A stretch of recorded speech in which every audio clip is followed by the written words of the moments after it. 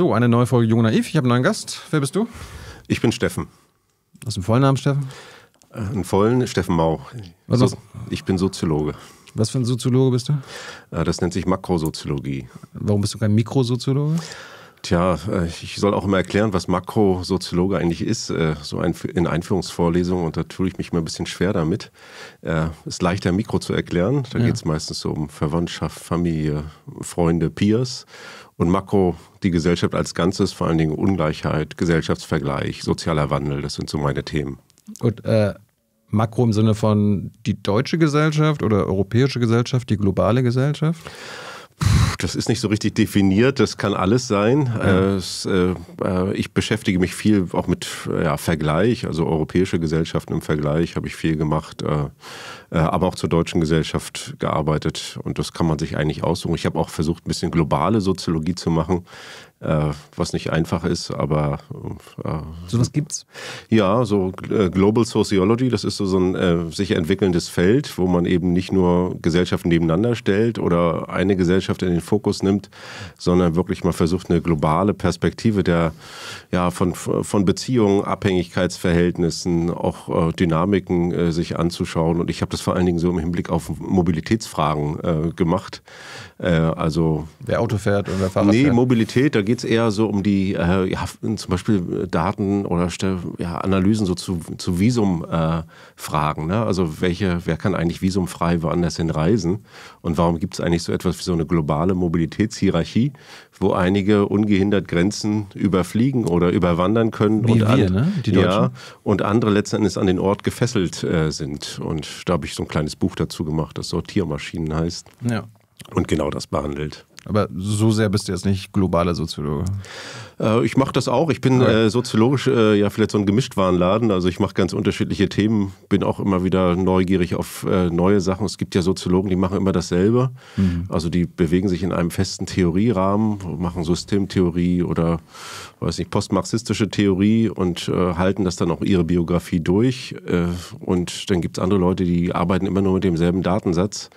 Und ich bin jemand, der ist eigentlich sehr stark themengetrieben. Ich sage, was mich interessiert und dann versuche ich das interessant soziologisch aufzuschlüsseln und äh, zu gucken, ob man mit unseren Methoden und auch Erklärungen da irgendwie was beitragen kann, was zur Aufhellung der Geschehnisse beiträgt. Werden wir die nächsten Stunden mal schauen, Ja. wo du beitragen kannst. Äh, ich habe mir gerade gefragt, wenn, wenn man globale Soziologie macht, kann man dann so auch quasi die Gesellschaften vergleichen, keine Ahnung. Und sind wir da die beste Gesellschaft? Das, Das die deutsche? Kann, das kann man nicht so einfach sagen. Beste ist jetzt auch nicht so eine soziologische Kategorie, die ich Nee. so typischerweise äh, anlegen würde. Aber natürlich kann man Gesellschaften vergleichen im Hinblick auf ihren Wohlstand, äh, Lebenserwartung, Qualität der Demokratie oder, oder solche Dinge. Und äh, da sind wir eine privilegierte Gesellschaft, ob wir die Beste sind, äh, da bin ich vielleicht ein bisschen zurückhaltender. Wir, wir wollen ja die beste sein. Ja, wir äh, strengen uns immer an. Es gibt ja auch viel, ganz viel Forschung so zu äh, globaler so Lebenszufriedenheit, ne, wo man dann irgendwie 180 Nationen vergleicht, äh, wie zufrieden eigentlich die Menschen sind oder wie hoch die Selbstmordraten äh, sind und dann so Länderrankings. Äh, das ist soziologisch, äh, also für mich jetzt nicht so aussagekräftig. Das ist vielleicht mal interessant in der Zeitung sowas zu lesen äh, oder auch solche Statistiken sich mal anzugucken, aber eigentlich finde ich das nicht so wahnsinnig spannend. Ja. Äh, du meinst gerade, dich interessierenden Themen statt irgendwelche soziologischen Richtungen. Äh, Gibt es irgendwelche Themen, für die du dich früher interessiert hast, die dich heute nicht mehr so interessieren? Ja, ich habe mal angefangen, da habe ich so ein bisschen mehr so äh, vergleichende Sozialpolitikforschung gemacht. Das war so ein definiertes Feld, das habe ich auch in der Dissertation gemacht. Und, äh, und viele Jahre auch da erfolgreich Forschung drin gemacht. Und dann habe ich mich äh, da so ein Stück weit äh, von wegbewegt. Das interessiert mich jetzt immer noch und ich mache auch immer noch ein bisschen was. Aber dann kamen andere Themen dazu, äh, Migration, äh, ja, so- soziale Ungleichheit, sozialstruktureller Wandel zur deutschen Einheit hab, oder zur ostdeutschen Transformation habe ich ein bisschen was gemacht. Äh, alles Mögliche. Warum hat dich das früher interessiert und jetzt nicht mehr? Und, Ja, und na, wo, wo, worum ging es da? äh, Ja, äh, ja, darum ging, da ging es eigentlich darum, äh, äh, wie, was sind eigentlich die, was ist eigentlich die Art der moralischen Unterfütterung von Umverteilungsinstitutionen? Also äh, letztendlich um Fragen von Transfer, von Besteuerung. Und äh, da habe ich so einen äh, Vergleich gemacht zwischen Deutschland und äh, Großbritannien. Das war meine Dissertationsarbeit und habe mir das angeguckt, sozusagen welche Art von Gerechtigkeitsprinzipien sind eigentlich in zentrale sozialpolitische Institutionen eingebaut. Äh, wie operieren die eigentlich und welche Anerkennungslogiken bringen die eigentlich hervor? Und äh, das kann man dann machen und äh, da gibt es so ja, bestimmte, auch bestimmten theoretischen Rahmen, in dem man sich da bewegt. Denn die Frage, die man sich natürlich schon stellen kann, warum sind Menschen eigentlich bereit, unter bestimmten Umständen äh, ja, äh, institutionellen Arrangements zuzustimmen und die auch äh, zu unterstützen? Äh, die von ihnen selbst Ressourcen wegnehmen und sie anderen geben. Das ist ja erstmal sozial voraussetzungsreich, so eine Art organisierte kollektive Solidarität. Und äh, damit habe ich mich beschäftigt, wie das eigentlich funktioniert. Und irgendwann hast du Interesse daran verloren? Noch nicht Interesse verloren. Es gibt dann äh, erstmal stellt man fest, dass man. Hast du ausgeforscht? Oder? Naja, ja, es gibt natürlich Themen, die sich äh, irgendwann erschöpfen. Äh, das Thema gibt es jetzt auch weiter, auch unabhängig von meiner Forschung. Aber man stellt manchmal so ein, so ein Stück weit fest, äh, der, der Mehrwert, den ich jetzt selber noch in diesem Feld erzeugen kann, der wird eigentlich geringer. Hm. Und ich wollte nicht immer nur Variationen des, äh, des Gleichen machen und äh, mich da letzten Endes auch so ein Stück weit wiederholen. Das ist manchmal auch eine sehr erfolgreiche Strategie. Ja, wenn, wenn, du Professor bist, dann ja, kannst du ja nicht mehr gekündigt ja, werden. Ja, dass, dass, dass, du dich immer weiter vertiefst und so weiter, aber man möchte ja auch morgens aufstehen und sagen, ja, da gibt es jetzt irgendwas, was mich packt und äh, wofür ich mich begeistern kann. Und äh, da hatte ich das Gefühl, da gibt es einen abnehmenden Grenznutzen bei mir. Und dann bin ich zum nächsten Thema weitergewandert und zum nächsten. Und äh, ich könnte jetzt auch nicht sagen, was ich in zehn Jahren mache. Äh, das wird sich dann irgendwie ergeben, ob ich einen interessanten Aufhänger finde, ob äh, ich irgendwie das Gefühl habe, da gibt es jetzt irgendwie ein Thema, äh, das flackert irgendwie, das hat irgendwie eine Art von Attraktivität und damit könnte ich mich jetzt ein paar Jahre beschäftigen und auch was Interessantes dabei tragen. Wenn jetzt einige neidisch standen und sagen, oh, der Steffen kann sich aussuchen, ja, das ist wozu, schon eine wozu er forscht, das ist ja geil.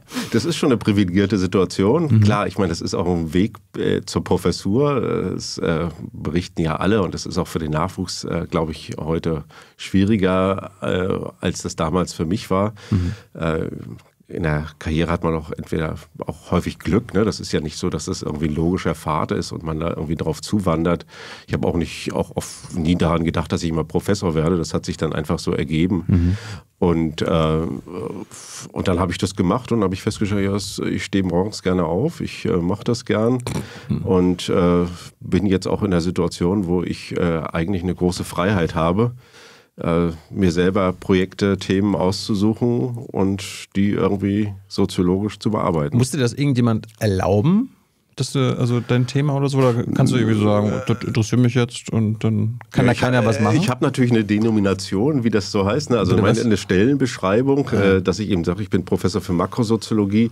Wahrscheinlich, wenn ich jetzt äh, anfangen würde, äh, ja, was weiß ich, äh, äh, im ganz anderen Feld zu wildern, Betriebswirtschaft plötzlich zu unterrichten oder zu forschen, dann äh, würde das vermutlich unter meinen Kolleginnen und Kollegen oder... Ja, soziologische Betriebswirtschaft wäre Ja, das, das ginge auch. Aber ansonsten bin ich relativ relativ frei. Es gibt ja die Freiheit von Forschung und Lehre, die grundgesetzlich verankert ist mhm. und die erlaubt natürlich relativ äh, viel äh, zu machen. Aber in der Lehre bin ich natürlich so ein bisschen festgelegt, äh, dass ich einfach dieses Fachgebiet abdecken muss.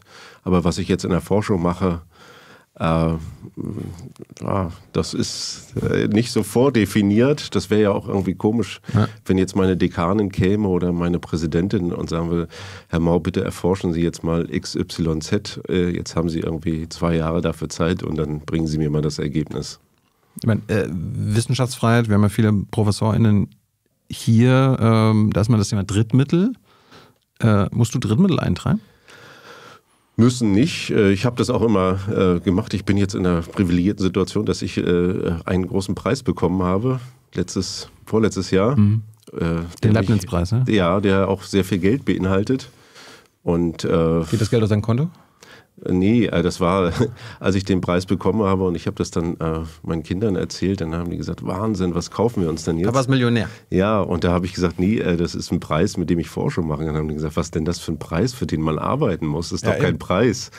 Und, äh, das ist eine sehr gute Frage ja, der Kinder. das ist eine richtige Kinderfrage, also eine naive Frage im ja. Prinzip. Und äh, nee, äh, äh, das ist äh, ein Preis, der einem Forschung ermöglichen soll, dass man eben äh, möglichst viel Freiheit hat, äh, die eigenen ja, Forschungsinteressen so zu verfolgen. Und man kann dieses Geld sieben Jahre lang ausgeben. Zweieinhalb Millionen Euro war das, ne? Genau, ich habe jetzt erst zwei Jahre ausgegeben. Wie viel hast du schon ausgegeben? Ich glaube so 400 oder 500.000. Ich weiß es jetzt nicht ganz genau. Äh, das fließt natürlich auch in Stellen ja. Äh, von Personen, die mit mir zusammenarbeiten. Und, äh, und von da habe ich jetzt die nächsten fünf Jahre nochmal einfach viel Spielräume, um Dinge zu machen, die jetzt vielleicht andere Leute nicht so ohne weiteres machen können. Das ist ja genau der, der Kritikpunkt an dem System, dass du jetzt das Glück hast, diesen Preis bekommen zu haben, dieses extra Geld. Das würden ja wahrscheinlich andere Soziologinnen, andere Professoren auch gerne haben. Ja, äh, leider kann ich, ist es wahrscheinlich nicht universalisierbar, äh, schon aufgrund begrenzter äh, Mittel. Und, äh, das muss ja nicht so sein, ne? Ja. Ja, politische ist, Entscheidung. Das, das, ist lange eine Diskussion, ne? also dass man überhaupt keine Grundausstattung an den Universitäten mehr hat oder nur eine sehr geringe, mhm. dass man im Prinzip überhaupt keine Eigenmittel hat, um Forschung äh, in die Wege zu leiten, das ist schon ein Problem. Genau. Und dann hat man natürlich eine extrem stark projektgesteuerte Forschung. Deutschland ist vielleicht noch mal, sowieso nochmal ein Sonderfall. Mhm. Das gibt es in anderen Ländern nicht so ohne weiteres. Also überhaupt dieser riesige Drittmittelbetrieb in den USA findet man das so gar nicht. Und ein, deutscher Professor oder Professorin, die beantragen irgendwie bei der Deutschen Forschungsgemeinschaft irgendwie eine Projektfinanzierung, gibt es hohe Ablehnungsraten. Und wenn man dann das Glück hat, das zu bekommen, dann nutzt man das Geld in der Regel, um Leute einzustellen, die die Forschung machen, die man selber gerne machen würde. Äh, also und dann muss man schon wieder für das nächste Projekt und das übernächste. Das kostet ja auch Zeit. Ja, es kostet riesige Zeit. Es ist zum Teil ja eben auch, äh, äh, ja gerade wenn so ein Projekt fehlschlägt, ne, so ein Antrag fehlschlägt, da hat man dann ein halbes Jahr investiert mhm. und dann ist das eigentlich äh, Zeit, die äh, ja in die Tonne getreten werden kann. Und das ist, äh, das ist ein Problem. Man kann natürlich nicht alles finanzieren, was alle Leute äh, machen wollen. Ich meine, wir sind in einer Welt endlicher Ressourcen, aber mehr Grundausstattung und äh, mehr auch eine Dauerfinanzierung, das sehe ich auch als also eigentlich eine notwendige Bedingung für gute Forschung, weil man erst dann auch so etwas entwickeln kann wie ein richtig gutes Forschungsprofil, auch, ein, auch sozusagen eine Art von Forschungsprogramm, denn jetzt hecheln natürlich viele Leute von Drittmittel zu Drittmitteln und dann gibt es einige Universitäten, äh, die Humboldt-Uni, wo ich bin, die gehört nicht dazu, äh, die äh, Leuten im Prinzip auch, ja, auch auferlegen, eine bestimmte Summe einzuwerben. Und wenn man dann diesen Zwängen unterliegt, äh, bei uns ist das, glaube ich, nicht der Fall. Äh, jedenfalls habe ich das noch nie gehört, dass man das, wir haben viel Drittmitteleinwerbung und meine Kolleginnen und Kollegen machen das, aber es ist nicht so, dass wir da irgendwie äh, dazu gezwungen werden oder solche Leistungsvereinbarungen haben. An vielen anderen Unis existiert das eben. Und wenn man dann neu anfängt, dann muss man innerhalb der ersten drei Jahre die Summe X einwerben, ja. obwohl das natürlich hochkontingent ist. Ne? Wenn das scheitert, liegt das ja nicht häufig gar nicht an einem selbst, sondern an äh, sehr zufälligen auch Auswahlprozessen. Äh, aber das ist eigentlich eine ungesunde äh, Entwicklung, die man, glaube ich, äh, mit guten Gründen auch kritisieren kann. Aber ist, ist das denn noch Wissenschaftsfreiheit, wenn ihr Einwerbungsdruck habt, wenn ihr Leistungsdruck habt? Ja, also Wissenschaftsfreiheit heißt ja erstmal, dass man sich die Themen selber aussuchen äh, kann und dass ein man nicht beschränkt ist im Prinzip in den Themen der, der, der Forschung. Man kann für alles was, was einwerben. Es gibt ja nicht nur die DFG, es gibt auch viele andere Förderer, Stiftungen, äh, oder äh, das äh, Bundesforschungsministerium. also ich würde da jetzt keine Einschränkung sehen, aber ich glaube nicht, dass das die optimalen Bedingungen sind. Forschung soll ja auch immer risikoreich sein. Bei ja, diesen. Projektanträgen hat man häufig das Problem, dass man schon vorab definieren muss, was eigentlich rauskommt. Also man muss die sehr, sehr eng und sehr spezifisch schneiden. Man muss sehr genaue Hypothesen äh, formulieren und vieles von Forschung, die, die ich jetzt mache, beinhaltet eben auch einen Suchprozess, dass ich noch nicht ganz genau sagen kann, was hinten mal rauskommt. Und ich möchte das häufig auch gar nicht so fingieren, also so tun, als ob, das wäre eine andere Variante, äh, sondern ich möchte auch eine Offenheit des Forschungsprozesses und ich möchte auch mal erstmal ja, in so eine Suchbewegung hineinkommen. Und das ist bei diesen Anträgen gar nicht so gewünscht. Ne? Also man soll möglichst wenig offen halten, man soll genau auch äh, Forschung portionieren, also sagen, äh, äh, was sind eigentlich die einzelnen Komponenten, was kommt hinten bei raus, äh, wie viele Zeitschriftenaufsätze publiziert man, äh, wo publiziert man die und so. Also es ist ähm, äh, schon eine sehr stark vorstrukturierte Form der Forschung, die aus meiner Sicht jedenfalls bestimmten Arten von Forschung und auch bestimmten Forschungspersönlichkeiten nicht gerade entgegenkommt. Das Ding ist, das könnte man ja ändern. Wir haben, das sind ja strukturelle Probleme, dass ja. ihr dass es zu wenig offene Forschung gibt, dass es viel zu wenig Geld im Bildungssektor gibt. Und gleichzeitig tut, tut die Politik so, als ob wir das Bildungsland sind, wir müssen die weltbeste Bildung ja. haben. Dabei werden euch doch Arme und Beine abgeschnitten quasi.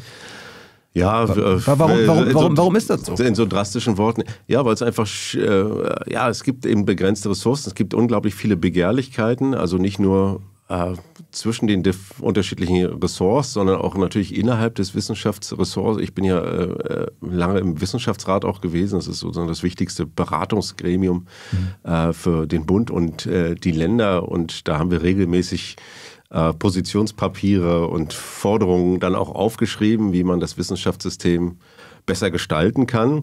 Und zwar im Hinblick zum Beispiel auf die Stellenstruktur. Das ist ja auch ein riesiges Thema. Ne? Also die, der hohe Befristungsanteil. Mhm die starke Prekarisierung auch im sogenannten äh, Mittelbau und das andere ist sozusagen auch äh, weg von dieser Projektfinanzierung hin zur Grundfinanzierung. Das ist eine Forderung, die regelmäßig auch von vielen wissenschaftspolitischen Akteuren aufgestellt wird. Aber warum wird das nicht umgesetzt? Ja, weil äh, natürlich der, der, Bund hat das Geld und äh, die Länder haben eben die Universitäten. Und äh, das ist jetzt auch grundgesetzlich relativ schwierig, dass der Bund dauerhaft sozusagen an Universitäten Einrichtungen finanziert. Äh, der kann eigentlich nur projektmäßig finanzieren und Projekt heißt, Projekt heißt eben zeitlich befristet. Äh, und, äh, und er hat auch ein bisschen natürlich Vorbehalte, den Ländern einfach so das Geld zu geben. Das ist in verschiedenen Förderlinien immer mal wieder gemacht worden, zum Beispiel so bei Professorinnenprogrammen und so weiter und ähm, äh, auch beim Hochschulpakt äh, und sonstigen. Und da gibt's immer Ängste, dass äh, sozusagen die Länder das eigentlich nutzen, um sich haushaltsmäßig ein Stück weit zu sanieren. Das heißt, der Bund hat wenig Kontrolle darüber, wie eigentlich das Geld eingesetzt wird. Ja. Und die Unis nehmen das dann aber sparen dann vielleicht an anderer Stelle. Die sagen, guck mal hier, wir finanzieren jetzt mit Bundesmitteln eine Professur und sozusagen an einer anderen Stelle wird eine weggenommen und das kann man nicht so ohne weiteres äh, sozusagen in Verhältnis setzen. Das heißt, es braucht eigentlich. Aber das kann man ja ändern, diese ja, Struktur ja, kann man, man müsste, ja ändern. man müsste eigentlich äh, auch äh, nochmal, es gibt ja schon eine, eine Änderung im Grundgesetz, die mal gemacht worden ist, aber auch nochmal grundgesetzlich äh, da ein bisschen rangehen, dass man diese, das bezieht sich auf das gesamte Bildungssystem, ne? also, dass man dieses äh, Verhältnis im Wissenschafts- und auch Bildungssystem zwischen Bund und Ländern äh, ja einfach äh, angemessener gestaltet. Und äh, das, glaube ich, äh, ist, ist so ein großer, ähm, so, so ein, ja, so ein riesiger Aufgabenberg, der da, der da steht. Aber wir wissen eben auch, die Länder haben große Vorbehalte. Ne? Im Bildungsbereich, jedes Land möchte irgendwie das eigene machen und möchte sich vom Bund auch nicht so reinreden lassen. Das ist eben in der föderalen Struktur auch nicht ganz einfach, da auf einen gemeinsamen Nenner zu kommen. Ja, aber, und, aber, und der Bund sagt, wir wollen nicht immer nur zahlen, und ihr macht dann sowieso das, was ihr wollt, sondern wir wollen dann auch mitsprechen. Und die Länder sagen halt, ja, wir wollen eben nicht, dass der Bund überall bei uns reinredet, sondern äh, wollen unser eigenes äh, Ding machen. Aber, aber dieses Festhalten an den bestehenden Strukturen des Bildungssystems führt ja dazu, hast du gerade erklärt, dass wir quasi an der Zukunft sparen, weil unsere Leute ausbilden, Wissenschaft betreiben und so weiter. Ja. Da, das ist doch scheiße. Ja, das ist äh, schon ein riesiges Thema natürlich auch in dieser ganzen, äh, da gab ja eine riesige Diskussion jetzt zum Wissenschaftszeitvertragsgesetz, das in die Reform gehen soll und äh, äh, wo die Idee ist, äh, dass die Leute nicht mehr so lange auf befristeten Stellen sitzen, sondern dass früher auch eine Anschlusszusage oder eine Verstetigung da ist. Und ähm, äh, da kann man natürlich sehr gut argumentieren, dann sagen natürlich die Leute, ja, besten Auswahl, das ist nun mal irgendwie extrem kompetitiv, da muss man sich gegen andere äh, durchsetzen und Wissenschaft ist nun mal kein Streichelzoo, sondern äh, da braucht man irgendwie auch eine Zeit, um das auszusortieren. Aber andererseits kann man eben auch sagen, wir vergeuden unglaublich viel Talente, äh, weil äh, es ist ja nicht so, dass nur jetzt äh, die Leistungsschwächsten dann irgendwann entscheiden, aus dem Wissenschaftssystem herauszugehen, sondern zum Teil auch sehr gute Leute, die zum Beispiel andere Alternativen haben, ne? irgendwie in, in einem Betrieb zu arbeiten oder in, in die öffentliche Verwaltung zu gehen oder so etwas. Hm. Das heißt, wir verlieren eigentlich äh, auch, auch viele Talente, die, und zum Teil auch aus persönlichen Gründen, weil eben Leute Familien gründen wollen, weil die an einem Ort leben äh, möchten, ja. die aus dem Wissenschaftssystem dann irgendwie rausgehen, freiwillig. Andere werden eben dann rausgekickt und äh, dann gibt es einige, die verbleiben. Äh, und man weiß nicht so genau, ob das wirklich die allerbesten sind. Also, als ich damals studiert habe, du, hast, du kommst auch von der HU, ne? Ja. Ich habe damals BWL studiert. Mein Plan war so, ich gehe dann irgendwann zu McKinsey. Und bei McKinsey berate ich dann die ganzen Ministerien und Universitäten, wie sie noch mehr Geld sparen. Also wie noch mehr gekürzt ja. wird. Ja, das ist ja der Witz von diesen Beratungsagenturen, dass die eigentlich äh, immer mit demselben Schema überall hingehen und dann ist es eigentlich egal, ob sie ein, äh, Unternehmen am Markt äh, mhm. beraten im Hinblick auf Strukturreform oder, äh, oder einen Kindergarten. Die Logik ist eigentlich immer dieselbe. Man braucht ein paar Indikatoren, die Leistung anzeigen. Das hat, ist ja auch sozusagen im, im öffentlichen Dienst immer stärker äh, so geworden, dass man so Indikatoriken hat, äh, an denen man zeigen muss, dass man bestimmte Leistungsziele irgendwie erreicht. Das, äh, in der Wissenschaft gibt es das ja auch, diese starke Quantifizierung, ne? also dass man irgendwie äh, bestimmten Publikationsoutput hat, äh, bestimmte äh, Zitationen. Jetzt kommt noch Öffentlichkeitswirksamkeit dazu, mhm. dass man irgendwie eine Sichtbarkeit äh, in, den, äh, in den Medien hat oder Outreach oder irgendwie eine Praxisrelevanz oder Zahl von Patenten. Und natürlich äh, sind diese Indikatoren immer nur bedingt aussagekräftig äh, äh, im Hinblick auf die Qualität der Wissenschaft oder auch die äh, Relevanz der Wissenschaft, die da äh, gemacht wird. Die zeigt sich ja häufig erst viele Jahre später. Das ist ja nicht äh, unmittelbar ablesbar. Hm. Und es ist natürlich auch so ein bisschen, dass es risikominimierend ist. Ne? Also wenn man jetzt immer sagt, ja, ihr müsst jetzt was machen und das muss dann sofort Erträge abwerfen. Wir wissen, dass die großen wissenschaftlichen Durchbrüche oft viele Jahre oder Jahrzehnte gebraucht haben um überhaupt im, äh, in der Wissenschaftscommunity akzeptiert äh, zu werden.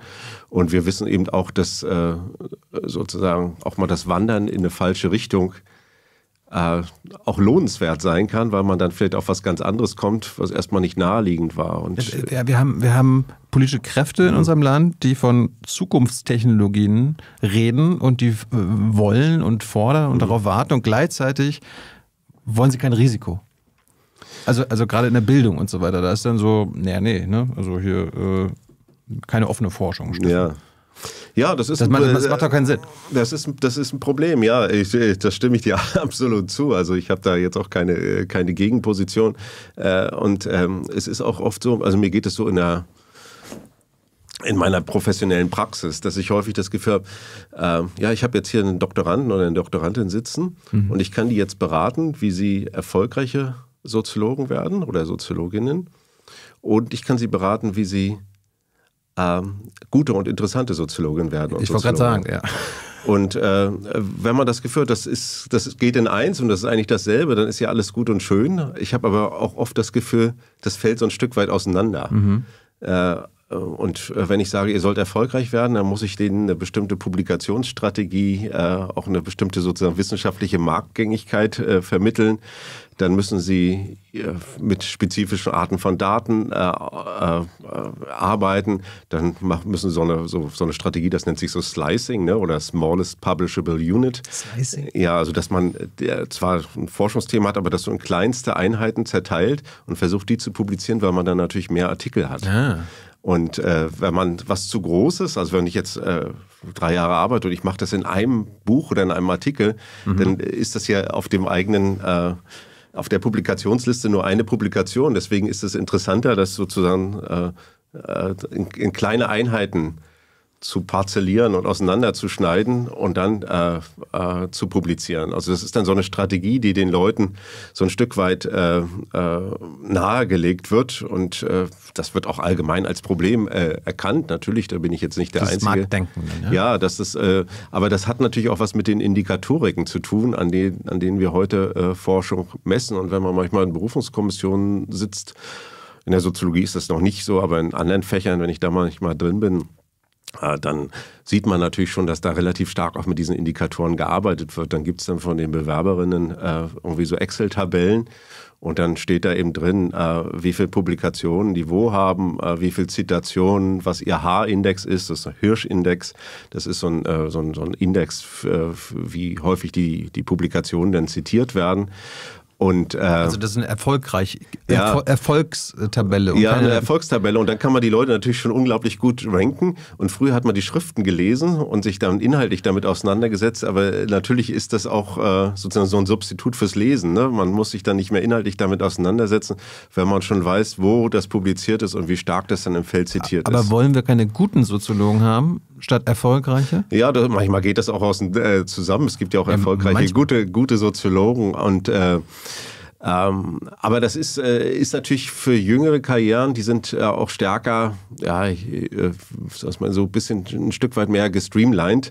Äh, viele Leute, die jetzt so auch in meinem Alter sind oder ältere Soziologinnen, äh, da sieht man häufig, dass sie auch häufig sehr auch äh, vielleicht nicht ungewöhnliche, aber jedenfalls nicht sehr geradlinige Karrieren hatten. Mhm. Heute haben wir das natürlich viel, viel stärker, dass die Leute BA, MA, das ist schon mal viel strukturierter.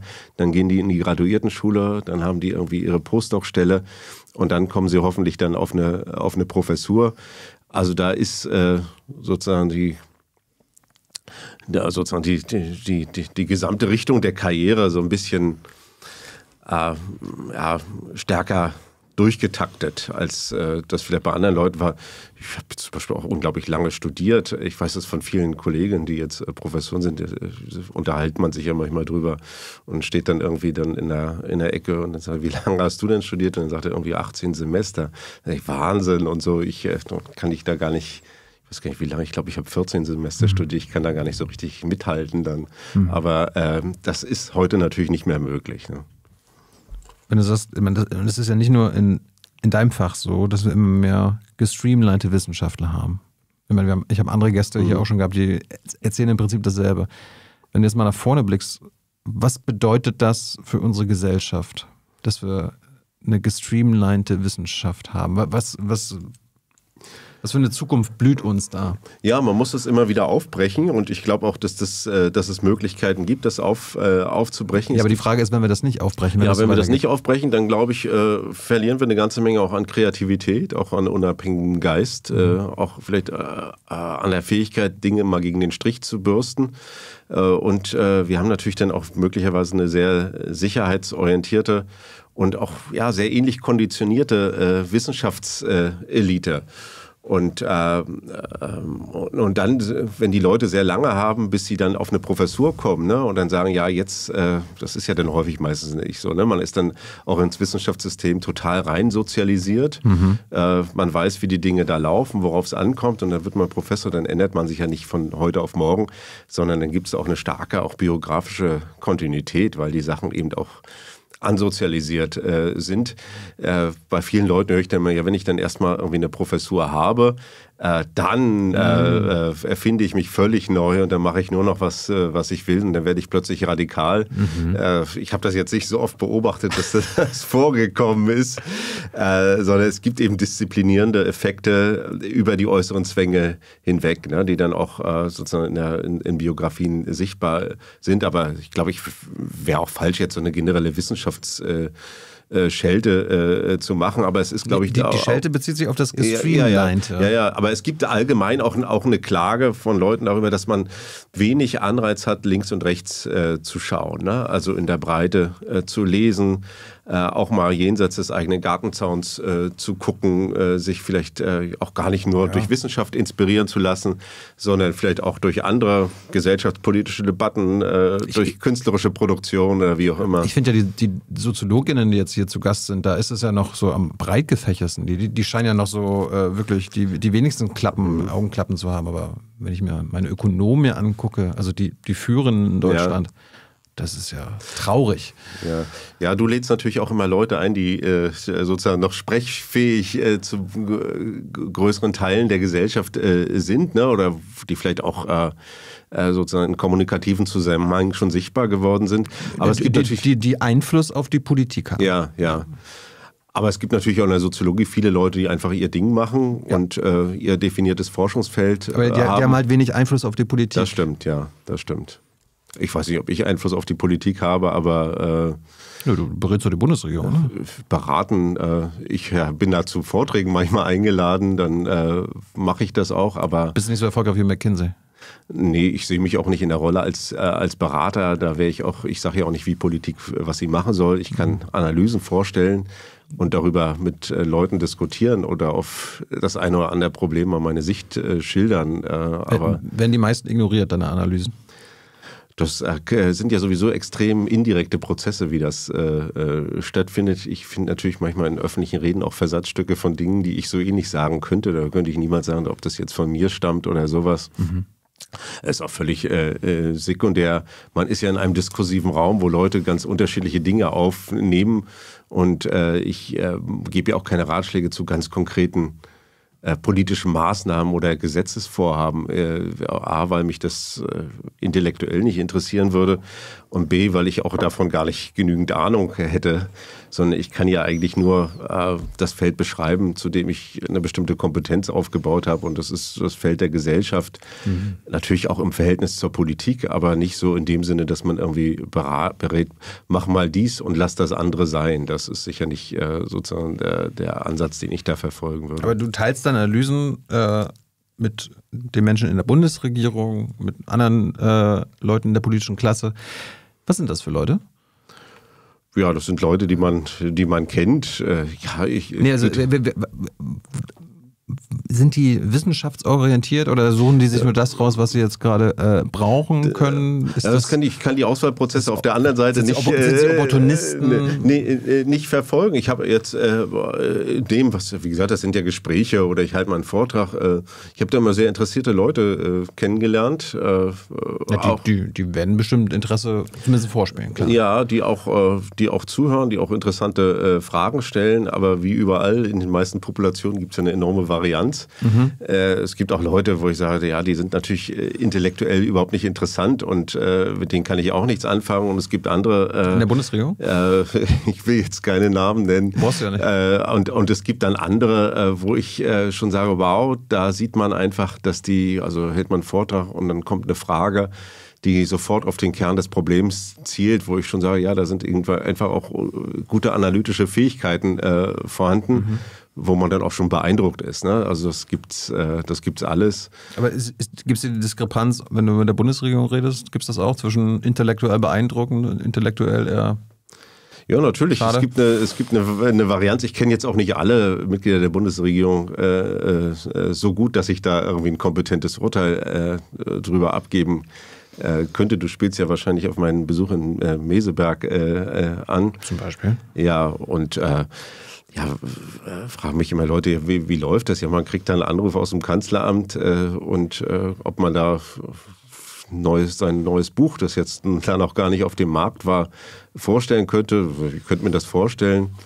Die Triggerpunkte. Genau, ja. ja. Und dann äh, bittet man den Verlag mal das Manuskript dahin zu schicken und dann äh, gucken die da rein und äh, um erstmal festzustellen, ob das wirklich interessant sein könnte für sie. Und dann äh, fährt, fährt man dahin. Wollte die Bundesregierung wissen, wie sie die Leute besser triggern kann?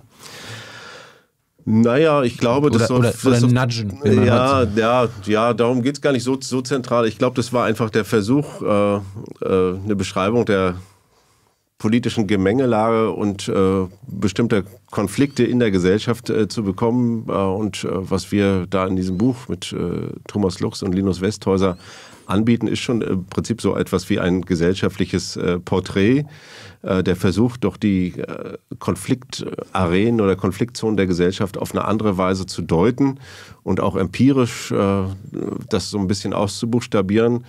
Äh, und zwar, wie das bislang noch nicht auf dem Markt vorhanden ist. Also es gibt ja einen Diskursmarkt und da gibt es so bestimmte äh, sozusagen auch rhetorische Figuren und auch Verständnisweisen, wie eigentlich die Gesellschaft tickt und was da so die wesentlichen Konflikte sind. Mhm. Und äh, wir halten da so ein Stück weit äh, dagegen und äh, das habe ich da vorgestellt und dann gibt es interessierte Nachfragen und eine Diskussion und äh, dann fahre ich dann auch wieder zurück. Widersprichst du denen dann auch, wenn sie mit dir diskutieren? Oder, ja, oder, da, oder, bist du da sehr ganz fromm und so Gott, ja, ja wenn, äh, wenn, wenn, ich, wenn ich falsch interpretiert werde oder wenn äh, sozusagen die, die, die, die Lagebeschreibung äh, aus meiner Sicht äh, falsch ist, dann widerspreche ich natürlich und mhm. versuche das äh, zu korrigieren und dann nochmal irgendwie nachzufüttern, äh, warum und, und wie ich das, das sehe. Äh, es gibt auch natürlich, äh, man kann natürlich auch einen politischen Streit äh, anzetteln, aber das ist ja jetzt nicht meine Funktion. Ich bin ja selber kein politischer Akteur. Jedenfalls nicht in dem Sinne, dass ich denke, ich hätte jetzt ein eigenes Mandat, sondern ich bin ein Soziologe, der die Gesellschaft erforscht und der das Wissen oder auch bestimmte Deutungsangebote dann da in, in, die Öffentlichkeit oder dann in so einen politischen Kontext hineinbringen äh, kann. Das ist auch nicht so, dass ich mich da drängle äh, oder äh, jede Woche da beim Bundeskanzleramt anklopfe, äh, um Olaf Scholz was, was einzuflüstern. Das, äh, wie, wie, wie sind die auf dich gekommen? Bist du SPD-Mitglied oder so? Nö, bin ich nicht. Nee. Ja. Nö, die Bundesregierung besteht ja aus drei Parteien, äh, von daher... Bist du bei den Grünen? Oder? Nee, nee, nee, aber ich denke mal, jetzt von der Diskussion habe ich mitbekommen, dass das irgendwie... Aber wie, wie sind wie sind die auf dich gekommen? Oder hat Merkel früher auch schon mal angerufen? Sind die auf mich gekommen? Das kann ich jetzt auch nicht sagen. Ich, äh, ich bin immer mal im Gespräch. Ich mach, halte ja auch Vorträge. Dann gibt es ein Interview irgendwo, äh, auf das dann viele Leute reagieren. Letztes Jahr hatte ich in der Zeit ein großes Interview. Mhm. Da haben extrem viele politische Akteure darauf reagiert und auch mal den Kontakt mit mir gesucht oder informell mit mir äh, gesprochen weil die wussten, dass es dieses äh, Forschungsprojekt gibt und dass das doch irgendwie äh, mit ihren Themen ja, einen engen Zusammenhang bildet. Hm. Zu den Triggerpunkten und deiner Forschung kommen wir gleich. Bleiben wir nochmal bei dir. Bist du denn jetzt ein erfolgreicher oder guter Soziologe? Ja, ja also ein mal selber zu beantworten. Ja, ich glaube, ich bin ein erfolgreicher Soziologe geworden. Jetzt äh, sagen mal Leute, ja, du kriegst irgendwie Preise und hast den Leibniz-Preis und hier und da. Ähm, ich sage das meinen Mitarbeitern auch immer, äh, ich, als ich angefangen habe zu studieren, war ich auch völlig desorientiert. Das ist auch jetzt auch nicht äh, schlimm, sind ja die allermeisten. Äh, aber ich hatte auch nie Stipendien und so weiter. Ne? Mhm. Also ich, ich, kannte niemanden, ich äh, war auch fremd in dem Diskurs, hatte auch niemanden, der mich dafür hätte vorschlagen können. Ich habe mich zwar immer mal wieder beworben, aber Manchmal kommen jetzt Stiftungen auf mich zu. Hast du kein Vitamin B gehabt? Nee, ja, genau. Und kommen Stiftungen auf mich zu. Oder neulich jemand von der Studie, ja, warum schlagen Sie nicht mal Leute vor? Und so. Ich sage, ja, aber das ist immer gar nicht so auf meinem Schirm, weil ich selber immer nur Ablehnung bekommen habe. Ich bin nie eingeladen worden zu irgendeinem Gespräch beim Stipendium. Hm. Und äh, von daher ist es so ein bisschen so eine späte Genugtuung, dass ich jetzt auch äh, äh, solche Preise ähm, äh, bekomme. Es ist fantastisch, das ist auch eine schöne Anerkennung meiner Arbeit. Ich fühle mich dadurch jetzt nicht irgendwie äh, äh, ähm, äh, besser oder besser als andere äh, Soziologinnen. Das ist gar nicht äh, das Thema, sondern ich freue mich, dass ich jetzt einfach Möglichkeiten habe, interessante Dinge zu machen und ja, irgendwie meinen Forschungsinteressen nachzugehen. Kommen wir zu deiner Biografie. Wo kommst du her? Ich bin in Rostock geboren. Mhm. In der DDR noch? Ja. Wie war das? Also wie bist du da aufgewachsen? Ganz, eigentlich ganz, ganz normal, sage ich mal. Ähm, äh, ich bin da in so einem, äh, ich bin in der Uniklinik in Rostock geboren und dann, äh, meine Eltern wohnten da schon in einem Plattenbaugebiet, das Lüttenklein heißt. Mhm. Eines der größeren oder größten Plattenbaugebiete. Im ganzen Rostocker Nordwesten gibt es äh, so mehrere, die heißen dann irgendwie Lüttenklein groß, klein, schmal äh, und Evershagen. Mhm. Äh, also, glaube ich, 70.000 oder 80.000 äh, Menschen äh, wohnten da. Und äh, da habe ich dann die ersten 18 Lebensjahre in einem Hochhaus verbracht. Was haben deine Eltern gemacht? Äh, meine Mutter war Ärztin und ah ja. mein Vater war, ähm, der hat, der war eigentlich Forstfacharbeiter. Mhm und äh, kommt so aus so einer äh, ja, Müllers-Familie. Also der Vater war Müller und äh, einige waren Bauern. Und in der DDR gab es sowas, das nannte sich ABF, Arbeiter- und Bauernfakultät. Das war eine ziemlich berühmte Einrichtung. Da gibt es auch äh, einen berühmten Roman von mhm. Hermann Kant darüber. Die Aula heißt er. Äh, und da wurden Kinder, die aus, äh, ja, aus der Arbeiterklasse kamen oder aus der Bauernschicht, wurden da vorbereitet fürs Studium. Und das hat mein Vater gemacht, meine Mutter auch. Äh, und äh, die hat dann in Rumänien Medizin studiert äh, danach. Und, in Rumänien? Ja. Und mein Vater hat dann äh, in, an der Universität Greifswald äh, nordische Sprachen und Literatur studiert. Mhm. Also er war sogenannter Diplom-Nordist. und äh, deswegen zu Hause, bei uns zu Hause, wir hatten das, das Glück, wir waren ja in so einem Hochhaus und haben dann den, auch das dänische Fernsehen empfangen, DK1. Und mein Vater hat dann öfter auch mal das dänische Fernsehen äh, angemacht, um, um seine Sprach Fähigkeiten äh, einigermaßen äh, zu erhalten. Aber ansonsten das hat war er. euer Westfernsehen oder Nordfernsehen. Ja, genau, ja, ja. Äh, von daher, die Olsenbande habe ich dann auf Dänisch das erste Mal geguckt. Und äh, der hat dann im, äh, in so einem Schiffbaubetrieb gearbeitet. Im Prinzip hast du Akademiker-Eltern gehabt. Genau, ja. Wart ihr dann dadurch irgendwie besser gestellt in der DDR-Gesellschaft als im Vergleich zu anderen? Ja, die sozialen Unterschiede waren ja nicht so groß. Also Ja. ich sag mal, in den Wohnmilieus überhaupt nicht. Das ist ja auch bekannt. Die Plattenbaugebiete, da hat im Prinzip die arrivierte Werktätigenklasse der DDR äh, gelebt. Also wenn man sich jetzt mal die be- beruflichen oder Bildungsabschlüsse anguckt, bisschen über dem Durchschnitt waren die. Das ist eben anders als die Plattenbaugebiete in, äh, in der neuen Fahr oder in, äh, in Köln-Chorweiler oder so. Und, ähm, äh, und sonst, meine Eltern haben, haben, haben gut verdient äh, für DDR-Verhältnisse, aber waren jetzt nicht privilegiert, äh, sondern äh, ja, eigentlich ein relativ normales Leben. Ich meine, die sozialen Unterschiede waren eben stark nivelliert. Und äh, jetzt auch bei uns im Haus, das ist ja auch bekannt, ne, von diesen Plattenbaugebieten gab es eben eine bunte Mischung äh, von Leuten mit sehr, sehr einfachen Berufen oder auch äh, ungelernten Tätigkeiten äh, bis hin zu, äh, zu Professoren oder äh, Opernsängern oder was auch immer. Als wir damals, ich meine, ich bin ein bisschen 17 Jahre später geboren als du, aber wir sind immer, Urlaub haben wir immer auf dem Campingplatz gemacht. Ja. An der Seenplatte. Wo seid ihr in den Urlaub gefahren? Ja, wir sind auch öfter mal auf dem, äh, an der Seenplatte äh, gewesen. Sonst äh, äh, meine Großeltern äh, mütterlicherseits, die äh, das waren auch Geflüchtete aus, aus Ostpreußen. Und die wohnten dann auf der Insel Rügen. Das heißt, wir waren auch oft da, in einem kleinen Städtchen Bergen. Und meine Oma war eine extrem passionierte äh, Anglerin. Die ist dann erst als Rentnerin. Oma war eine Anglerin? Ja, Ah, ja. die ist erst als Rentnerin aus Langeweile Anglerin geworden. Und äh, in der DDR, wenn ich das richtig erinnere, waren die Wettbewerbe zwischen Männern und Frauen nicht getrennt. Und die ist dann sogar auf der Insel Rügen, das muss man sich mal vorstellen, Kreismeisterin im Angeln geworden, mehrfach. Geil. Und äh, hatte zu Hause auch unglaublich viele äh, Anerkennungswimpel von diesen ganzen Angelwettbewerben. Und äh, in den Ferien war ich natürlich oft da und musste immer, äh, musste immer angeln. Sonst Osteuropa oder so mal Urlaub gemacht? Ja, wir waren auch in der, in, in, in der Tschechei, wie man damals gesagt hat, äh, äh, und äh, auch in Ungarn äh, mal gewesen und sind dann damit, mein, meine Eltern hatten so einen Wartburg dahin getuckert. Äh, waren die Eltern in der Partei? Oder die Familie? Meine Eltern waren beide in der Partei, ja. weil sie mussten oder weil sie überzeugt waren? Äh, das weiß ich gar nicht so genau. Äh, mein Vater war nicht überzeugt. Also äh, der hatte auch eine, eine Distanz äh, zur, äh, äh, sozusagen zu, zum, zum Staat insgesamt. Also ich habe das gar nicht jetzt so, so in äußerlichen Merkmalen gesehen, sondern eine Art, wie der uns erzogen hat und wie er uns auch beraten hat, persönlich und, und, und auch beruflich.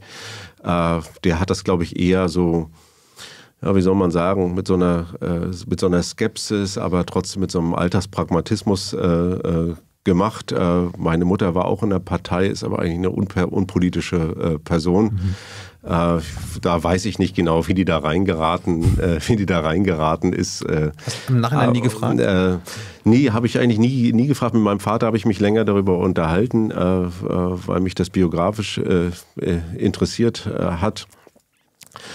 Ähm, aber es hat eigentlich keine große Rolle bei uns, äh, bei uns gespielt. Also meine Eltern waren jetzt nicht so, was man so früher 150-prozentige genannt hat, äh, die jetzt zu Hause irgendwie eine Parteilinie vertreten oder uns, äh, uns äh, indoktrinieren äh, wollten. Äh, und ich habe das bei meinem Vater relativ deutlich gespürt. Also die, das war ja in der DDR immer so eine große Frage, geht man drei Jahre zur Armee oder nur anderthalb Jahre? Und wenn man studieren wollte, musste man immer drei Jahre zur Armee gehen. Und äh, mein Vater hat mir ganz klar davon abgeraten und gesagt, äh, äh, mach das auf keinen Fall. Das ist verschenkte äh, Lebenszeit und du wirst das auf jeden Fall äh, bereuen. Äh, so dass ich da irgendwie familiär auch eine Unterstützung hatte. Ich bin ja dann auch nur anderthalb Jahre äh, gegangen. Bei uns zu Hause war es immer so, äh, Honeckewitze durften nicht gemacht werden, wenn Tante und Onkel da sind. Mhm. Die waren 150-prozentige. Ja. Äh, ansonsten in der Schule am besten auch nicht, beziehungsweise ich war noch zu jung. Aber ansonsten äh, ging das frei, frei weg. Wie war es bei euch? Wir haben eigentlich relativ offen äh, zu Hause geredet. Aber auch so mit Freunden und so? Ja, also ich sag mal so, das war eigentlich gut bei dir. Ich meine, muss doch eigentlich nach der Wende, muss doch da relativ, äh, ja, hast, ich, hast du die DDR kaum noch mitbekommen. Ne? Ich habe immer nur Trabi-Fahren okay. mitbekommen. Ja. Ja, aber, aber das, das bekommt man ja trotzdem mit durch Nacherzählungen und so aber, weiter. Aber man muss vielleicht auch noch unter, unterscheiden. Die DDR hatte ja auch unterschiedliche historische Phasen. Mhm. Und äh, jetzt so in meiner Generation, ich bin ja 68 äh, geboren und äh, äh in den 80er Jahren war die DDR schon äh, hat die schon unglaublich viel an Legitimation eingebüßt. Also es war nicht mehr so, dass man so einen alltagsrevolutionären Geist hatte oder dass man die Leute irgendwie zum Mitmachen überzeugen konnte. In meinem Freundeskreis und so hatten wir alle so eine Halbdistanz, auch fast ein ironisches äh, Verhältnis äh, und haben uns dann häufig auch über diese ganzen Ritualisierung, das äh, politische Vokabular, auch das Personal, das Spitzenpersonal der DDR äh, doch lächerlich äh, gemacht und haben die gar nicht mehr so so ernst genommen. Das heißt nicht, dass wir jetzt alle in der Opposition waren und uns dagegen die staatlichen äh, Zudringlichkeiten aufgelehnt haben, aber dass wir doch uns schon sehr stark auch privatisiert hatten. Ne? Also wir haben viele Sachen gemacht, die man jetzt vielleicht äh, unter den Augen der Offiziellen nicht unbedingt machen würde, aber wo man eben ja, weiß, da gab es so eine äh, so eine halbe Duldung. Äh, es war nicht erwünscht, aber auch nicht so richtig erlaubt. Aber man hat das dann irgendwie äh, trotzdem gemacht, ob im Freizeitverhalten, bei, was weiß ich, Musikkonzerten. Ich habe dann relativ früh mit Freunden angefangen, so Kabarett zu spielen, auf eigene Initiative. Und da musste man dann auch so eine Einstufung machen. Das heißt, man musste sich eine Kommission vorstellen, um. Eine Kabarettkommission, Ja, ja, und, und um festzustellen. Den, den, den Honiggerwitz machen. Oder? Ja, ob man, ob man dann auch irgendwie linientreu ist und ob die künstlerische Qualität angemessen ist. Und Linientreues Kabarett. Ja, dann, äh, damit man überhaupt dann eine Lizenz zum Auftritt bekam. Und, äh, Musstest du dann über den, den bösen Westen äh, Witze machen? Anstatt? Äh, naja, da jedenfalls, äh, ich weiß nicht, nach welchen Kriterien die das beurteilt haben, aber dann hatten sie immer gesagt, das sei irgendwie äh, Unterhaltung unter der Haltung und wir könnten keine Anerkennung bekommen. Und dann sind wir äh, trotzdem äh, immer mal wieder, ja, mal im Studentenclub, mal irgendwie in kirch kirchlichen Räumen, äh, mal in privaten Räumen, äh, doch über eine lange Zeit äh, immer aufgetreten. Kennst du noch deine besten Witze? Ja, ja nee, das, nee, das war dann, waren eher so längere so Sketche, das waren jetzt nicht so Einzelwitze. und wir hatten auch Leute, die Musik gemacht haben, da haben wir irgendwie so auch, auch Sachen gesungen und und das war aber, das war einfach so ein bisschen die, unser Zeitvertreib. Es hat auch unglaublich viel Spaß gemacht, weil man rumgekommen ist mhm. und äh, weil man in gewisser Weise auch ein bisschen mit den Mächtigen äh, spielen konnte. Wir wussten natürlich, dass wir observiert werden. Ne? Es gab auch mal eine Veranstaltung, da kam dann vorher jemand äh, äh, zu mir und sagte, ja, äh, er sei vom Ministerium für Stadtsicherheit und er würde äh, heute mal unsere äh, unseren Auftritt äh, äh, besuchen und er wolle uns nur darüber informieren. Das fand ich ja ganz interessant.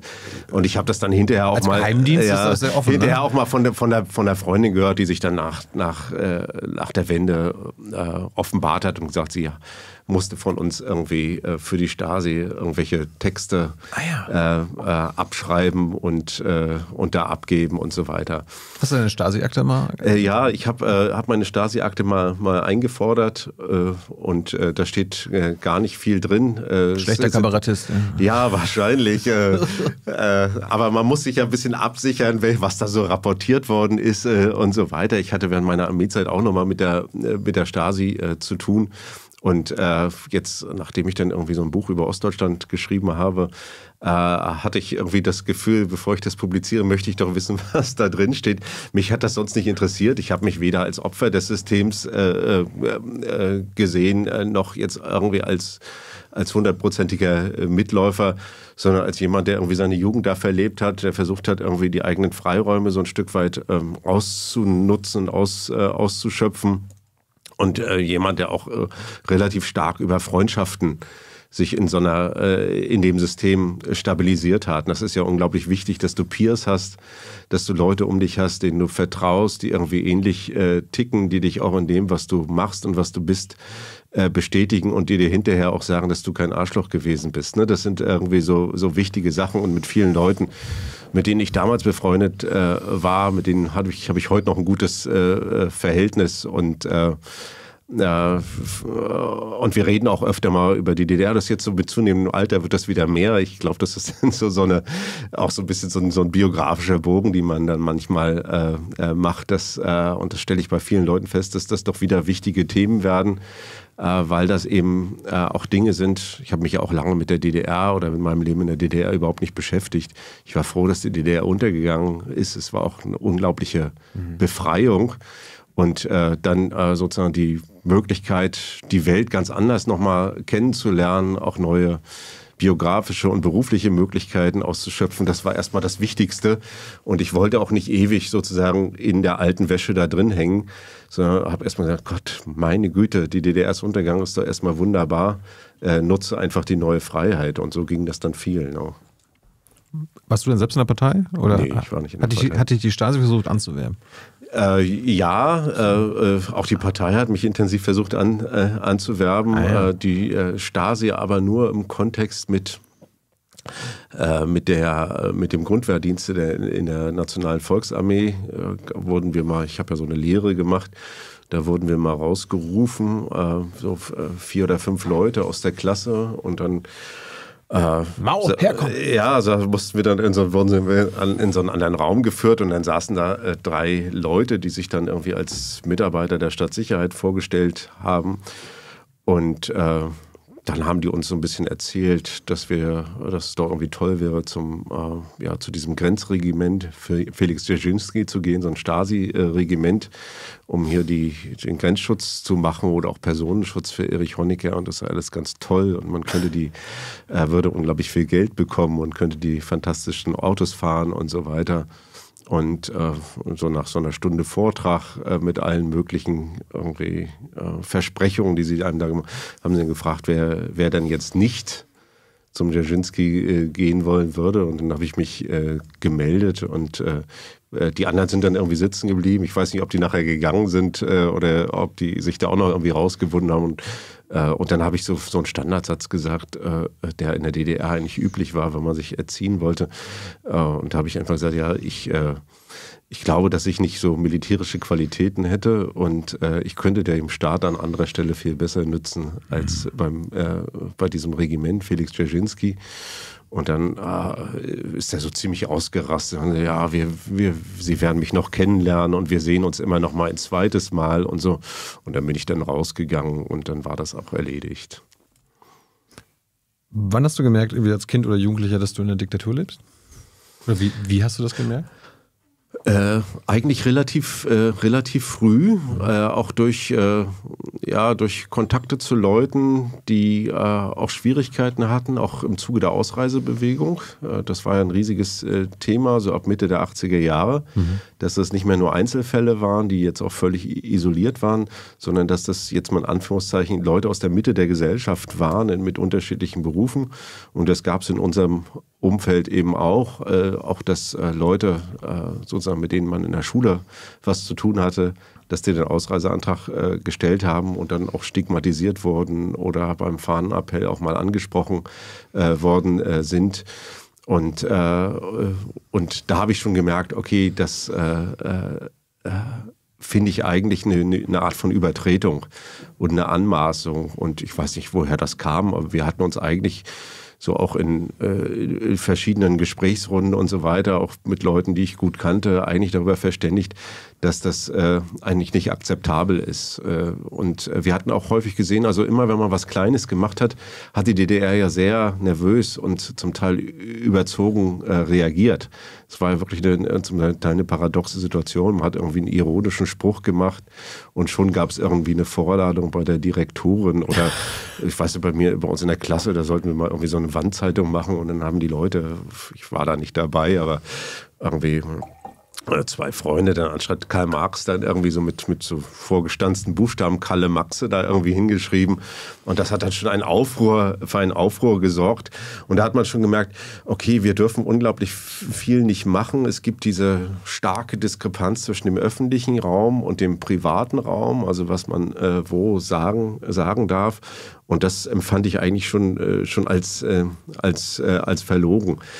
Äh, natürlich gab es immer noch mal diese, diese Erzählung von der Systemkonkurrenz, auch von den sozusagen überlegenen Qualitäten des Sozialismus, dass man sagt, es gibt irgendwie, das sind jetzt nur äh, ja, Wachstumsschmerzen und irgendwann kommen wir im Kommunismus an und da ist alles viel gerechter und die Menschen sind nicht ungleich und dann gibt es irgendwie das kapitalistische System. Es ist nicht so, dass ich immer nur in den Westen geguckt habe.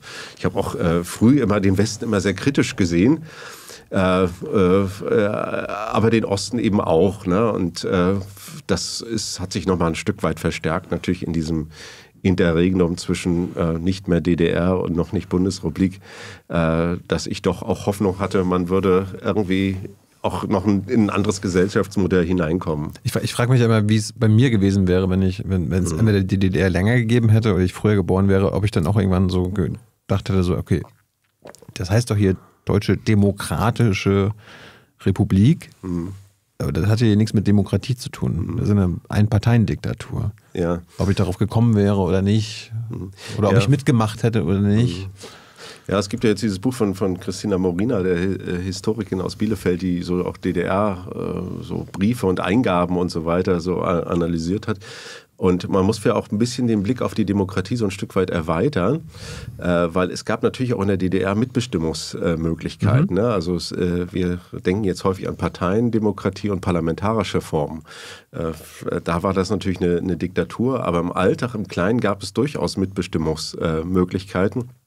Ich habe das jetzt auch in meiner Recherche für ein Buch, das ich eben über dieses, diesen Stadtteil, in dem ich aufgewachsen bin, äh, festgestellt habe, äh, zu Lüttenklein, dass da zum Beispiel Ra im Rathaus in Rostock äh, vorher Stadtmodelle äh, aufgestellt wurden und die Leute aufgefordert wurden, dahin zu kommen, sich das anzugucken und Verbesserungsvorschläge zu machen. Äh, ich habe mit einem der äh, sozusagen Stadtplaner und Architekten von äh, Lüttenklein, der jetzt aber schon äh, gestorben ist, auch längere Gespräche gehabt, der mir dann irgendwie erzählt hat, wie die versucht haben, das sozusagen dem sozialräumlichen Konzept umzusetzen. Hm. Und diese ganzen, äh, ob das jetzt die Bewegung ist oder irgendwelche Haltestellen und so weiter, äh, Parkanlagen. Also es ist nicht so, äh, dass alles nur von oben, sondern äh, auch in betrieblichen Kontexten gab es durchaus Formen der, der Mitbestimmung. Äh, da wurden sie zum Teil auch erzwungen, weil die Leute durch Leistungszurückhaltung, durch ja, hm. Formen von kleiner Meuterei, sage ich mal, auch in der Lage waren, durchaus Betriebsleitung dann in, die Bredouille zu bringen und sich dann auch Freiräume zu schaffen. Und äh, das hat man immer wieder gesehen, aber es ist natürlich jetzt keine Demokratie, wie wir sie vom Auge, vom Auge haben, wenn wir über Demokratie sprechen. Aber das sind Beteiligungs- und Partizipationsmöglichkeiten, die es im Kleinen manchmal eben schon gab. Jetzt bist du ja äh, die volle Zeit damals in die Schule gegangen. Ähm, was wollte der junge Steffen werden? Ja, was wollte ich also, werden? Du, du, konntest, du, konntest, ja nicht ahnen, dass die DDR untergeht. Ja. Dass es eine Wiedervereinigung gibt, dass die Mauer fällt. Ja, äh, es ist ja mal ganz schwierig, wie man überhaupt zum, zum Berufsvorstellung oder zum Berufsbild äh, äh kommt. Ich äh, habe lange Zeit gedacht, dass ich vielleicht auch Arzt äh, werde. Das ist dann äh, biografisch nicht, nicht geglückt, mhm. weil ich eben nicht auf die sogenannte erweiterte Oberschule, also so eine Art ja, DDR-Gymnasium gehen konnte. Aber deine Eltern waren in einer Partei. Ja, aber das äh, Entscheidend war ja, was, war, zu welcher sozialen Schicht die Eltern äh, gehörten. Und im Aha. Klassenbuch stand ja dann äh, A oder I, also Arbeiterklasse ohne Intelligenz. Und äh, die DDR hat sich ja stark darum bemüht, äh, sozusagen jetzt die Schicht der Intelligenz nicht zu stark zu reproduzieren und zu zementieren. Es ist ihr nicht gelungen, aber äh, äh trotzdem gab es Versuche. Es haben ganz wenig Leute, äh, also jetzt aus meiner Klasse, wir haben 30 Kinder, ich glaube, mhm. es ist einer zur erweiterten Oberschule gegangen und äh, diese 29 anderen eben nicht. Also ganz, die DDR hat ja sozusagen ja, ja. Äh, interessante Entwicklung gemacht. Äh, bis in die 70er Jahre waren ja die Student Studierendenzahlen so ähnlich wie in der Bundesrepublik, wenn man das jetzt pro Kohorte zählt. Und dann danach hat die DDR den Zugang zum hochschulischen Sektor im Prinzip reduziert. Mhm. dann Ende 89, oder 89, Ende der 80er äh, waren das weniger als noch Anfang der 70er und in derselben Zeit ist halt das äh, Universitätssystem im Westen expandiert, also immer mehr Studierende, Neugründungen von Universitäten und die DDR war zu dem Zeitpunkt wahrscheinlich das einzige industrialisierte Land, das die Zahl der Hochqualifizierten reduziert hat und dadurch entstand natürlich dieses riesige Nadelöhr, ganz wenig konnten weitergehen, hat auch für riesigen Frust äh, gesorgt. Ja, bei, bei meiner Mama, die hat ein A bei sich drinstehen. Ja. Äh, die Eltern, äh, weil Oma und mhm. Opa nicht in der Partei waren, ja. ging es ja nicht weiter. Ja, Obwohl sie wohl gab war. Ne? Ja, aber, äh, und ich habe dann sowas gemacht, das nannte sich Berufsausbildung mit Abitur.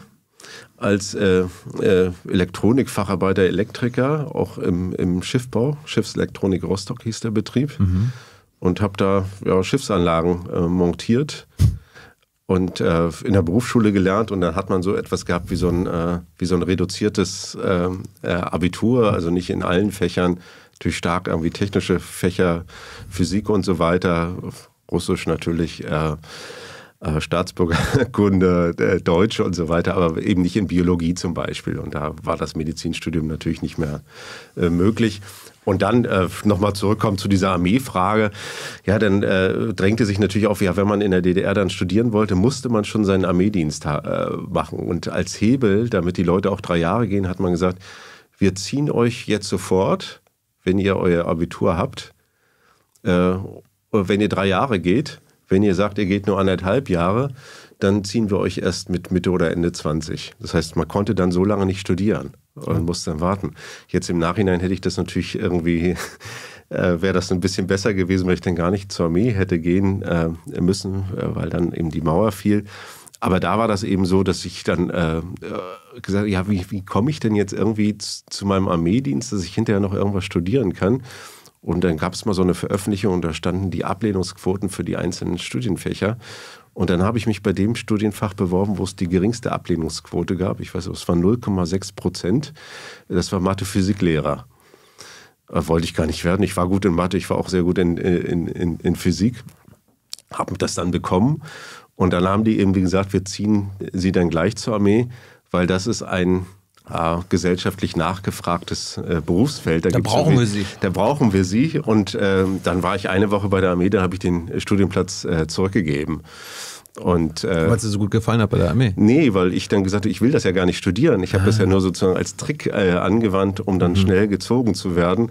Und dann habe ich gesagt, ja, danach überlege ich mir dann, was ich eigentlich machen möchte. Und äh, wenn ich es richtig verstehe, haben wir beide in der gleichen Kaserne unsere Ausbildung gemacht. Ja, äh, nur, nur 20 Jahre auseinander. Ja, ja. Ich bin in ach, ja, 88 bin ich dann im, am 1. November, glaube ich, äh, eingezogen worden mhm. äh, zur 8. Mordschützendivision der Nationalen Volksarmee und war dann Funker auf einem Schützenpanzerwagen. Mhm. Und das ist ja, die hieß damals Werder-Kaserne, jetzt heißt sie, glaube ich, Julius Leber oder so? Julius Leber-Kaserne, glaube ich. Glaub, ich glaube, die vielleicht gibt es die gar nicht mehr, aber damals 2005, 2006 Jetzt ist es, ich habe die noch mal besucht, jetzt ist das ja so ein sehr offenes Gelände. Damals war die vollständig ummauert. Mhm.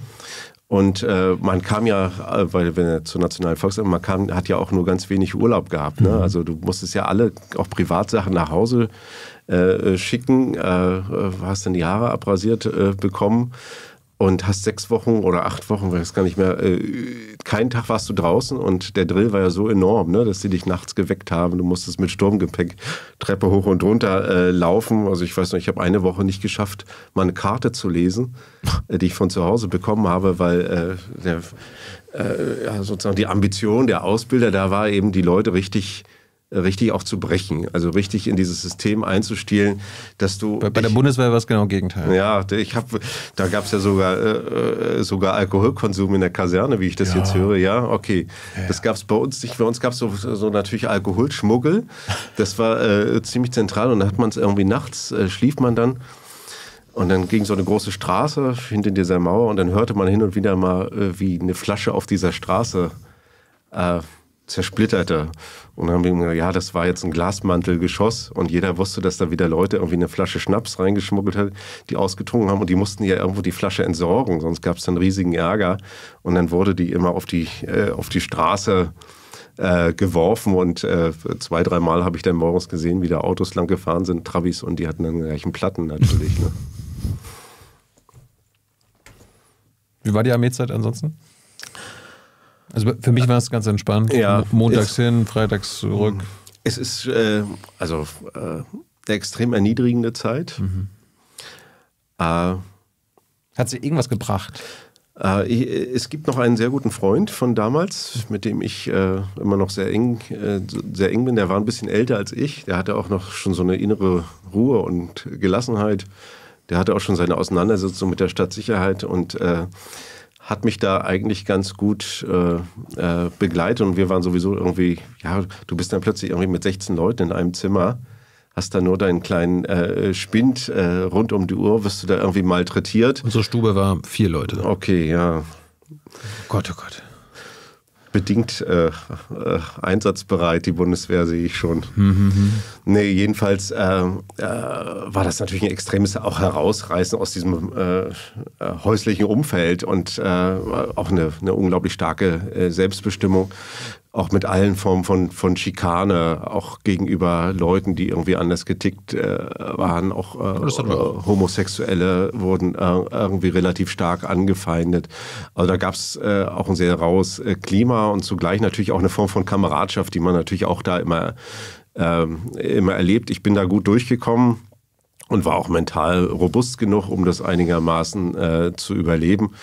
Äh, und wir hatten das Glück, äh, ja, natürlich, äh, oder man könnte sagen Glück oder Pech. Äh, ich war ja auch während äh, im Herbst 89 noch bei der Armee. Das war natürlich auch eine extrem interessante Zeit, weil man da wie glaube ich an kaum einem, einem, anderen Ort die Pulverisierung von Macht miterleben konnte. Man konnte eben plötzlich erleben, wie diejenigen, die irgendwie vorher einem noch alles sagen, wie die plötzlich an Autorität ein, äh, Einbußen hinnehmen mussten. Und plötzlich wurde man als Soldat in die Lage versetzt zu widersprechen. Zu sagen, nee, Frühsport machen wir nicht. War ja undenkbar vorher, ne? jeden Morgen um sechs irgendwie 3000 Meter laufen. War das vor dem Mauerfall? Ja, das war vor dem Mauerfall. Das also, fing, äh, vorher schon? Das fing dann relativ äh, früh an. Dann haben wir auch einen Soldatenrat äh, gegründet. Huh. Und plötzlich waren wir nicht nur Befehlsempfänger, sondern Verhandlungspartner. Und die wussten natürlich auch nicht, wo es hingeht. Also das heißt, die war, war natürlich auch extrem verunsichert, äh, wie sie in so einer Situation agieren äh, müssen. Das war dann nach dem Rücktritt von, von Erich Honecker. Äh, dann hatten wir natürlich auch andere Informationskanäle und dann gab es frühzeitig auch einen Kontakt äh, mit dem neuen Forum in Schwerin, äh, mit denen äh, Leute da von uns Kontakt aufgenommen hatten. Und dann ging es so relativ stark auch um, äh, ja, wie verhält sich eigentlich die, äh, die NVA, also jetzt auch zum äh, Jahrestag äh, der äh, DDR am 7. Äh, Oktober 89, da war das natürlich schon ein riesiges Thema auch unter uns. Wie verhalten wir uns eigentlich? Ne? Die ganzen Fahrzeuge, äh, die LKWs und so weiter, die waren alle auf dem Existierplatz und wir saßen in einer Soldatenstube und wir haben das diskutiert. Was, wenn jetzt der Einsatzbefehl kommt, äh, was machen wir denn jetzt eigentlich? Nehmen wir jetzt die Kalaschnikow und setzen uns darauf und fahren irgendwie zum Schweriner Schloss und äh, machen da irgendwas. Und wir kannten natürlich alle die Ereignisse auf dem Platz des himmlischen Friedens. Das stand uns noch vor, vor Augen und äh, das haben wir diskutiert. Ich weiß nicht, wie wir nachher gehandelt hätten. Ich bin extrem dankbar, dass die Situation nicht eingetreten ist. Äh, aber das war natürlich irgendwie. Was war das Ergebnis der Diskussion? Das ist nicht mal? Ja, wir haben natürlich, man diskutiert oft auch mit dem, äh, mit dem losen Ende, ne, wo man jetzt nicht zu einer, äh, zu einer Schlussfolgerung kommt. Äh, aber es war klar, dass wir jetzt nicht einfach so äh, uns darauf setzen, sondern dass wir auch einen Zweifel haben, dass wir äh, innere Widerstände haben, äh, dass wir auf jeden Fall auch solche Situationen vermeiden äh, möchten. Äh, und dann haben wir relativ frühzeitig auch so ersten, den ersten Sitzstreik, glaube ich. Ich glaube, wir waren überhaupt die erste Kaserne, die das gemacht hat. Äh, äh gab es da auch eine Berichterstattung in der Bildzeitung äh, damals. Wie, wie, habt ihr gemerkt, dass ihr das könnt. Also, das, das, war, das war eine extrem, das war eine irre Situation. Also plötzlich also du bist ja wirklich das allerletzte Rädchen. Ne? Du mhm. bist, äh, bist ja nicht, nicht ein Bürger in Uniform, wie das heute äh, so heißt, sondern äh, du bist jemand, äh, der zu funktionieren hat, äh, der, also wenn man sprechen wollte, dann musste man den Arm so vor, vorhalten und musste Genosse Hauptmann gestatten Sie, dass ich spreche. Und wenn der Nein gesagt hat, dann konnte man eben nicht sprechen und sei es die nächsten vier Wochen. Und äh, äh, plötzlich war die Situation äh, anders. Also es ist schon so, dass man plötzlich von so einer Situation der totalen Passivität und auch der, der Verohnmächtigung plötzlich in, auch in so einen, einen Rausch der, der ja, oder so, so, so ein Gefühl der Selbstwirksamkeit hineingerät. Also ganz kleine Dinge, es ging ja uns ganz gar nicht um, um große politische Forderungen, das ist ja vielleicht auch das, das Interessante daran, sondern wir haben dann gesagt, okay, wir wollen nicht mehr zu Mittags, man musste immer zu, wenn man zum Mittag und zu jeder Mahlzeit musste man immer hinmarschieren und ein Lied singen.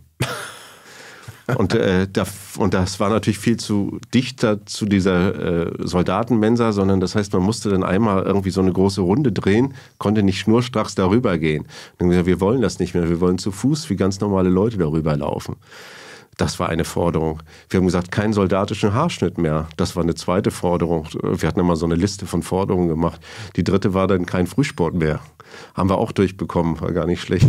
Also äh, um solche Dinge, also Alltagsverbesserungen, darum ging es dann. Und äh, äh, gut, dann haben wir da irgendwie äh, auch mal so einen, so einen Sitzstreik gemacht, der dann auch so ein bisschen durch die Presse aufgegriffen wurde. Und äh, das war für die, äh, für die Generalität und für die ganzen Offiziere, deren ganze, ganzes Leben ja daran hing. Ne? Die waren ja dann 25 Jahre bei der Nationalen Volksarmee oder sowas. Für die natürlich ein absoluter Schockzustand. Die haben sich dann auch verkrochen, zum Teil in Büros eingeschlossen. Es gab auch Leute, die sich mit Waffen in Büro eingeschlossen haben. Äh, es gab ja auch einen Stadtsicherheitshauptmann da in dem, in dem Ding, der dann anfing, äh, auch die ganzen Akten äh, in seinem Zimmer zu verbrennen. Dann konnte man so sehen, wie da der Rauch durch das, durch das Fenster abzog. Also das waren so alles ja, äh, äh, Veränderungen, die erstmal sehr klein begannen, aber dann sehr massiv wurden. Und dann hat, hatten wir irgendwie, war irgendwie klar, äh, die Nationale Volksarmee greift jetzt in diese Situation nicht ein, hm. äh, äh, sondern die bleiben in ihren Kasernen und es gab dann auch Signale zu sagen, okay, äh, äh, es soll auch Gespräche mit dem neuen Forum äh, geben und dann hatten wir auch als Soldaten in der Diskussion uns da beteiligt und dann gab es so ein Objekt in der Nähe von Schwerin. Ich weiß leider nicht mehr genau, wo es äh, wo es ist. Äh, da haben die gesagt, es gibt so eine Art unterirdischen äh, Bunker äh, für äh, die Parteileitung im Falle einer Konterrevolution. Und äh, da sollten jetzt drei Soldaten oder zwei Soldaten, weiß ich nicht mehr, abgeordnet werden, um das Ding zu bewachen, dass das nicht irgendwie von der Stadtsicherheit besetzt wird oder von anderen äh, ja, operativen Organen der DDR-Sicherheit. Ähm, und äh, dann sind wir da irgendwie hingefahren, unbewaffnet. Das war auch immer ganz wichtig, ne, dass man da irgendwie äh, nicht als äh, bewaffneter äh, Soldat äh, auftaucht. Und das war an so einem See auch äh, so, so ein Hügel so ganz viele so einzelne, so typische DDR-Bungalows. Und in einem Bungalow wohnte offensichtlich eine Stasi-Familie. Und dann konnte man den Teppich so äh, wegrollen. Das war so ein bisschen, ist so ein bisschen James Bond-mäßig. Den, äh, den Teppich äh, so wegrollen und dann war so eine große Bodenklappe und dann ging eine Treppe nach unten. Und da unten war dann eine Funkstation, äh, mehrere Räume mit, äh, mit Schlaf. Wow. Äh, Schlafplätzen, Essen für mehrere äh, Monate und so weiter. Und das war ganz schön. Dann haben wir da irgendwie, äh, ich glaube, zehn Tage oder so habe ich dann da in diesem Bungalow äh, gewohnt äh, mit noch einem anderen Soldaten. Wir sind dann morgens zum, zum Bäcker äh, geradelt. war natürlich eine fantastische, fantastische Zeit. Aber für die Leute da aus dem Ort, die bekamen das dann irgendwie mit und dann kamen eines Nachts auch mal Jugendliche, die dann das äh, Haus mit Steinen bewar bewarfen und da haben wir versucht, die so ein bisschen äh, zu entspannen, zu sagen, dass wir das eigentlich schützen äh, und äh, jetzt nicht äh, nochmal in Funktion bringen äh, wollen und und morgens ist man dann da immer irgendwie an den See gegangen. Das war eigentlich eine, hat auf der Terrasse gesessen, einen Kaffee getrunken. Das war eigentlich ganz nett. Warst du eine, denn einer der Redelsführer? Nö, das würde ich nicht sagen. Ich war da mit beteiligt äh, und äh, äh, da waren, wir waren eigentlich relativ viele und wir waren uns auch relativ einig. Ne? Das war jetzt nicht, dass es irgendwie eine kleine Minderheit war, die das da äh, anstoßen äh, musste, aber ich habe mich da wie andere auch beteiligt. Und, hast, du, hast, du, mit Papa oder Mama telefoniert dazwischendurch und mal erzählt, was da abgeht? Ja, das, das, das, das ging ja nicht gar nicht äh, so richtig. Briefe geschrieben? oder? ja man hat ja auch nicht, nicht viel Urlaub äh, bekommen. Ne? Man konnte ja auch nicht aus der Kaserne raus äh, und äh, das war alles ein bisschen schwierig. Äh, was äh, ich habe ich hab Schwestern und mit denen habe ich äh, öfter mal auch, äh, auch sprechen können. Die kamen auch mal nach Schwerin und haben mir dann ein bisschen erzählt, was so draußen abging. In Rostock war ja dann irgendwie auch waren große Demonstrationen vor der Marienkirche und äh, die haben mir dann erzählt, mein Vater war ja auch so in der Kampfgruppe. Das waren ja so so paramilitärische Einheiten äh, die gegründet worden sind, um dann auch äh, stärker mobilisieren zu können im Falle äh, von, äh, von Konflikten. Und äh, die haben dann erzählt, dass mein Vater einen Tag sozusagen äh, dann auch bei diesen Montagsdemos dabei war. als Kampfgruppe mussten die da irgendwie was sichern.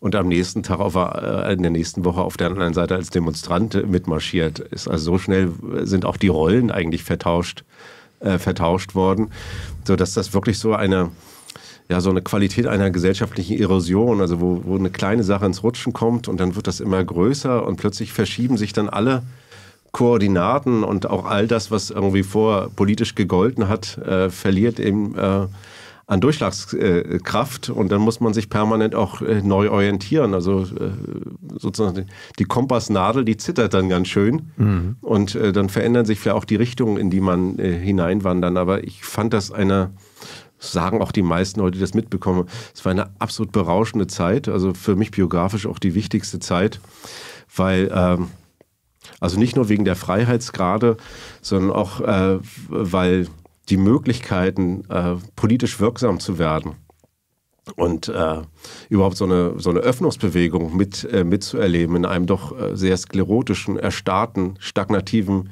äh, System also das war einfach äh, unglaublich beglückend. Bei vielen Ostdeutschen kam natürlich dann irgendwie auch äh, hinterher wieder so eine kalte Dusche mit äh, den ganzen Schwierigkeiten der ökonomischen äh, Transformation. Aber für mich war das natürlich biografisch die ideale Phase. Ich war 21 Jahre alt. Äh, ich hatte meinen Militärdienst hinter mir. Ich wusste nicht, was ich irgendwie machen sollte. War irgendwie auch biografisch völlig desorientiert habe gesagt und äh, hatte auch gar keine Lust zu studieren in der DDR und habe dann plötzlich festgestellt, Wahnsinn, jetzt, äh, jetzt, jetzt geht alles. Ne? Und äh, schon die Vorstellung, dass ich irgendwie, also es war ja biografisch so weit weg, irgendwann mal nach Paris zu fahren oder in Italien Urlaub machen zu können oder sonst was, dass das alles möglich sein soll das äh, ja, ist einfach ein beglückendes äh, Erlebnis, äh, das äh, sich wahrscheinlich in meiner Biografie nicht wiederholen wird. Hättest du denn im Vorfeld jemals gedacht, dass der Sozialismus untergehen würde? Also der DDR-Sozialismus? Weil ich hatte in den letzten Jahren viele Gäste, die meinten immer so, eigentlich unvorstellbar. Mhm. Also es kam dann irgendwie dann doch sehr überraschend alles. Mhm. Ja, ich äh, im Nachhinein kann man das immer schlecht sagen, was man damals gedacht hat. Ne? Also man eben, äh, manchmal äh, rationalisiert man das ja auch ex, ex post. Von daher muss man da auch vorsichtig sein, dass man sich nicht selbst irgendwie in die, in die, in die Tasche lügt. Immer, immer heutzutage können wir uns auch nicht vorstellen, die, dass unser kapitalistisches ja, System an, untergehen an, an die Wiedervereinigung oder an, daran, dass die DDR äh, sozusagen äh, völlig au aufhört zu existieren, das habe ich sicher nicht, äh, sicherlich nicht geglaubt. Aber ne, ich habe ich meine, die Leute 89 sind ja auf die Straße gegen das, also gegen diese äh, Diktatur gegangen. Ja. Die wollten jetzt nicht äh, Wiedervereinigung, die wollten erstmal diese Diktatur weghaben. Ja, es ging um gesellschaftlichen Aufbruch, es mhm. ging irgendwie auch um eine andere DDR oder einen demokratischen Sozialismus, zum Teil auch um ein Einlösen der Versprechen, die durch die Partei und Staatsführung irgendwie zumindest rhetorisch auch gegeben äh, äh, wurden. Mhm. Und ich habe schon darauf äh, gehofft, äh, dass das System ähm, sich äh, öffnen könnte und dass es auch äh, irgendwie Veränderungen gibt. Immerhin, ich meine, Gorbatschow äh, existierte. Äh, wir äh, kannten auch natürlich die ökonomische Liberalisierung in Ungarn und die Möglichkeit für Leute aus Ungarn zum Beispiel in den Westen zu fahren oder aus Jugoslawien äh, damals. Also es waren ja schon viele auch Veränderungen im Umfeld und im Sommer fingen ja dann auch schon die Bewegung an in den baltischen äh, Ländern mit Menschenketten und, äh, und sonstigen. Also es ist ja eine ganze Serie, das ist ja nicht nur in der DDR äh, passiert. Und äh, klar, Gorbatschow war für uns die absolute Lichtfigur.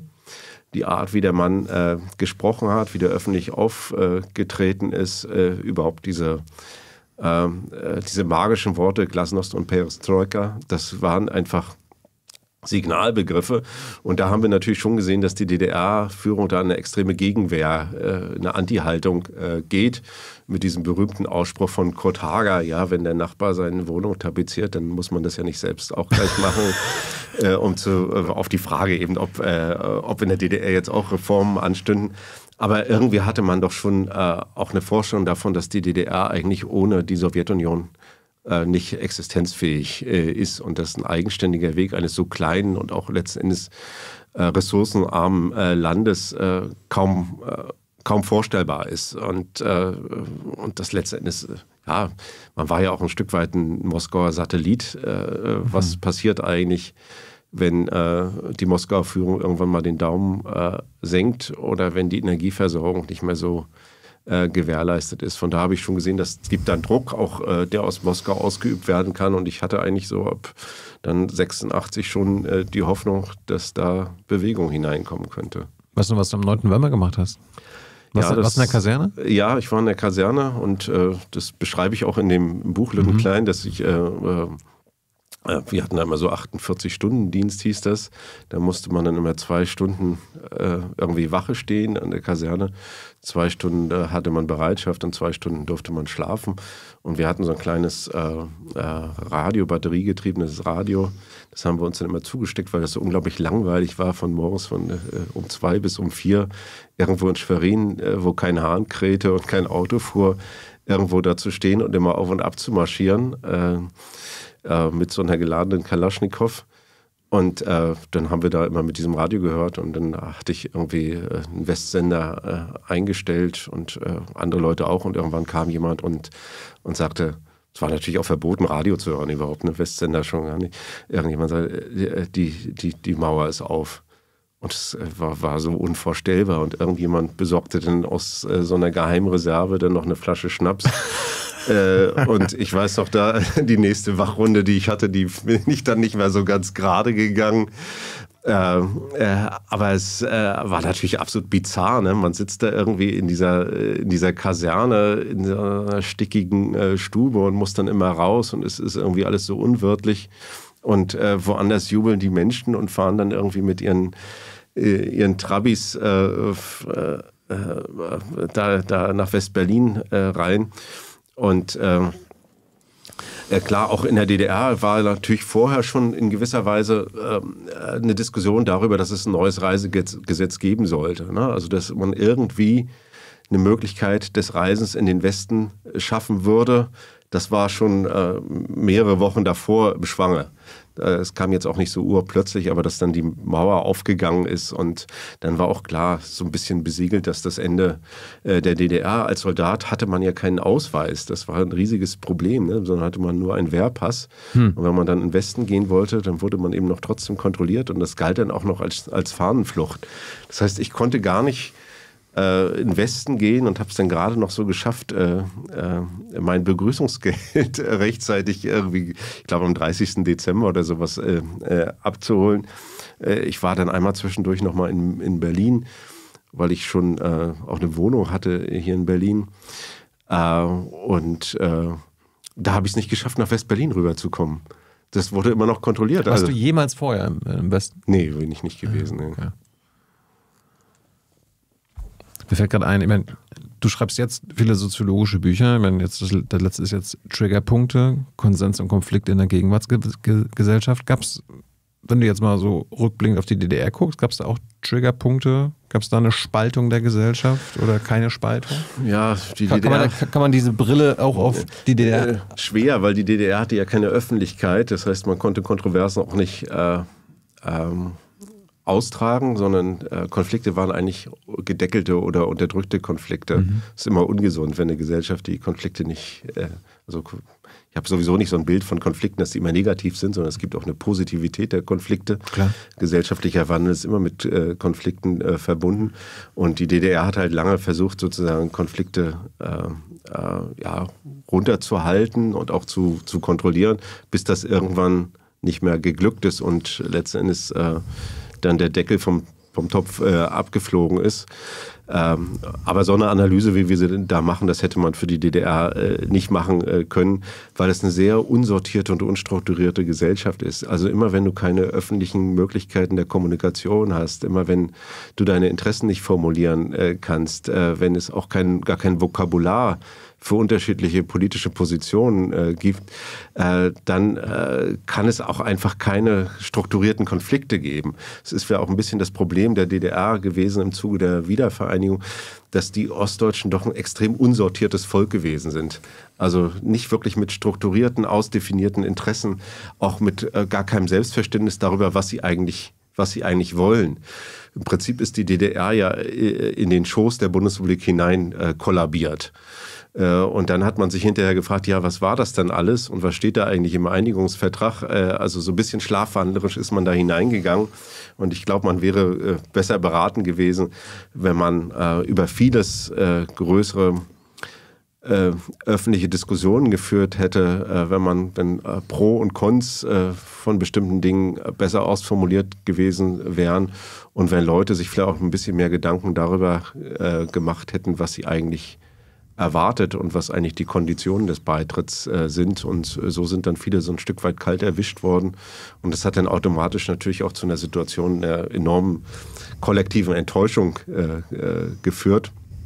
Ähm, Jana Hensel hatte mal dieses äh, schöne Bild, das ich äh, auch öfter mal äh, benutze. Die hat eben gesagt, hier, wie kann man sich das eigentlich vorstellen? Also äh, man wächst in einer autoritären Familie auf, äh, die Eltern sind ganz hässlich zu einem und dann befreit man sich von diesen Eltern und zieht aus und sagt, ihr könnt mich alle mal. Das war so die, waren die DDR-Bürger im Herbst 89, haben ihre Regierung dann in die Wüste geschickt.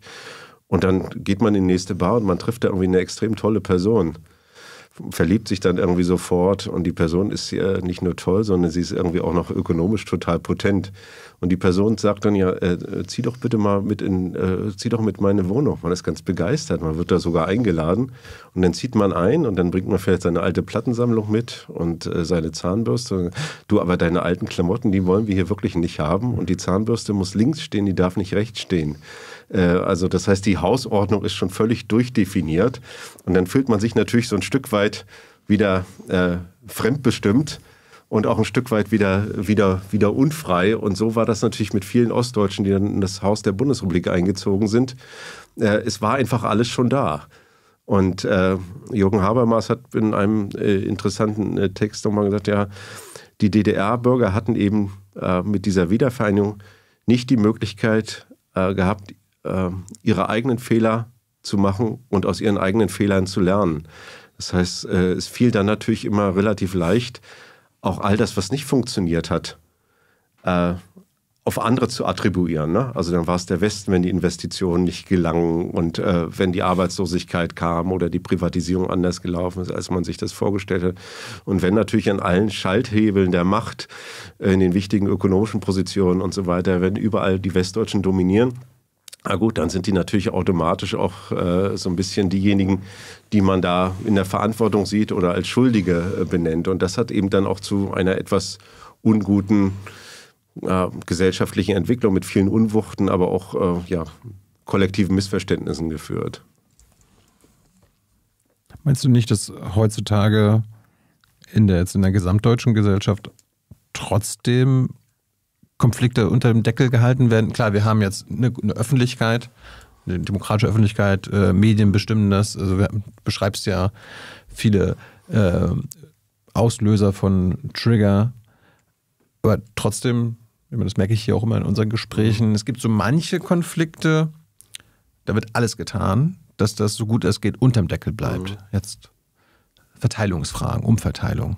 Also diese, diese unglaubliche Schere mittlerweile zwischen Arm und Reich die Eigentumsverhältnisse, äh, dass, es, dass sich das immer mehr sammelt, äh, mhm.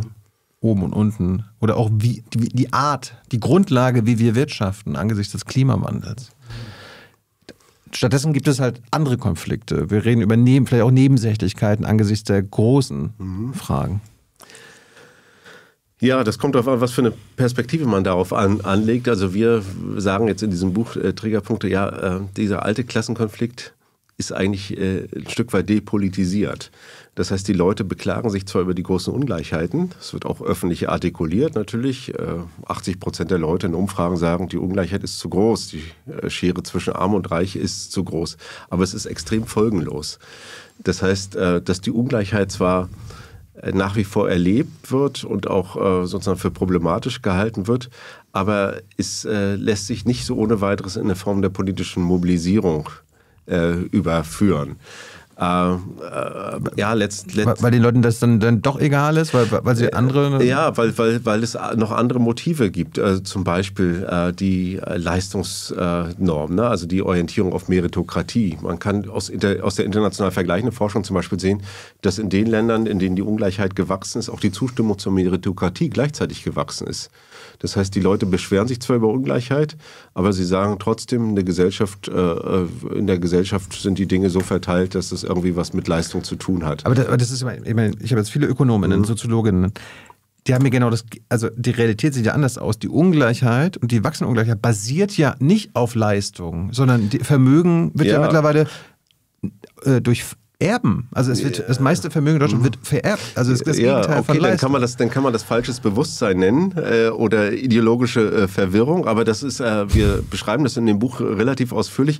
Warum kommt, äh, man würde ja denken, ja, die Ungleichheit wächst, da müsste es doch automatisch eine linke Mobilisierung geben. Mhm. Da müsste doch jemand, irgendwie ein politischer Akteur, der jetzt sagt, irgendwie äh, Erbschaftssteuer und Vermögensteuer und irgendwie Spitzensteuersatz, der müsste ja irgendwie die Massen bewegen können und zu den Wahlohren bringen. Das finden wir aber nicht. Äh, die linke Partei äh, äh, ist in einem Prozess der Selbstverzwergung.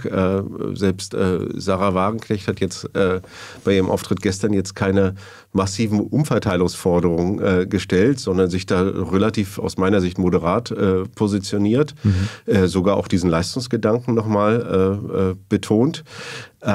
und das ist schon, schon interessant, weil ich glaube, dass es man politisch. Das ist sehr interessant. Das ja. es ist politisch eben kein so starkes Gewinnerthema. Wir finden zum Beispiel bei uns, dass die allermeisten Leute, selbst wenn die kleine Einkommen haben, sagen, ich kriege schon irgendwie meinen gerechten Anteil und mir geht es einigermaßen gut. Ja, ist, ist überraschend. Ideologisch wir, verwirrt, finde ich super. Wir, wir haben, wir haben äh, die stärkste Zustimmung zur Meritokratie, also zur Vorstellung einer leistungsgerechten Gesellschaft, haben wir nicht in den oberen Schichten. So war das früher, in den 70er Jahren, wenn du Umfragen hast, dann haben diejenigen, die irgendwie äh, die Begünstigten des Systems sind, haben gesagt, leistungsgerechte Gesellschaft, super, haben wir, wollen wir. Und die unteren haben gesagt, ja, wir sind aber ein Stück weit skeptisch. Der Staat muss auch für Umverteilung äh, sorgen und äh, irgendwie unsere Einkommen äh, sichern. Heute ist es so, dass diejenigen mit den kleinen Einkommen, die Mitglieder der Arbeiterklasse, der Meritokratie stärker zustimmen als die, als die oberen. Äh, aber das ist doch irre. Ja, das kann man. Äh, also angesichts der Realität. Ja. Wie erklärst du dir das? Dass das ja, ich glaube einfach, dass, dass, die, Leute, dass die Deutschen ideologisch äh, verwirrt sind. Ja, da könnte man sagen, ja, entweder gibt es so eine Schicksalsergebenheit, das heißt, man versucht irgendwie zu rationalisieren, äh, was ist, um nicht äh, in eine Situation hineinzukommen, wo man irgendwie ganz viel kognitive Dissonanz hat.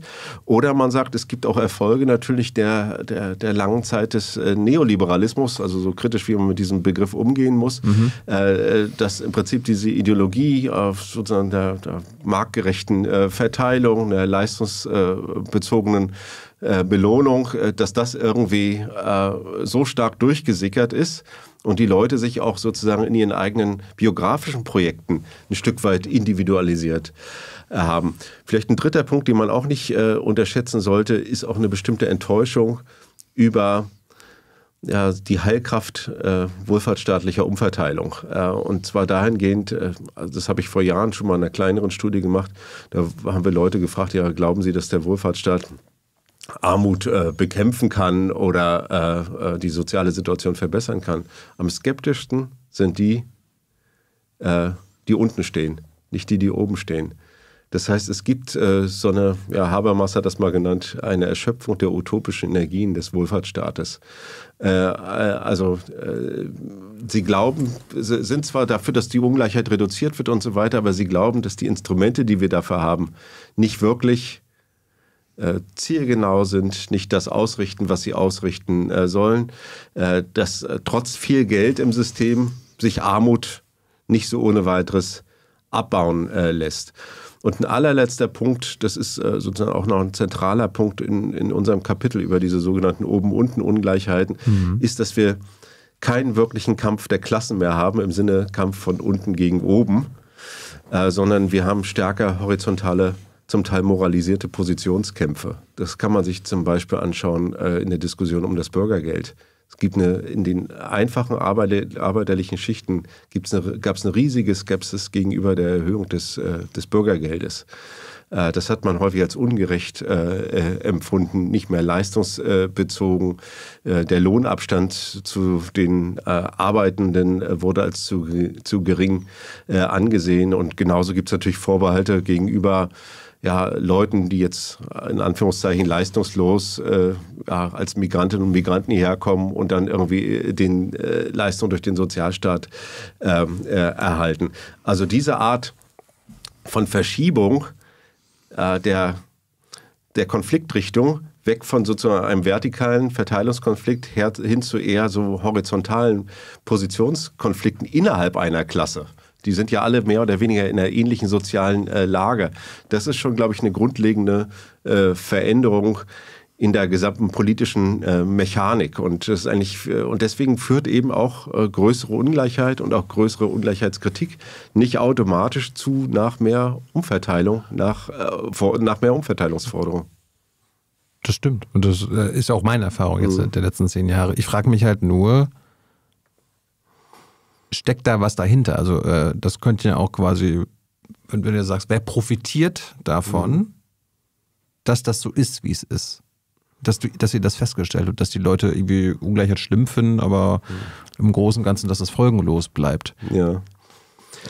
Ich meine, können wir jetzt als erstes ja, ja Bono, das, das frage ich mich jetzt nicht zuerst, weil gut, dann müsste man ja irgendwie eine Verschwörungstheorie haben oder äh, eine Vorstellung, dass es irgendwie einen Agenten gibt, äh, der äh, oder einen sozialen Akteur, der nein, das. Nein, das, das kann ja auch ohne quasi, äh, dass das jetzt vorsätzlich herbeigeführt wurde, aber also die Klasse der Reichen und der Reichsten äh, natürlich, profitiert ja, natürlich die, die, davon.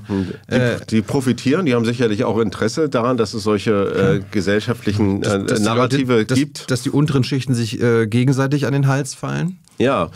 Äh, aber äh, sozusagen, was das verursacht, das sind sicherlich sozusagen auch größere gesellschaftliche Prozesse und historische ähm, äh, Entwicklungen. Da kommt man ja auch über die Medien ja. reden. Und, äh, die Medien spielen sicherlich nicht eine Rolle, aber sicherlich auch die die, die, die vermeiden diese Fragen, also die ich jetzt angesprochen habe, ja auch im Großen und ja. Ganzen. Ne? Also Eigentumsverhältnisse. Ja, oben, das, oben und unten, arm und reich. Das ist schon so. Das könnte viel mehr äh, thematisiert werden, auch im Zentrum äh, äh, sein. Und es spielt äh, sicherlich auch eine Rolle, dass es wenig politische Akteure äh, gibt, also auch die Gewerkschaften und so weiter, mhm. Ähm, die solche Interessen überhaupt bündeln können und kollektivieren können. Also es fehlt ja letztendlich eine, eine Art von, von Übersetzungsmöglichkeiten dieser Unzufriedenheiten, die ja da sind. Ne? Es ist ja nicht so, dass die Leute alle sagen, die Einkommensverteilung ist jetzt super, genauso soll sie sein, sondern es gibt ja diese starke Unzufriedenheit. Aber die müssen eben auch durch politische Akteure, auch durch Diskursakteure natürlich irgendwie gebündelt und übersetzt werden, um überhaupt in dem politischen Raum Konflikte auslösen zu können. Da, da fällt mir auch ein, ich meine, einer der, einer der Gründe, warum Leute AfD mittlerweile wählen, sind ja jetzt nicht alle irgendwie überzeugte Nazis, sondern einfach nur, weil sie Protest gegen die da oben ja. und so weiter wollen. Da gibt es immer einen Grund, also deren Lebensverhältnisse und auch wirklich die Ungleichheit im Land. Und da kann man ja sagen, okay, da ist ja was dran. Äh, gleichzeitig irgendwie, wenn, wenn jetzt Bundestagswahl ist, da sagt die SPD, mhm. ja, wir wollen da was äh, umverteilen. Die Grünen haben das auch irgendwie im Programm, die Linken. So, dann gibt es Wahlergebnisse. Erstens, die drei kommen nicht zusammen. Ja. Und das Erste, was die anderen beiden machen, wenn sie mit der, mit der FDP oder CDU Koalitionsgespräche führen, dann lassen sie genau das erstmal hinten wegfallen, weil die andere Seite dann da, mhm. damit Ding macht. Also das erzählen uns dann die Akteure selbst, dass ja. das dann kein ja, Thema ist. Die Grünen sind ja auch mal sehr auf die Nase gefallen, als sie sich mal äh, für erhöhte ähm, äh, äh, Steuersätze ausgesprochen haben. Die hatten ja mal einen Wahlkampf, wo sie das äh gemacht haben. Äh, äh, wo auch Jürgen Trittin noch irgendwie stark daran beteiligt war. Und äh, da haben sie eben keine Erfolge damit erzielt. Vielleicht liegt das jetzt auch an ihrer, ihrer Klientel, die ja eigentlich relativ einkommensstark äh, ist.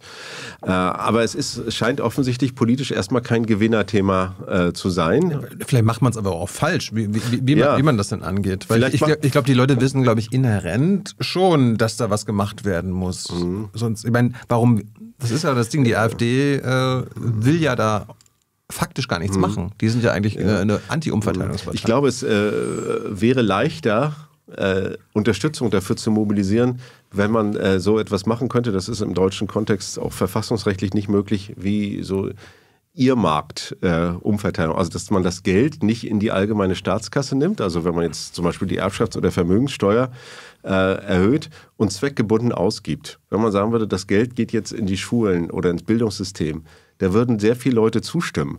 Wenn man sagt, das Geld geht jetzt in den, in den Staatshaushalt, dann gibt es viele Leute, die sagen, ja, dann wird das irgendwie äh, für Waffen äh, oder Aufrüstung oder wie auch immer ausgegeben und so weiter. Das kommt ja niemals äh, da an.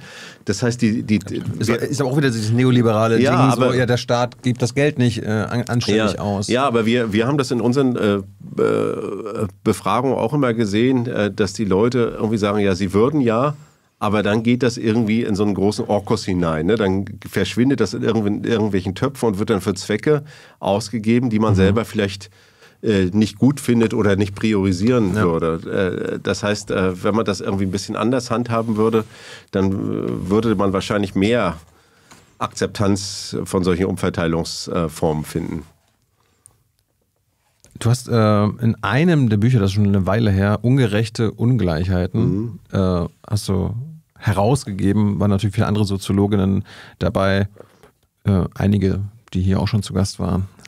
Ähm, und da gibt es, glaube ich, von Hartmut Rosa auf Seite 29 einen, äh, einen kurzen Absatz, den lese ich mal vor. Ja. Mal gucken, was, ob, ob du dem äh, zustimmst. Da heißt es nämlich zu dem Thema, was wir jetzt gerade besprechen schreibt Rosa, tatsächlich, so möchte ich im Folgenden zeigen, verhält es sich so, dass die Konzentration der politischen Linken auf die Frage der Verteilungsgerechtigkeit und auf die Diagnose eines Kampfes zwischen Gewinnern und Verlierern, Ausbeutern und Ausgebeuteten niemandem anderen als dem neoliberalen Gegner in die Hände spielt und das unheilvolle spiralförmige Steigerungssystem, welches jener betreibt, in vitalem Gange hält. Denn die Konzentration auf die Klassenspaltung, so mein so mein hier in provokative Absicht vorgetragenes Argument trägt letztlich in erheblichem Maße dazu bei, dass die herrschende sozioökonomische Formation zu stabilisieren. Mehr noch, sie erweist sich als geradezu funktional für die systemische Reproduktion kapitalistischer Verhältnisse. Ja, als Herausgeber muss ich nicht allem zustimmen. ich habe das äh, Stimmst du dem zu? Äh, naja, äh, Hartmut Rosa geht es letztendlich um dieses Steigerungsspiel ne, im, im, im, Kapitalismus und deswegen sagt er, okay, dieser Kampf um Ressourcen, das ist eben zu, äh, zu wenig oder zu einseitig. Ich stimme dem aber nicht zu. Ich glaube, die Verteilungsfrage ist, ist nach wie vor gesellschaftlich eine zentrale mhm. äh, Frage. Die wird heute ein bisschen anders äh, gestellt. Ähm, äh, aber äh, letzten Endes äh, für alles, ne, ob wir über Chancengleichheit, über äh, Möglichkeiten des Bildungsaufstiegs äh, äh, sprechen, ob wir über intergenerationale Weitergabe von, von bestimmten sozialen Positionen sprechen, da ist natürlich die, die, die Einkommens- und Vermögensverteilung der absolut zentrale Schlüssel. Ich habe äh, selber mal äh, so in, in, in, diesem Buch, in so einem Buch Lebenschancen heißt es, äh, über die Mittelschicht so, so einen Vorschlag äh, gemacht, äh, den nenne ich Lebenschancenkredit.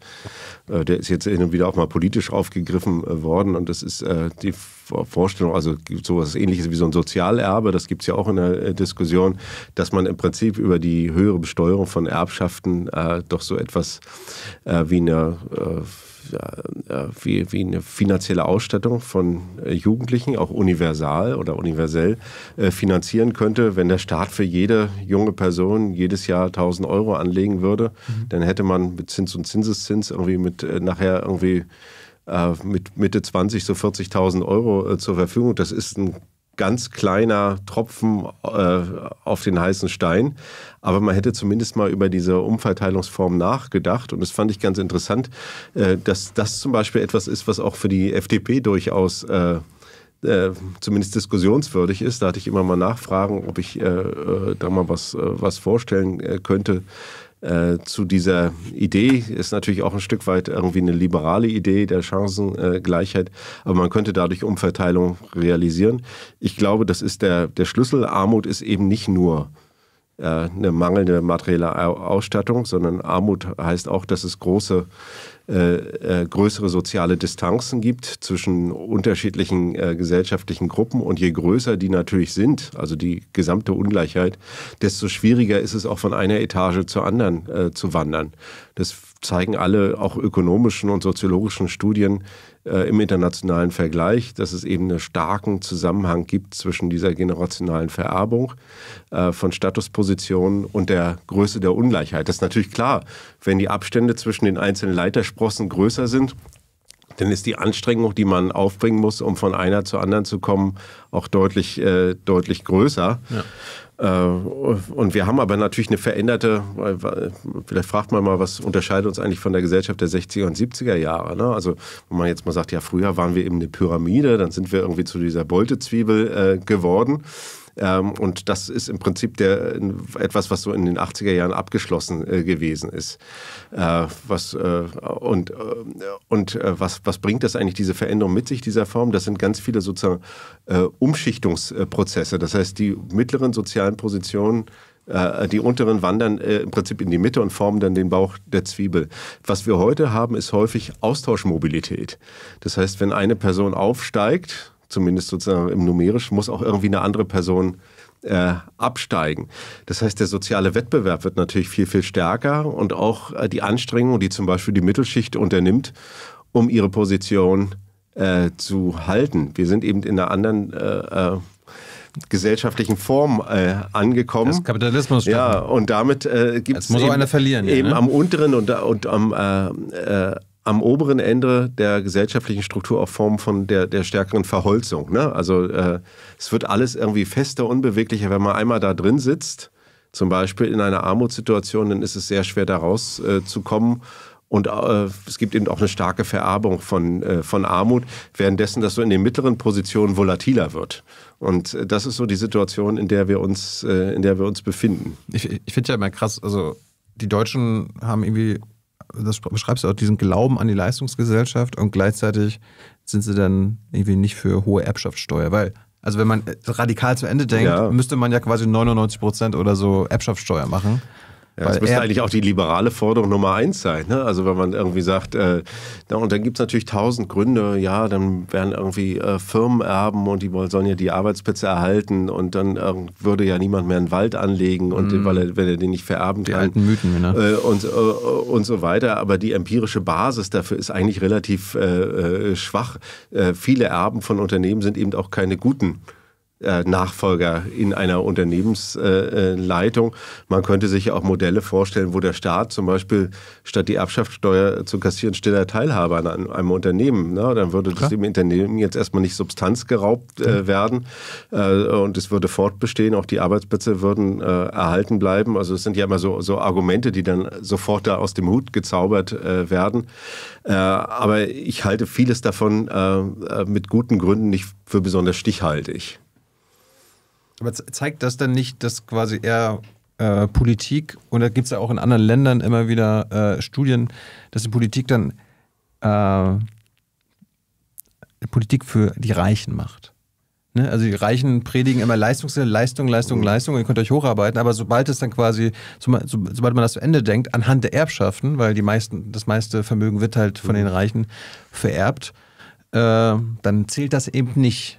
Und ja, es gibt natürlich eine, eine enorme äh, Lobby, auch sozusagen äh, Lobby der Vermögenden, äh, die relativ stark auch äh, Einfluss auf Politik nehmen kann. Unser Geldaal. Ja, in den USA ist das noch viel intensiver. Da gibt es auch interessante äh, äh, Studien. Mhm. und das ist also gerade von Vermögensberatern, Anwälten, Politike, politischen Lobbyisten, die da überall aktiv sind.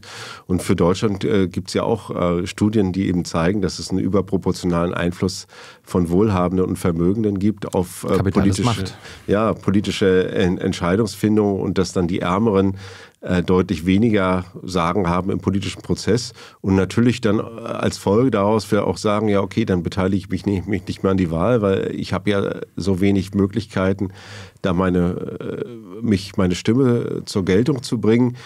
Äh, und äh, in der Folge ist es natürlich auch so, dass die Parteien sich dann vielleicht nicht mehr um diese einkommensschwachen Gruppen äh, so stark kümmern, weil man sowieso weiß, die sind teilweise aus dem politischen Prozess schon ausgestiegen. Das heißt, es ist dann auch politisch nicht lohnenswert, die so stark äh, zu, äh, zu mobilisieren. Ja, ich meine, die Reichen lobbyieren nicht nur bei der Politik erfolgreicher, weil sie auch mehr Geld auch dafür zur mhm. Verfügung haben, sondern wäre jetzt meine äh, Diagnose, die Reichen besitzen oder finanzieren dann aber auch die entscheidenden Medien. Also die, ja, die, sicherlich, ja. Das, und da, da, kann man erstens manche Themen, ja. also manche äh, Konflikte, die vielleicht äh, brodeln, raushalten mhm. oder halt andere Triggerpunkte setzen.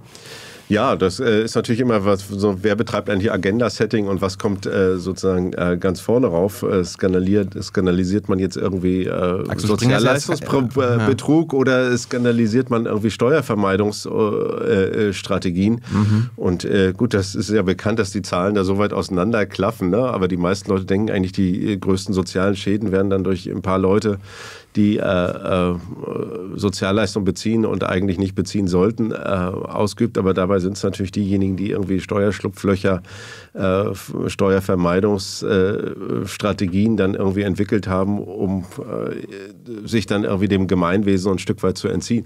Also das stimme ich absolut äh, überein. Das, das, ist, das ist, glaube ich, kein verschwörungstheoretisches Denken, sondern ist da vielleicht Verschwörungspraxis. Also da verschwören sich äh, die Reichen der Gesellschaft, mhm. oder?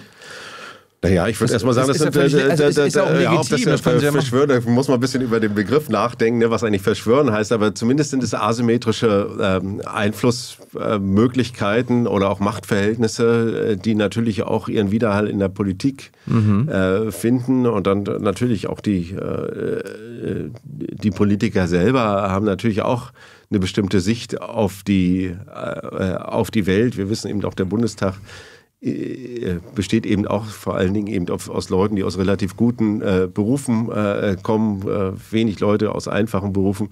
Ist auch verständlich, die, es gibt eine extreme Komplexität von äh, äh, ähm, Entscheidungen und auch sozusagen überhaupt die, die, kognitiven Möglichkeiten an Politik teilzunehmen, sind sicherlich auch ungleich verteilt. Aber ähm, wenn man sagt, wir wollen irgendwie eine Repräsentation unterschiedlicher Interessen und auch unterschiedlicher gesellschaftlicher Statusgruppen, dann ist es schon auch demokratietheoretisch, denke ich, ein, ein Problem. Obwohl das nicht heißt, dass jemand, der aus der Arbeiterklasse äh, kommt, automatisch, wenn er mal im Bundestag gewählt wird, irgendwie Arbeiterinteressen vertritt. Ne? Das ist ja auch nicht, auch nicht der Fall. Aber äh, ich denke, es wäre schon irgendwie gesünder, wenn man eine größere Mischung auch von unterschiedlichen Perspektiven hätte und natürlich auch solche Themen da irgendwie äh, prominent besetzt werden würden. Falls ihr übrigens Fragen habt an Steffen, her damit. Hans wartet im Chat. Äh, stellst du dir am Ende? Ja. ja, vielleicht muss man noch mal eins, ich meine, das ist ja auch immer so ein Thema, so im, im Ost-West-Vergleich. Ne? Ich meine, da sieht man halt, wie stark sich das reproduzieren kann äh, dass die Ostdeutschen eben fast kein Vermögen haben, ganz geringes auch Immobilienvermögen. Äh, ich hatte mal irgendwo gelesen, in äh, Hamburg wird mehr Erbschaftssteuer bezahlt äh, als in ganz Ostdeutschland, äh, was ja schon sehr aussagekräftig ist. Und mhm. Ähm, dann ist auch klar, die reichsten Ostdeutschen sind Westdeutsche. Das sind die Villenbesitzer in Potsdam. Mhm. Also, sind, äh, und das hat natürlich äh, was damit zu tun, dass sozusagen, dass es eben über äh, die meisten Leute, die vermögend werden, ja nicht durch Erwerbsarbeit vermögend werden, sondern ein paar durch Unternehmensgründung und Investitionen, aber die allermeisten Leute eben über äh, Vermögensübertragung innerhalb von Familien oder durch Heirat.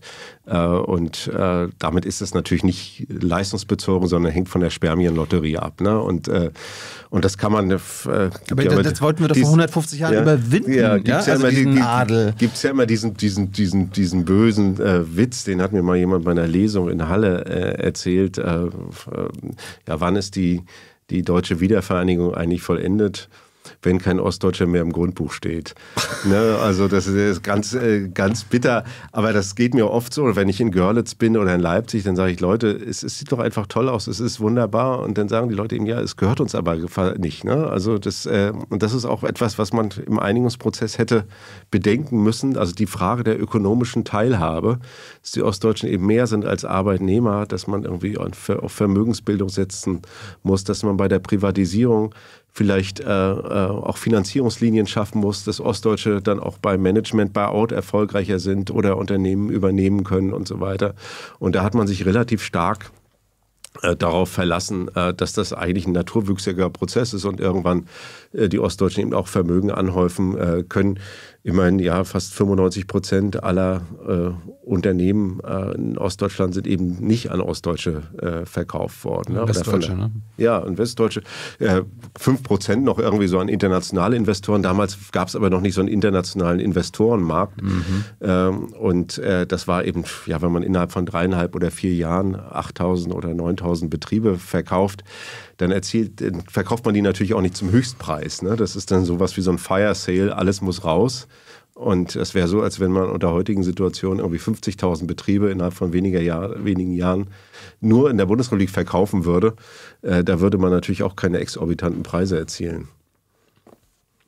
Wir hatten ja vorhin festgestellt, bei den Konflikten, die vielleicht heutzutage unter dem Deckel gehalten werden, äh, wie zum Beispiel beim Thema Ungleichheit, das liegt dann auch an, an den Leuten, die das irgendwie schlimm finden, aber das bleibt dann quasi voll, politisch folgenlos, mhm. weil sie andere Sachen wichtiger finden, äh, wegen anderen Konflikten, wegen anderen Themen äh, dann doch anders wählen, beziehungsweise auch die herrschende Politik das dann nicht aufgreift.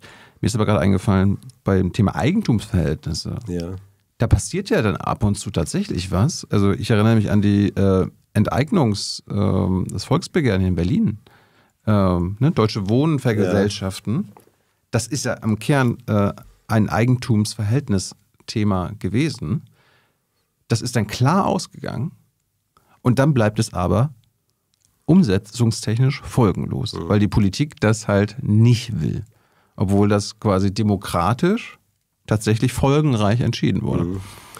Gut, es ist kein starkes Mandat für die Politik. Ne? Also die Politik kann dann immer noch was anderes machen, auch bei diesem Volksentscheid. Klar.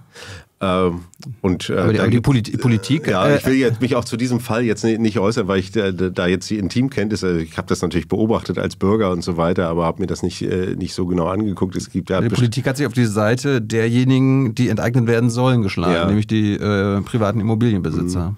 Ja, aber mit eben mit dem Surprise. Argument, dass das irgendwie ein äh, äh, extrem teurer Kauf äh, werden äh, würde, dass das irgendwie gerichtlich über viele Jahre äh, sozusagen alle Kräfte binden würde und so weiter. Da sind noch ein paar andere Argumente ins Feld geführt das äh, worden. Das Behauptung. Es aber, gab, gab ja, eine Kommission, die hat das dann viele, viele abgeräumt. Aber es ist, aber natürlich, es gibt eine extrem starke Beharrungskraft einmal geschaffener Vermögensverhältnisse mhm. und auch eine starke sozusagen Verteidigungsbereitschaft derer, die da auf der Sonnenseite äh, sind. Äh, das, äh, das ist nun mal so. Äh, und, ähm, äh, und dadurch gibt es eben auch diese extrem starken Reproduktionen von, von, von Ungleichheit, ich, gerade auf dem Wohnungsmarkt, wo man ja auch mit guten Gründen immer sagen kann, ja, Wohnung, Wohnen ist eben auch ein soziales Gut wie andere soziale Güter auch. Ne? Ich meine, jemand, der kein Dach über dem Kopf hat oder, oder keine Möglichkeit, irgendwie Sanitäranlagen äh, zu besitzen, mhm. ist eben jemand, der extrem ausgeschlossen ist aus der Gesellschaft. Und Wohnen ist ja zum Teil eben die neue soziale Frage, vor allen Dingen im, im großstädtischen Raum. Und wir haben auch viel Migration, wo sich auch nochmal die Wohnlage äh, in den Ballungsgebieten äh, verschärft. Äh, von daher sehe ich da schon auch Notwendigkeiten, irgendwie eine Art von äh, von Politikmodus äh, zu kommen, der nicht einfach nur immer sagt, alles muss so bleiben, wie es ist und die Besitzstände sichert, sondern wo man sich auch überlegen muss, was sind eigentlich interessante Modelle. Es gibt immer die Leute, die auf, auf Wien verweisen, ja. eben mit einem großen Anteil von äh, kommunalen äh, Wohnraum, wo offensichtlich diese Probleme jedenfalls auch mit dieser Massierung äh, nicht so auftreten. Ne? Es ist sicher auch nicht einfach in Wien eine Wohnung zu finden, aber man hat auch nicht diese äh, enorme sozusagen Veränderung hin zu Wohnraum als Investitionsobjekt mit allen dann folgenden Preissteigerungen und äh, auch Gewinnmaximierungsorientierung derjenigen, die investiert haben. Du zeigst ja äh, in eurem Buch jetzt mit Triggerpunkte auch auf, also so gespalten wie unsere Gesellschaft angeblich ist, ist es der dann doch, doch, gar nicht. Also wenn man sich die Haltungen zu mhm. bestimmten Themen anguckt, Ihr habt irgendwie herausgefunden, 75 Prozent der Deutschen sind sehr besorgt über den Klimawandel. 79 Prozent halten die Vermögensungleich für zu groß. 84 Prozent finden Transpersonen sollten als normal anerkannt werden. Also das sind eine riesengroße Mehrheiten. Mhm. Also äh, da sind sich offenbar alle einig. Äh, ich lese da jetzt daraus, okay, die letzten Jahrzehnte, wir sind dann doch schon ziemlich progressiv, kulturell. Ja. Progressiv, also wir äh, erkennen mhm. neue Sachen an. Ja Nur das Grundproblem, was wir jetzt ja gerade besprochen haben, worauf auf viele, äh, wo viel, wo auf viel Frust ähm, basiert, wo der auch der Rechtsruck herkommt vielleicht, äh, ist ein ökonomischer. Ja. Und, die Öko und ökonomisch progressiv sind wir halt überhaupt nicht, sondern Nee, fast schon reaktionär oder konservativ. Ja, also, geht- also das Ökonomische soll so bleiben, wie es ist.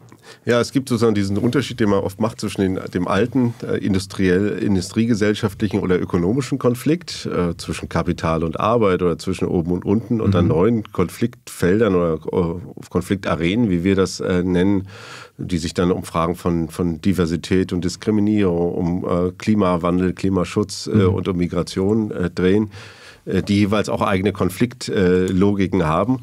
Und äh, die politische Aufmerksamkeit ist schon zu diesen neuen Arenen hingewandert. Das heißt, die alte, wie ich gesagt habe, die, die gibt es zwar und die drückt, da drückt der Schuh auch nach wie vor, aber die ist in gewisser Weise depolitisiert und in den Hintergrund äh, getreten.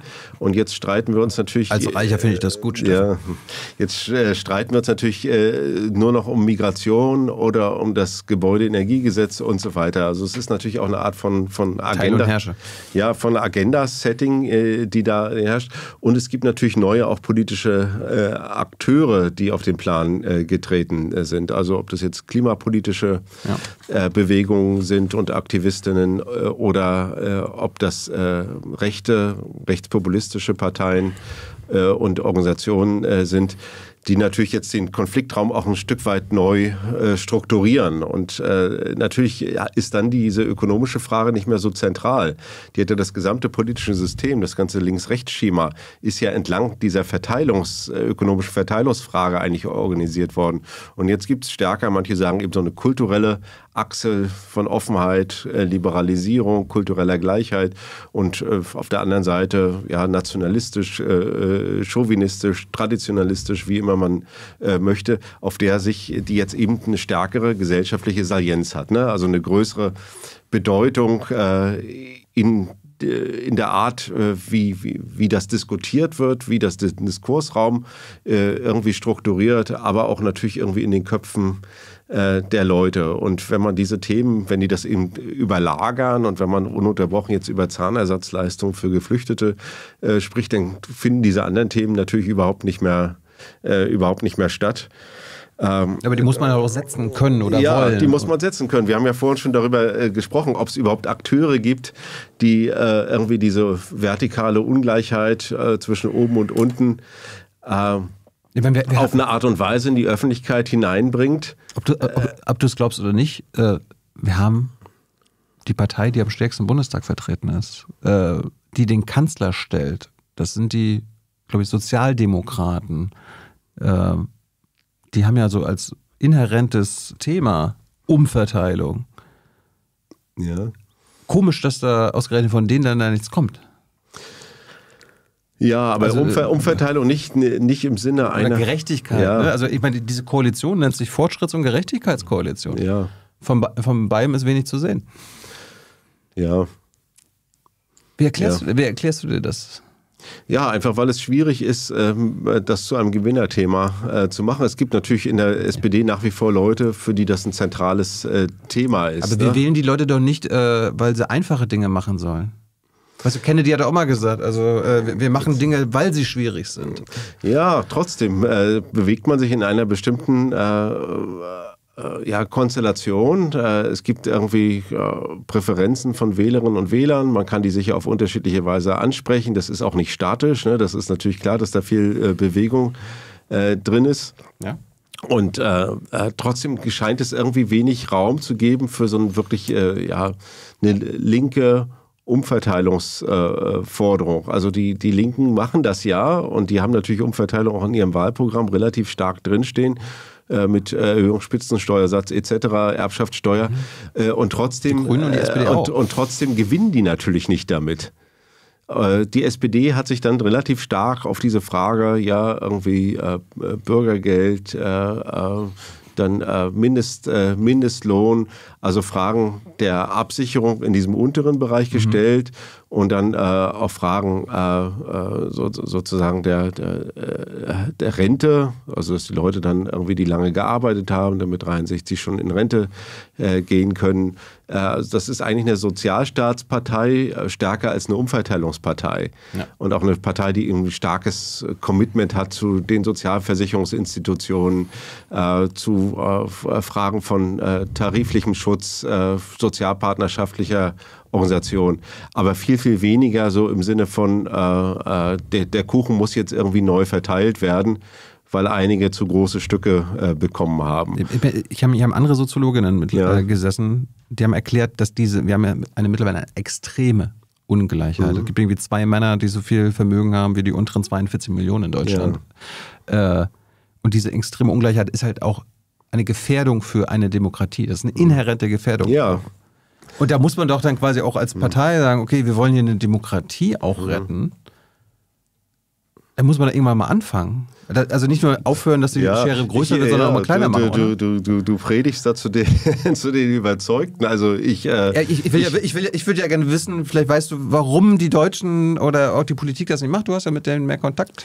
Ja, ich bin aber ja auch nicht der Pressesprecher von, äh, von, von Olaf Scholz. Und, äh, ja, aber du kannst dort Sachen analysieren als Soziologe. Ja, äh, ich würde sagen, äh, was ich vorhin schon gesagt habe, ich, ich glaube, dass es äh, ähm, und das letztendlich sagen wir das auch in, in unserem Buch, dass es wenig, viel, wenig äh, ja, aussichtsreich ist, dieses Thema zu, so stark zu forcieren. Ja. Wenn, wir, wenn, wir, wenn wir ein bisschen andere Muster sehen würden oder so, dann würde ich äh, sagen, okay, damit kann man wirklich politisch Erfolge gewinnen.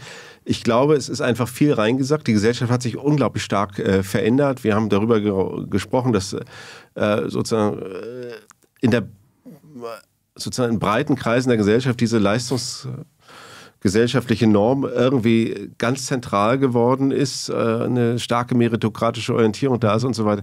Äh, man kann sich heute auf den Marktplatz äh, stellen und rufen Umverteilung oder Spitzensteuersatz. Da werden sicher auch drei, vier Handeln stehen bleiben. Aber um eine Wahl zu gewinnen, wird das nicht reichen. Und äh, dann ist die Frage, was kann eigentlich eine politische Strategie sein, um dahin zu kommen? Das wäre jetzt meine Frage. Wie macht man denn das Thema? Aussichtsreich? Ja, äh, ich würde sagen, äh, das ist ja Teil unserer Analyse, dass wir im Prinzip sagen, okay, die meisten politischen Probleme werden heute ja nicht mehr irgendwie äh, sachlich und rational irgendwie diskutiert, sondern der politische Raum ist unglaublich stark affektbesetzt, was wir Affektpolitik nennen, mhm. also eine Politik der Emotionen. Mhm. die breite gesellschaftliche Mitte ist in gewisser Weise entpolitisiert und auch entideologisiert die sind noch nicht, die sind nicht radikal. Ich dachte, wir sind ah. ideologisch verwirrt. Nee, äh, naja, verwirrt. Aber jedenfalls äh, nicht, nicht so ohne weiteres äh, äh, mobilisierbar. Äh, das heißt, die, die sagen vielleicht, die Ungleichheit, das ist irgendwie blöd und das ist irgendwie zu groß. Aber das ist folgenlos. Mhm. Das ist folgenlos für ihr politisches Handeln, auch für ihre Wahlabsichten. Und solange das folgenlos äh, bleibt äh, und sich nicht irgendwie überträgt in, äh, in ein, eine politische Auseinandersetzung, wird man damit eben auch nicht viel, äh, viel gewinnen können. Und äh, wenn man jetzt sagt, okay, es gibt unglaublich viel Affektpolitik, dann muss man sagen, ja, wie kann man eigentlich Affekte erzeugen? Äh, es gibt sicherlich Leute, die sozusagen wie du vielleicht, die sich über dieses Thema auch unglaublich stark echauffieren können. Vor zwei Folgen war Bernie Sanders da. Ja. Der schafft das in Amerika, in, also der, der, in krassen... Der, der, der, schafft das, aber in, in, ich würde mal sagen, wir haben jetzt äh, bestimmte Triggerthemen, die, im, die den öffentlichen Diskurs äh, bestimmen. Das ist auch jede zweite Woche was anderes. Die werden irgendwie äh, wie eine Sau durchs Dorf gejagt.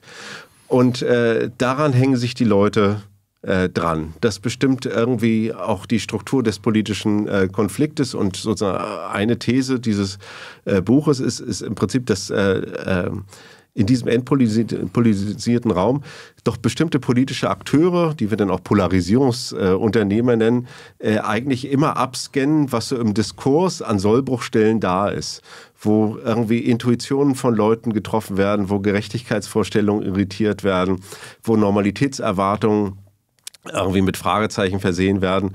Und äh, die versuchen sie dann groß zu machen. Die versuchen sie ins Zentrum der politischen Debatte äh, zu stellen. Warum? Weil sie sich davon auch einen bestimmten politischen Nutzen äh, versprechen, dass es bei ihnen einzahlt. Das heißt, es ist eigentlich äh, so, wenn man sich das vorstellt, ja, es gibt ja dieses Spiel für Kinder, äh, wo man so eine Angeln hat mit so einem Magneten dran und dann muss man so Fische aus so, einem, äh, aus so einer Box rausangeln. Äh, und so ähnlich funktioniert das eigentlich mit den Triggerpunkten. Das heißt, man wirft diese Magneten rein und diese Fische haben dann so irgendwie Metallringe und dann einige bleiben dann hängen. Und dann kann man die Leute eben rausziehen und ins nächste Becken packen. Das heißt, immer dann, wenn wir in der Lage sind, Leute zu affizieren über, über bestimmte Themen. Und was wir eben finden, ist, dass die äh, sozusagen die, die, die Gefühlsladung bei diesen Ungleichheitsthemen, äh, also bei diesen Verteilungsthemen, die du jetzt ansprichst, dass die nicht so leicht herzustellen sind. Das ist bei anderen Themen leichter, bei Themen, wo es um Ressentiment, um Groll, äh, um irgendwie ein Frusterleben äh, geht, um Sozialneid. Äh, solche Fragen sind viel, viel leichter in dieser Form zu, äh, zu politisieren. Und wenn man jetzt sagt, okay, es müsste jetzt irgendwie äh, eine linke Leidenschaft für Umverteilung geben, dann muss man es schaffen, vielleicht schafft Bernie Sanders das, dann muss man es schaffen, sozusagen diese Emotionen so zu wecken, dass die dann auch irgendwie politisch folgenreich sind. Aber wir, wir sind doch, man, du hast ja völlig recht und diese Analyse stimmt ja, aber wir sind doch ein, ein Land nicht von Höhlenmenschen, die von Groll und äh, Wut und so weiter getriggert wird, sondern ich dachte, wir sind irgendwie Erwachsene, die auch mal ein bisschen nachdenken können, die sich äh, mit Themen auseinandersetzen. Stattdessen, das ist ja so, so ja, das ist, aber, das, das ist aber eine, eine, rein akademische Argumentation, die du, die du führst. Die allermeisten Leute haben kein äh, konsistentes politisches Glaubenssystem. Mhm. Die haben auch nicht Parteiprogramme im Kopf. Sie haben eine diffuse Idee, was gut und richtig, äh, was äh, gerecht oder ungerecht ist sehr diffuse Idee. Und sie empfangen im, im, Diskurs, das ist eigentlich so ein bisschen wie so eine Nebelwand, immer mal wieder Signale. Das wird thematisiert, äh, das wird thematisiert, das. Und diese Signale, die nutzen sie eigentlich sowas wie, äh, so wie heuristische Shortcuts. Also bestimmte äh, Verkürzungen, um irgendwie so etwas wie so eine, so eine, so eine kognitive Landkarte der äh, politischen Lager zu bilden. Und äh, wir alle, wir diskutieren ja häufig nur die Sachen, die sowieso im öffentlichen Diskurs schon als relevant gesetzt sind. Wenn du jetzt irgendwie in der Lage bist, äh, vielleicht äh, schaffst du das ja mit deinem äh, Podcast, wenn du in der Lage bist, jetzt irgendwie acht Wochen ununterbrochen dieses äh, Ungleichheitsthema zu bespielen und äh, alle springen auf, äh, Maybrit Illner und die FAZ und machen das jetzt dann werden die Leute auch ununterbrochen über dieses Ungleichheitsthema äh, wahrscheinlich diskutieren. Äh, das heißt, das, das Agenda-Setting ist schon ganz, äh, ganz zentral. Und du hast vorhin darauf hingewiesen, dass das natürlich auch nicht zufällig äh, gestreut ist oder irgendwelche Themen einfach so nach oben kommen, sondern es sind, muss politische Akteure geben, auch mediale, diskursive Akteure, die diese Themen setzen die, die Signale und, senden. Ja, und die das auch, äh, die auch schaffen, das im Diskurs äh, zu halten. Und da gibt es ja. äh, unterschiedliche Erfolgsbedingungen. Also nicht jedes Thema kann mit der gleichen Wahrscheinlichkeit und mit der gleichen äh, Intensität öffentlich verhandelt werden. Einige eignen sich besser und andere eignen sich, eignen sich äh, schlechter. Wir, wir, wir, hatten, ich meine, ich hatte Chomsky ja schon zu Gast, äh, Harald Welzer, das ist ja auch so ein Phänomen der Massenmedien. Äh, man hat es immer medial also als Signalhersteller, leichter, mhm. etwas, an irgendwas festzuhalten, weil man da nicht viel erklären muss, mhm. sondern einfach nur sagen, das soll so bleiben, ja. als äh, jemand, der sagt, das muss sich ändern. Und man muss das ja quasi in, in der Kürze der Massenmedien, strukturell äh, ist man ja noch gezwungen zu erklären, warum das, äh, warum das sich ändern muss. Und das kostet Zeit. Und diese Zeit hat man in den Massenmedien nicht. Darum ist immer derjenige oder die, die Kraft, die sagt, das muss also bleiben, wir sind mhm. dagegen, hat es dann in dieser, in dieser Welt der massenmedialen Beschallung und der Beeinflussung der Bevölkerung auch noch leichter. Mhm. Und es ist sicherlich so, äh, viele Leute haben sich auch mit dieser Verteilungsstruktur arrangiert. Ja. Äh, und äh, das ist mit den anderen Themen Klima und Migration nicht der Fall. Das ist ein totaler Aufregerthema. Äh, Themen, immer egal was, was du sagst, Klimakleber, jeder hat eine Meinung, pro oder con, kann sich da unglaublich aufregen. Das sorgt sofort für Gesprächsstoff und man merkt dann schon an der Körperhaltung, an der Raumtemperatur, am Pulsschlag, dass da irgendwie ein Erregungszustand äh, da ist. Dasselbe Migration, Zahnersatz für Geflüchtete. Zack, nächstes Thema. Kann man sich wieder unglaublich aufregen.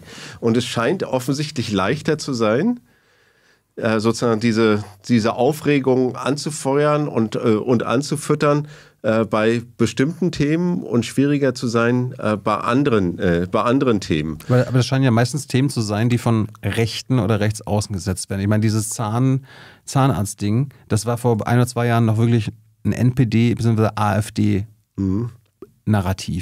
Ja. Und dann kommt das durch Friedrich Merz in den Mainstream und jetzt ist es da. Ja, also ich, ich sag mal so, äh, im Moment, das versuchen wir auch in dem Buch zu analysieren, ist es leichter, für konservative oder rechtspopulistische Parteien Triggerpunkte zu bedienen.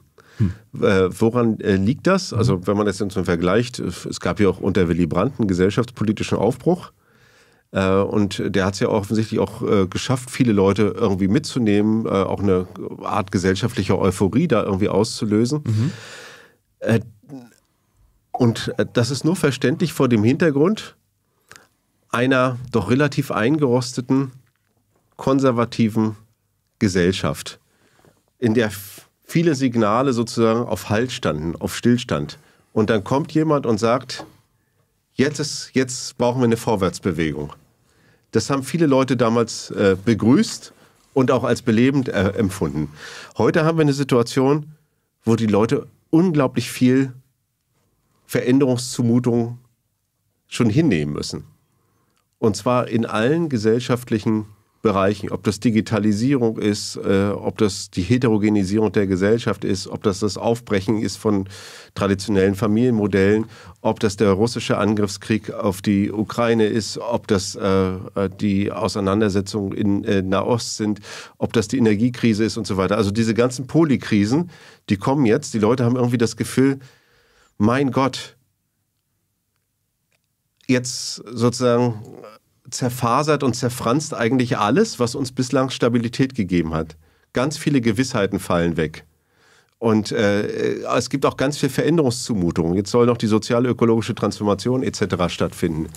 Und dann ist es einfach so, dass für einen großen Teil der Bevölkerung, wir sagen über 40 Prozent, so etwas vorhanden ist wie Transformationsmüdigkeit oder Erschöpfung. Die sagen, mir wird das alles zu viel, ich komme diesem Wandel nicht mehr mit. Und die Leute sind natürlich extrem gut ansprechbar ja. für alle Trigger, die irgendwie heißen Abwehr von Veränderungszumutungen.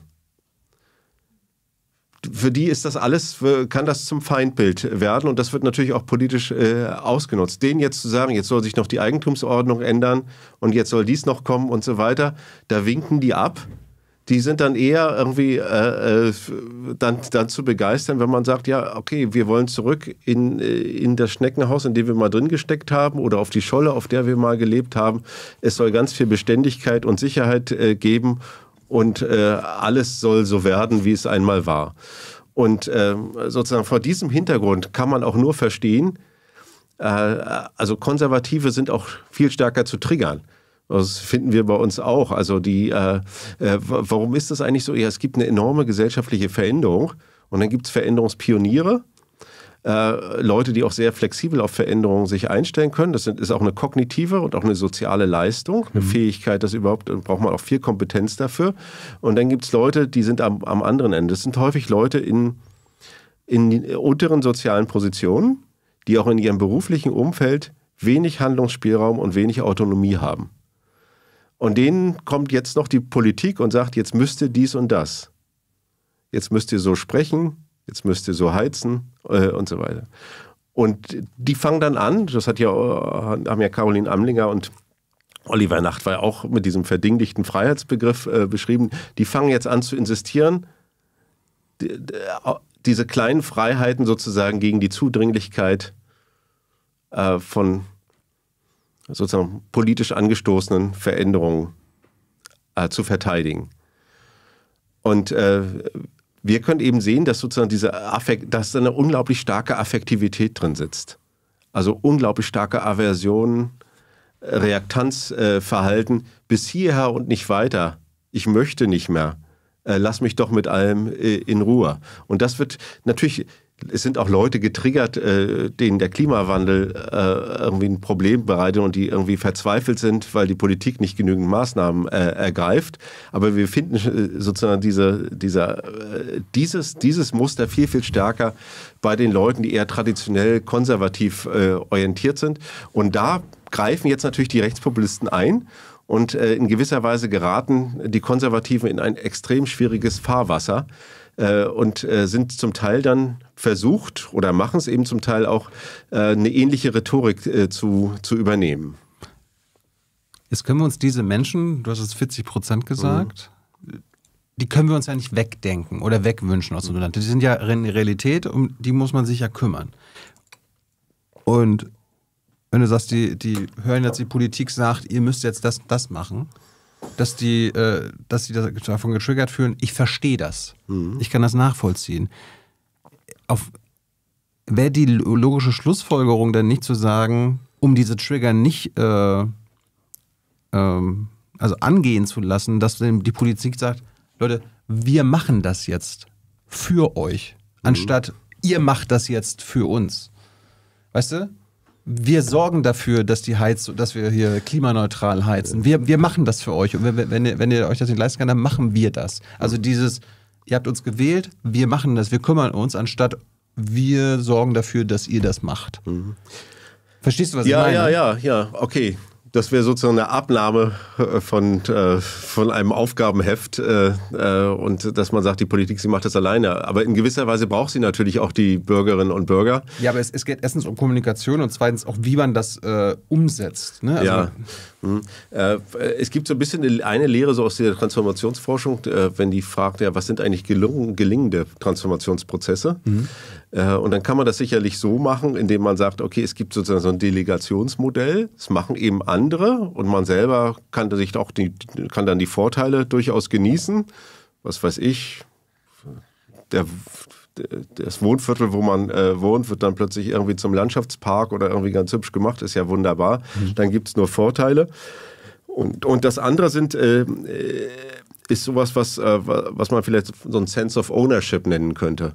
Also, dass Leute das Gefühl haben, sie sind nicht nur ähm, passive Empfänger von Veränderungsprozessen oder sie werden davon überrollt äh, oder man mutet sie ihnen zu, sondern dass sie selber irgendwie mit am Steuerrad oder am Entscheidungstisch äh, sitzen. Also das ist in Form von Partizipation. Das wird ja, ich meine, äh, immer ein schönes Beispiel, Windräder und Solarparks. Ja. Also die Politik die Grünen und so weiter haben ja früher gesagt, wir machen hier eine dezentrale Energiewende. Mhm. Mittlerweile haben wir eine zentrale Energiewende, wo quasi Unternehmen, mhm. Konzerne, die bauen schon Solarparks, Steffen, auch bei uns da im MacPom, ja. äh, und Windräder. Und die Kommunen äh, und die Leute dann vor Ort sind dann so, äh, nee, das wollen wir nicht haben. Ja. Aber, aber, sobald du sie fragst, warum nicht, und äh, du sie fragst, naja, was wäre, wenn ihr daran beteiligt wärt? Wenn euch das gehören würde, mhm. der Solarpark, dann sind sie die größten Fans. Ja, genau das äh, beschreiben wir da auch mhm. in, dem, in dem Buch. Und das Argument machen wir letzten Endes auch, dass wir irgendwie über kreative Beteiligungsformen äh, nachdenken äh, müssen. Und äh, äh, klar, ich meine, das es macht einfach einen riesigen Unterschied, ob ein Investor kommt und da irgendwie drei solche Windkraftanlagen hinstellt oder ob man dafür Bürgerstrom bekommt und äh, die der Kommune äh, gehören. Das heißt. Aber, aber das, das, betrifft doch dann wieder, um zurückzukommen zum anderen Punkt, mhm. Eigentumsverhältnisse. Das würde ja eine Transformation ja. der Eigentumsverhältnisse bedeuten. Und das wollen natürlich die bisherigen Eigentümer. Mhm der, äh, der Energieherstellung in Deutschland verhindern. Mhm. Ja, da gibt es starke Beharrungskräfte. Also ich äh, sag mal so, äh, die Vorstellung ist doch jetzt, äh, wenn man das, die, die heutige Phase mit der Industrialisierung vergleicht, mhm. ne, dann hat sich mit der Industrialisierung also die gesamte Energiebasis und Produktionsweise des Wirtschaftens verändert. Mhm. Das hat zu extrem interessanten institutionellen Neuerfindungen geführt. Zum Beispiel zu allen äh, sozialpolitischen Institutionen, die wir heute kennen. Ob das Unfallversicherung ist, Rentenversicherung äh, etc. Und jetzt haben wir eine Transformation von der fossilen zur postfossilen Welt. Eine ähnlich große Kraftanstrengung wird unser gesamtes Wirtschaften wahrscheinlich fundamental verändern. Mhm. Und wir denken das in Maßnahmen der industrialisierten Welt. Mhm. Wir denken einfach, das ist eine Verlängerung. Ich habe noch keine interessante sozialpolitische Idee, zum Beispiel für Fragen von Beteiligung, für Fragen von äh, Fairness in der Verteilung von Kosten und Lasten äh, äh und so weiter. Ich habe das noch nicht, äh, noch nicht gehört. Es gibt ein paar Ideen, Zertifikatshandel äh, und so weiter. CO2, aber eigentlich müssten wir doch jeden Tag am Tisch sitzen und sagen, wir wollen jetzt auch institutionelle Innovatoren werden, die diesen Wandel ermöglichen und begleiten. Das ist eigentlich das, das Zentrale. Und dann kann man nicht, wenn man ein Gebäudeenergiegesetz macht, sich fünf Wochen später als Parteispitze in eine Talkshow setzen und sagen, wir müssen auch mal über soziale Kompensation nachdenken. Das wird nicht funktionieren. Dann hat man die Leute alle schon verloren. Äh, und es ist eben nicht nur ein kommunikatives Desaster, sondern es ist sozusagen, es geht um institutionelles Design. Wie baut man äh, Institutionen, wie organisiert man politische Maßnahmen, die irgendwie eine Art von moralischer Plausibilität haben und auch an den Gerechtigkeitssinn der Leute anschließen. Und wenn die Leute irgendwie das Gefühl haben, da wird jetzt was entschieden und ich muss das umsetzen und auch noch die Kosten tragen, ja, das äh, wird natürlich ganz schwer durchsetzbar sein. Und äh, von daher äh, stellen sich natürlich schon auch immer wieder äh, die Verteilungsfragen. Ne? Die kommen mindestens durch die Hintertür äh, bei sowas wieder rein. Wenn man dein Buch liest, ich meine, ähm, du stellst fest, wir haben eine heterogene Mehrheitsgesellschaft, die jetzt weder antikapitalistisch oder postkolonial ist. Äh, wir sind an sich nicht radikal ökologisch und es gibt auch keine im Grunde mhm. krasse Spaltung. Aber was ich mir jetzt aufgeschrieben habe, äh, deine Studie, sie belegt, dass es gibt keinen Rechtsruck, es gibt keinen Linksruck, es gibt auch keinen Zukunftsruck äh, die Leute wollen mehrheitlich ihre Ruhe haben. Und das hat mich, äh, wir haben mit Hans drüber gesprochen, das ist so ein bisschen, als ob Deutschland so eine Titanic-Gesellschaft ist. Mhm. Also wir sehen, der Eisberg ist voraus. Mhm. Der Eisberg ist die Klimakatastrophe. Ja. Und trotzdem erzählt, erzählen uns alle, unser Schiff ist unsinkbar, wir fahren weiter. Mhm. Ist das ein falsches Bild?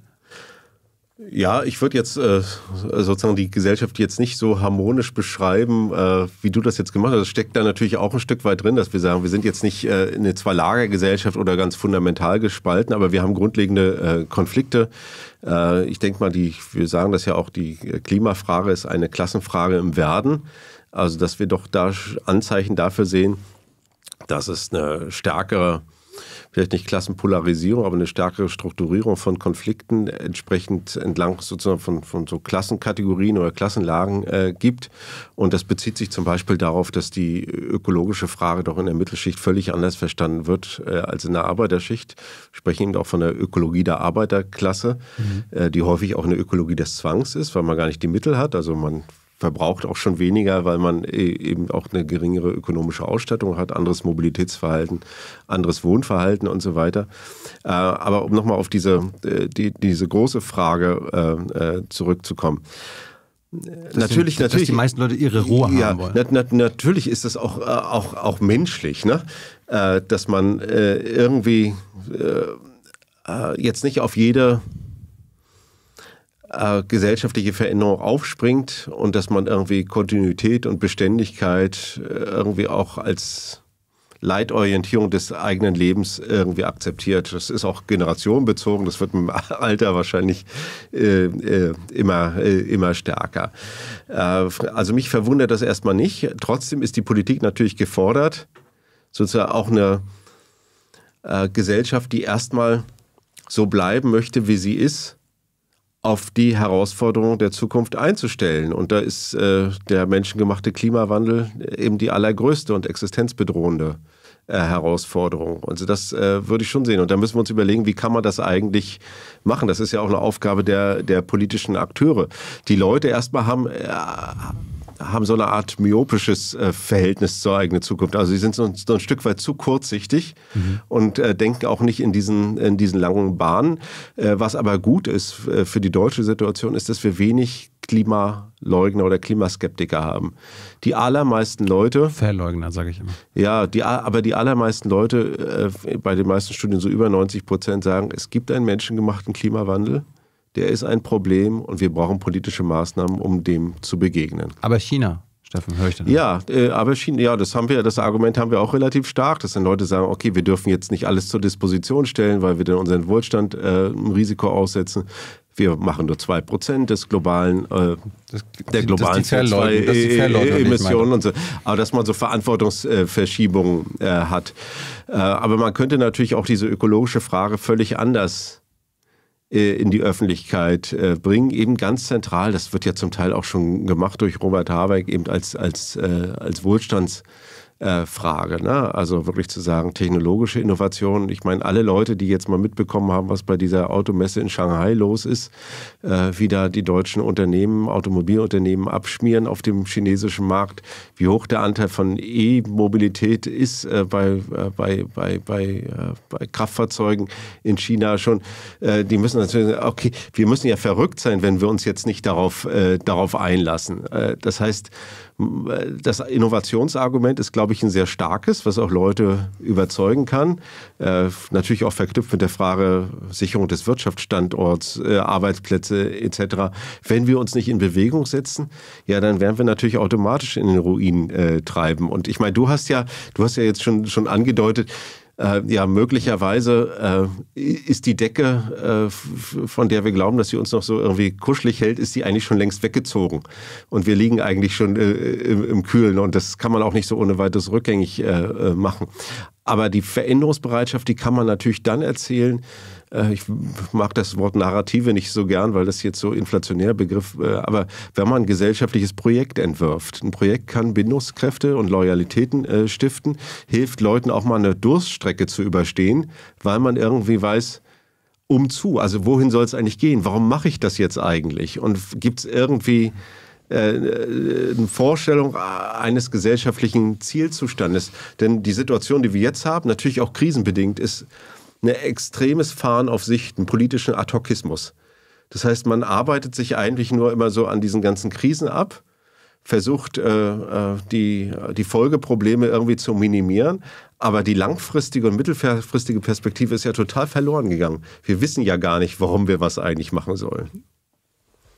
Diese Zustands Zustandsbeschreibung, dass viele einfach ihre Ruhe haben wollen, das ist ja nichts Neues, wäre jetzt meine These, mhm. sondern das ist vielleicht auch die deutsche Gesellschaft, vielleicht sogar seit der Wende, mhm. zumindest in Westdeutschland. Wir wollen jetzt einfach mal unsere Ruhe haben. Und ist das vielleicht nicht das Problem, jetzt gerade in, äh, angesichts der Klimakatastrophe mhm. und äh, der Transformation der Wirtschaft? Weil, wenn wir einfach in den letzten Jahrzehnten viel früher damit angefangen hätten, in Ruhe die Transformation anzugehen, sie in Ruhe zu planen, dann würden wir jetzt diese ganzen Widerstandskräfte gegen die notwendigerweise immer radikaleren Lösungen, notwendigerweise, ähm, weil, weil wir jetzt jahrzehntelang nichts gemacht haben, weil wir uns auf den Arsch gesetzt haben mhm. und gesagt haben, ich bin Angela Merkel, wir machen jetzt erstmal hier gar nichts. Ähm, das fällt uns jetzt alles auf, auf, auf ja. die Füße. Ja, und, und, und, die Widerstandskräfte werden auch dadurch noch größer, anstatt äh, hätten wir es einfach in Ruhe angegangen, mhm. anstatt nichts zu machen, oder? Ja, weil natürlich sozusagen das Verhältnis von Tiefe des Wandels und, äh, und der zeitlichen Struktur ein ganz anderes ist. Ne? Also wenn man immer Schritt für Schritt und über einen mittleren Zeitraum ist das was anderes, als wenn man sagt von heute auf morgen und äh, ganz fundamental äh, sich zu ändern. Von daher gibt's, sind die Widerstandskräfte jetzt eigentlich auch so ein Stück weit aufgestaut ja. und werden auch, äh, auch größer. Das ist eine dilemmatische äh, Situation. Wir können jetzt natürlich nicht zurück auf, äh, auf Null ins Jahr 2008 oder 2010, aber da hätten eigentlich die entscheidenden Weichenstellungen erfolgen müssen. Äh, wir haben jetzt leider eine Situation in der Regierungskonstellation, wo diese massiven auch Infrastrukturinvestitionen, die notwendig sind, offensichtlich äh, äh, nicht getätigt äh, werden, weil jemand äh, da äh, irgendwie ein ökonomisches Modell äh, verfolgt, äh, das glaube ich äh, von vielen auch international renommierten Ökonomen als sehr kritisch angesehen äh, wird, wo man einfach mal sagen müsste, ja okay, wir bräuchten jetzt eigentlich auch Infrastruktur politisch einen, einen richtigen äh, Dreifach-Wumms. Äh, ob im, im Mobilitätsbereich, in der Daseinsvorsorge, also in ganz vielen Bereichen.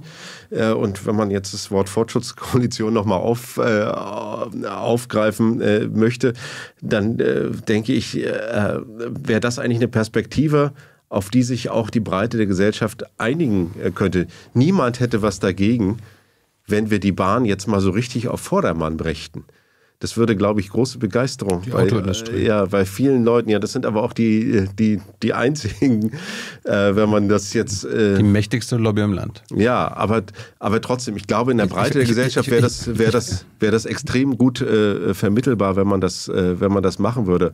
Auch die Frage der Digitalisierung, äh, auch die Frage der, des Bürokratieabbaus, das sind ja eigentlich konsensuelle Fragen ja. in der Gesellschaft. Und da würde ich mir einfach wünschen, dass man es einfach mal macht und dass man da auch die notwendigen Ressourcen äh, zur Verfügung stellt.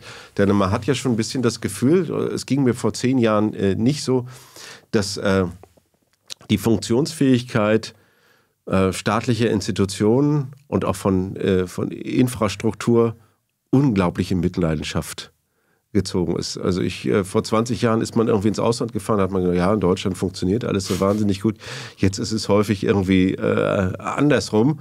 Äh, und da muss man nicht nur auf die Digitalisierung und das Bildungssystem gucken, sondern eigentlich ja. in der gesamten gesellschaftlichen Breite ist da so viel liegen gelassen worden, dass man sagen muss, ja, wir müssen, um zukunftsfähig zu werden, äh, ja, müssen wir einfach Investitionen tätigen und äh, uns wirklich überlegen, äh, dass wir das jetzt nicht sozusagen mit begrenzten Bordmitteln machen können, sondern dass wir da einfach eine viel, viel stärkere auch äh, Investitionspolitik äh, brauchen, äh, die, die, um uns überhaupt zukunftsfähig zu machen. Ich glaube, äh, ich glaube, es gab, es war Robert Habeck, der zum Thema Fortschrittskoalition, also seine Ampel meinte, ist halt schwierig, wenn zwei Parteien in dieser Koalition gegen den Fortschritt agieren. Da hat er nicht nur die FDP gemeint, ne? Bei Bürokratieabbau ist mir auch gerade wieder eingefallen, äh, kann man auch sagen, ist auch wieder so ein Ding zwischen Arm und Reich. Wenn es um Förderung, also es gab letztens diese Solarförderung von Missing, da haben ja fast nur Reiche profitiert ja, von Hausbesitzer, die schon Solardach haben, Solarauto und äh, Speicher. Das sind äh, die oberen ja. 10 Prozent. Da wurde Bürokratie aber abgebaut, ja. Steffen. Wenn es jetzt um Kinder, Kindergrundsicherung, Armutsbekämpfung und so weiter geht, da, mhm. da wird die Bürokratie aufrechterhalten. Aber dieser, dass die Leute ihre Ruhe haben wollen. Das ist doch irgendwie ein Ausdruck der Tragik. Also wenn ich jetzt als eher jüngerer Mensch sagen würde, mir macht das erst immer große Sorgen, mhm. weil irgendwie die Zähne irgendwie verfaulen, verfallen und wir haben die letzten Jahrzehnte einfach immer eher Schmerzmittel genommen, damit wir die Schmerzen nicht haben, aber die mhm. Zähne, die verfaulen ja dann trotzdem weiter mhm. und wir wollen einfach nicht zum Zahnarzt ja. gehen und der mhm. Verfall nimmt seinen Lauf. Ja, wir haben im Prinzip jetzt so, so, so drei Probleme, die sind auch so, jeweils soziologisch für sich interessant. Das eine ist sozusagen die, die, die Trägheiten mhm. und äh, die Beharrungskräfte äh, in der Gesellschaft und, oder in größeren Teilen der Gesellschaft. Dann haben wir zum Zweiten so ein äh, kollektives Handlungsproblem. Das heißt, dass wir zwar die Probleme kennen, aber nicht wissen, wie wir die in eine Art koordiniertes äh, und zielgerichtetes Handeln umsetzen können. Und dann haben wir die unterschiedlichen Zeitlichkeiten. Also äh, das heißt, das Klima muss sofort äh, bearbeitet werden, aber wir haben irgendwie politisch äh, dann immer nur vier Jahresrhythmen. Äh, äh, wir haben auch andere wirtschaftliche äh, Zyklen. Und diese drei Probleme, das sind eigentlich die wichtigsten äh, gesellschaftlichen äh, ja, Probleme, wenn man irgendwie mit Reformen operieren äh, möchte. Aber zunächst mal geht es eben da auch darum, also was ich vorhin schon sagte, ne? also wenn man ein gesellschaftliches Projekt definiert und daran mangelt es meiner Ansicht nach äh, und äh, sich auch vielleicht verständigt darüber, äh, ob es da so eine Art von Gerechtigkeitsformel da drin geben könnte. Auch die Verteilungsfrage muss ja irgendwie nach wie vor adressiert äh, werden, selbst wenn die jetzt nicht so politisiert ist. Aber ich glaube, durch die Klimafrage kommt die irgendwie wieder rein. Ne? Wenn wir jetzt nur mal die Sache, äh, die Frage dieser Carbonungleichheit diskutieren. Ne? Also die ungleiche äh, äh, die, die, Menge an Emissionen zwischen den oberen, mittleren und unteren äh, Schichten. Das ist natürlich himmelschreiend. Warum sollten irgendwie einige Leute eine viel größere Möglichkeit haben, äh, sozusagen endliche Ressourcen äh, zu, äh, zu verbrauchen oder äh, sozusagen zur Erderwärmung äh, beizutragen. Ein, ein, Milliardär verbraucht so viele Emissionen wie eine Million Menschen. Ja, also wenn man das nur mal so sozusagen in den Raum stellt, und da gibt es ja kein normatives Argument, also woanders könnte man immer noch sagen, funktionale und normative Argumente, warum das so sein soll, ob das jetzt Meritokratie ist oder wie auch immer. Aber hier hat man weder ein funktionales noch ein normatives Argument, warum äh, jemand, äh, sozusagen eine Person nur fünf Tonnen verbraucht, äh, CO2 pro Jahr und eine andere Person 100 Tonnen. Warum sollte das eigentlich möglich sein? Und wenn man jetzt sagt, okay, dann... Äh, Freiheit. Ja, Steffen. ja, ja, aber die Freiheit Ak ja. Akzeptiere äh, unsere Freiheit. Ja, aber letztendlich ist es die Aneignung von fremden äh, sozusagen Ressourcen, die einem ja gar nicht. Äh, das ist Freiheit. Ja, naja, gut. aber äh, wenn, wenn, man das jetzt sozusagen klassenpolitisch irgendwie durchdefinieren mhm. würde, dann würde man ja irgendwann dazu kommen zu sagen, ja, okay, wenn alle eigentlich dasselbe CO2-Budget haben äh, und die Oberen wollen mehr verbrauchen, dann müssen sie das von den unteren eben abkaufen, die wenig äh, verbrauchen. Das würde ja so unglaublich teuer werden. Da würde ja jede Tonne wahrscheinlich äh, mehrere Zehntausend äh, Euro kosten. Das wäre natürlich ein extrem effektives Umverteilen, ein extrem effektiver Umverteilungsmechanismus. Da steckt viel Sprengkraft drin. Ich weiß nicht, ob man das überhaupt in die politische Debatte reinbringen äh, sollte und, äh, und möchte. Aber so mal aus dieser Perspektive stellen sich die Fragen dann nochmal ganz anders. Und dann kommt eben die Ungleichheitsfrage auf interessante Art und Weise wieder rein. Wir haben noch ein paar Minuten, bevor Hans kommt. Wir, okay. wir können ja nicht ewig machen, muss nochmal wiederkommen. Ich, muss, ich lasse mal ein paar Themen einfach mal liegen. Eine Frage nochmal zum Buch, was sehr äh, lesenswert ist, Leute. Triggerpunkte. Ähm, ist dick, aber lohnenswert. Man muss es ja nicht am Stück lesen. Ne? Das stimmt. Äh, du beschreibst ja auch, dass Leute wütend sind. Teilweise zu Recht, teilweise fragt man sich, woher das kommt. Äh, sag mir aber mal, wer in unserer Gesellschaft nicht wütend ist. Tja, nicht wütend sind äh, progressive äh, Liberale, Aha. die aber keine ganz starke Agenda haben. Die sind am wenigsten wütend. Äh, und äh, weniger wütend sind auch Leute in relativ privilegierten äh, Positionen. Auch hier gilt wieder, Konservative sind so ein Stück weit wütender. Ja, warum, äh, woran liegt das ja, äh, wenn viel gesellschaftlicher Wandel passiert, viel auch kulturelle Liberalisierung, da haben die so ein bisschen das Gefühl, ja, das ist jetzt eine, da bewegt sich was weg von mir. Mhm. Äh, und äh, das macht natürlich nicht, äh, nicht, nicht so happy, wenn man sieht, dass die Gesellschaft diverser wird, dass neue Lebensformen auch soziale Geltung erfahren. Ähm, und dann eben in, sind Leute wütender in unteren auch sozialen Positionen. Und das hängt wiederum eben damit zusammen, dass sie auch wenig Handlungsspielräume haben. Also wenn du in einer gesellschaftlich subalternen Position sitzt, du hast es ja vorhin selber gesagt, wenig politische Einflussmöglichkeiten hast, sozusagen mehr oder weniger Befehlsempfänger bist in deinem deinem, äh, auf, an deinem Arbeitsplatz, also ganz unten in der Hierarchie äh, bist dann, äh, und, äh, und dann auch viele gesellschaftliche Entwicklungen nicht aktiv mitgestalten kannst, sondern nur ja, auf eine, in eine passive Beobachterrolle hineingedrängt bist, äh, dann macht das eben auch äh, wütend. Dann hat man eben das Gefühl der Verohnmächtigung, des nicht mehr Mitkommens, äh, des Überrolltwerdens. Und das ist eben in diesen sozialen Lagen stärker ausgeprägt. Ja, man guckt, äh, gibt auch einige, die dann Buch kritisieren dafür, dass du so das abtust, dass es wir eine, eine gespaltene Gesellschaft haben. Es gibt vielleicht eine gefühlte Spaltung, aber keine tatsächliche Spaltung, laut euch. Äh, verharmlost du damit den Rechtsruck in unserem Land? Nee, wir, unser Buch, äh, klar, das ist jetzt, die Daten sind von 2022, die wir da genutzt haben oder die, die meisten Daten. Äh, äh, ganz im Gegenteil, wir zeigen eigentlich den Mechanismus, auf dem dieser Rechtsruck auch beruht. Also die sozialen Bedingungsfaktoren, wenn man äh, so möchte. Äh, man könnte ja jetzt sagen, der Rechtsruck findet deswegen statt, weil jetzt alle Leute plötzlich irgendwie äh, rassistische oder nationalistische Grundeinstellungen, aber in den äh, sozusagen in den Einstellungen das zeigen äh, bis auf jetzt die allerletzte äh, Mitte-Studie, aber ansonsten ist das über die Zeit extrem stabil, seit den 80er Jahren. Wir hatten immer 15, 20 Prozent von Leuten, die jetzt so nach Heidmeier äh, diese gruppenbezogene Menschlich Menschenfeindlichkeit aufwiesen.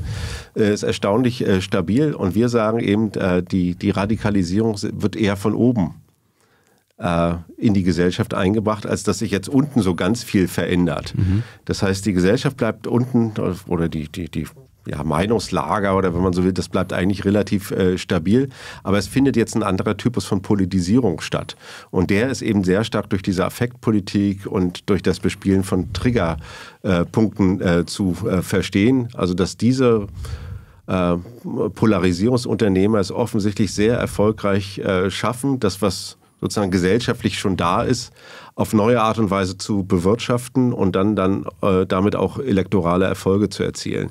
Aber das ist ein anderes Bild, äh, wie so etwas zustande kommt, als wenn wir jetzt sagen, es gibt irgendwie in den Köpfen überall jetzt völlig neue, irgendwie rechte Weltbilder, die vor einem oder vor drei Jahren noch nicht da waren. Das, da war schon ganz viel da, ähnliche Strukturen, aber eine andere Art von äh, sozusagen äh, politischer Bewirtschaftung. Und jetzt mit der AfD hat man eben eine Partei, die zudem eben noch parlamentarischer Arm von so etwas geworden ist. Und da fühlen sich eben viele Leute offensichtlich angesprochen und laufen dieser Partei hinterher. Du hast ja schon zwei, drei Mal das Wort Polarisierungsunternehmer gesagt. Ich, auf Twitter habe ich irgendwo gesehen, dass irgendeiner meinte, du bist jetzt heute zu Gast bei einem Polarisierungsunternehmer, nämlich ich. Wo bin ich einer oder was soll das sein? Ja, ich, ich kenne deine Arbeit jetzt nicht gut, gut, genug, als dass ich das äh, Nee, für, mich, für uns sind das eigentlich äh, äh, politische Akteure, vor allen Dingen eben auch Partei, äh, eine, Partei, äh, deren äh, zentraler Zweck es ist, äh, sozusagen zur, zur Erringung von elektoralen Erfolgen meistens Spaltungen herbeizuführen und vor, vor allen Dingen Spaltung zwischen Gruppen, zwischen wir äh, und denen auch durch Abwertung, durch Ausgrenzung, zum Teil durch, äh, durch Denunziation. Und äh, von daher würde ich dich jetzt. Äh, ja, wir, wir, haben über ganz Zeit vorhin über oben und unten gesprochen. Ja. Vielleicht ja, weil du polarisiere ich jetzt gegen ja, die da oben. Ja, oder? ja, vielleicht machst du die oben. Du aber auch dann, ne? da, vielleicht, ja. äh, ich habe mich auch gefragt, ähm, angenommen, ich meine, das ist jetzt natürlich nur hypothetisch, aber du könntest irgendwie in 10, 20 Jahren auf dieses Buch zurückblicken. Es gibt viele Leute, die Angst haben, dass wir in einem neuen faschistischen äh, Deutschland irgendwann in 10 Jahren, in 20 Jahren landen. Ähm, ich meine, die AfD wird immer stärker. Wir mhm. können das nicht mehr ausschließen. Siehst du Anhaltspunkte für ein, eine faschistische, neofaschistische Gesellschaft? Naja, ich würde sagen, also ich äh, sehe es nicht ganz so dramatisch, wie, wie manche. Ich finde das schlimm, dass diese, diese Umfragen jetzt so sind und ich hätte mir das vor einem Jahr auch nicht vorstellen können, dass die AfD in Umfragen über 20 Prozent äh, kommt. Wir haben in unserer Studie aber schon ein Wahlpotenzial von 20 Prozent äh, ausgemacht. Also wir sehen, dass es diesen Rand äh, gibt ich glaube trotzdem nicht, dass es so etwas gibt wie so ein lineares Wachstum äh, dieser, dieser Partei, dass das jetzt irgendwie in einem halben Jahr jetzt dann 25 und dann 30 und dann 35 Prozent äh, sind. Ich glaube, die Partei hat ihr Potenzial relativ weit ausgeschöpft. Aber, aber siehst du unabhängig davon faschistische Anhaltspunkte in unserer Gesellschaft? Ja, natürlich gibt es die. Natürlich gibt es die. Das ist ja keine Frage. Ich meine, äh, äh, äh, Björn Höcke äh, hat äh, sozusagen tätigt neofaschistische äh, Äußerungen. Es gibt viele andere Leute, die das in der AfD auch tun, äh, die da auch überhaupt kein Blatt vor den Mund äh, nehmen. Und ich glaube, das ist eigentlich ein zentraler Ort. Aber man findet das natürlich auch bei anderen äh, rechten äh, politischen Akteuren, die jetzt nicht parteiförmig äh, organisiert sind. Aber Und resoniert das in unserer Gesellschaft, die du ja untersucht hast? Diese, äh, dieser Faschismus. Ja, wir haben das jetzt nicht so dezidiert. Da gibt es andere Studien, die sind da besser äh, geeignet. Äh, das, wäre ein neues Thema, um das, wieder am Anfang zu Ja, wäre ein, neu, wär ein neues Thema, weil wir wirklich auf diese spezifischen äh, Konfliktarenen äh, schauen. Mhm. dafür müsste man dann wirklich eine Studie über Radikalisierung machen. Aber die zentrale Botschaft unseres Buches ist eben, Polarisierung im Sinne einer Spaltung durch die Mitte der Gesellschaft? Nein, Radikalisierung ja. Und Konflikte oder Intensivierung von Konflikten auch ja. Also es ist kein Verharmlosungsbuch, sondern ganz im Gegenteil ein Buch, das versucht aufzuklären, auf soziologische Art und Weise aufzuklären, äh, warum wir irgendwie so eine starke auch politische Dynamik haben und äh, äh mit welchen Mechanismen und äh, sozusagen mit, äh, mit auch welchen Veränderungsdynamiken die eigentlich äh, einhergeht. Und ich glaube, da können wir eine ganze Menge äh, zu beitragen. Zum Schluss mal zu dir. Du hast nämlich nicht erklärt, warum du dann Soziologie studiert hast, Steffen. 91, nach der Wende. Ja, ich glaube 90 habe ich angefangen. 90 ja. sogar? Ja. Ja, warum? Ja, ich bin irgendwie in, in, in, in der, im Herbst 89 doch relativ stark politisiert worden. Ja. Und äh, Soziologie ist ja manchmal auch so ein Verlegenheitsstudium. Äh, ja, und mich hat dann schon interessiert, was, äh, was ist eigentlich dieses Phänomen Gesellschaft? Wie funktioniert das? Und dann hatte ich auch mal jemanden kennengelernt, der sich so ein bisschen damit beschäftigt hat, mir mal so ein kleines Reklambüchlein äh, von Max Weber gegeben. Das habe ich dann gelesen, habe ich überhaupt nichts verstanden, aber irgendwie hatte äh, die Sprache auch was Faszinierendes. Aha. Und dann habe ich mich äh, für Soziologie äh, eingeschrieben und das fing dann in der, noch in der DDR an. Im ersten, ah, ja. Da fing das Studium am 1. September und dann sind wir am 1. September äh, hier hingekommen an, an die Humboldt-Uni und dann haben sie gesagt, äh, bitte geht nochmal wieder nach Hause, weil äh, in der Bundesrepublik, und wir sind ja in vier Wochen dann wieder vereinigt, oder dann fängt das Studium erst Mitte Oktober an. Und dann hatte ich nochmal sechs Wochen frei. Das war natürlich eine wunderbare Zeit. Da bin ich gleich nach Italien gefahren. ähm, in welche soziologische Richtung bist du dann gegangen? Wir haben ja oft immer so irgendwie Luhmannianer und Weberianer. Welche Richtung bist du da? Ja, ich, ich bin eher so stärker so in Richtung so Institutionen äh, an Analyse, also jetzt nicht mit diesen großen Theorieschulen äh, verwandt. Äh, es gibt einen Soziologen, der mich immer sehr stark beeindruckt, das ist äh, Klaus Offe, äh, der War nie so als nee, sehr bekannt, äh, war lange Assistent bei Habermas. Vielleicht kennt Hans den. Äh, ja, der kennt ihn auf jeden, äh, auf, auf jeden Fall. Wir werden sehen. Und, ähm, äh, und ansonsten mache ich im Prinzip im Feld Sozialstruktur, soziale Ungleichheit und da gibt es auch viele Leute, die im, im Rahmen von Klassentheorien und, und so weiter arbeiten, mhm. aber dann eben postmarxistisch, nicht mehr marxistisch. Warum?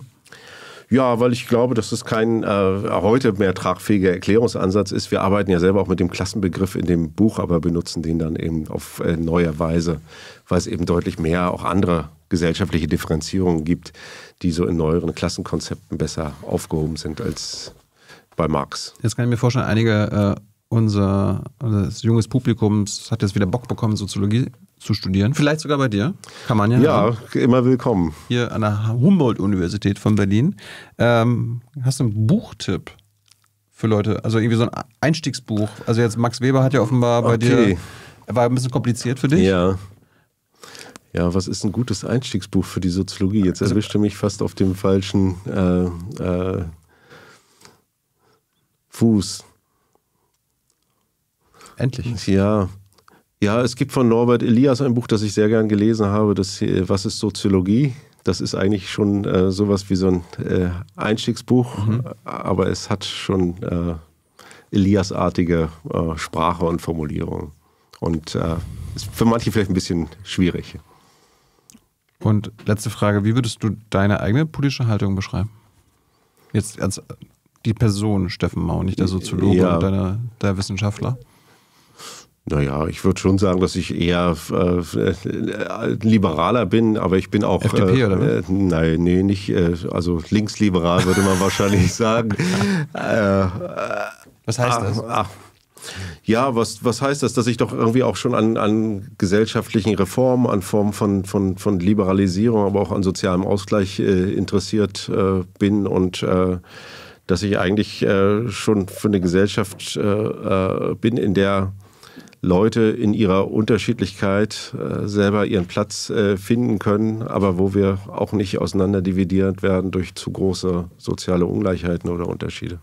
Du bist kein Konservativer? Nee, wahrscheinlich nicht. Ich bin auch äh, sehr der offen. Der sich leicht triggern lässt? Ich lasse mich nicht so leicht triggern, aber das liegt wahrscheinlich weniger an meiner politischen Grundhaltung, denn an meinem äh, mecklenburgischen Naturell. Das stimmt. Aber wir lassen, jeder von uns lässt sich von irgendwas gerne triggern. Was ist das bei dir? Die Frage habe ich heute schon mal bekommen. Die konnte, ich auch, die konnte ich da auch nicht so richtig beantworten. Ich lasse mich gar nicht so einfach, äh, gar nicht so einfach triggern. Mecklenburg sei Dank. Ja, wahrscheinlich war ich auch nur deswegen in der Lage, mit äh, Thomas Lux und Linus Westhäuser dieses Buch zu machen. Die triggern dich auch nicht? Äh, wir haben uns zwischenzeitlich mal wechselseitig ein bisschen getriggert, aber es war auch ein extrem beglückendes Erlebnis äh, mhm. mit zwei Leuten, die ja auch äh, beide deutlich jünger sind als ich, äh, äh, dieses Buch zu erarbeiten. Ich habe das bisher auch noch nicht äh, so gemacht. Und es macht einfach richtig Laune, über so einen Text zu diskutieren und von anderen Leuten was zu lernen. Mir hat es auch Laune gemacht, mit dir zu reden. Mir auch mit dir. Vielen Dank, dass du hier warst. was mich äh, jetzt gerichtet ans Publikum triggert, ist finanzielle Unterstützung. Das äh, triggert mich positiv, weil wir äh, ohne euch das ja alles nicht machen könnten. Danke dafür. Und jetzt kommt Hans mit den Publikumsfragen. Vielleicht triggern dich da ja einige. Okay. Hallo Hans. Mhm, hallo Steffen. Ja, Klaus Offe, natürlich, natürlich kenne ich Klaus Offe. Einer der wichtigen äh, Soziologen der Post-68er Generation. Tatsächlich gehörte er zu den, zu den jungen Intellektuellen ähm, um Dutschke im SDS. Er war, glaube ich, auch Mitautor dieser berühmten Denkschrift Hochschule in der Demokratie. War, ja. Ne? War, war das so? Ja, ist ja. so. Er hat mit dir ein paar Parallelen, ähm, denn er hat gelehrt, sowohl äh, hier in Berlin als auch in Bremen, wo du auch eine Professur hattest. In Bielefeld war er auch.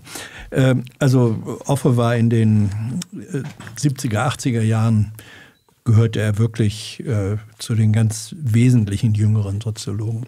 Und wenn du dich ein bisschen an dem orientierst, dann finde ich das auch eine interessante, äh, im Grunde auch politische äh, Positionierung. Gut.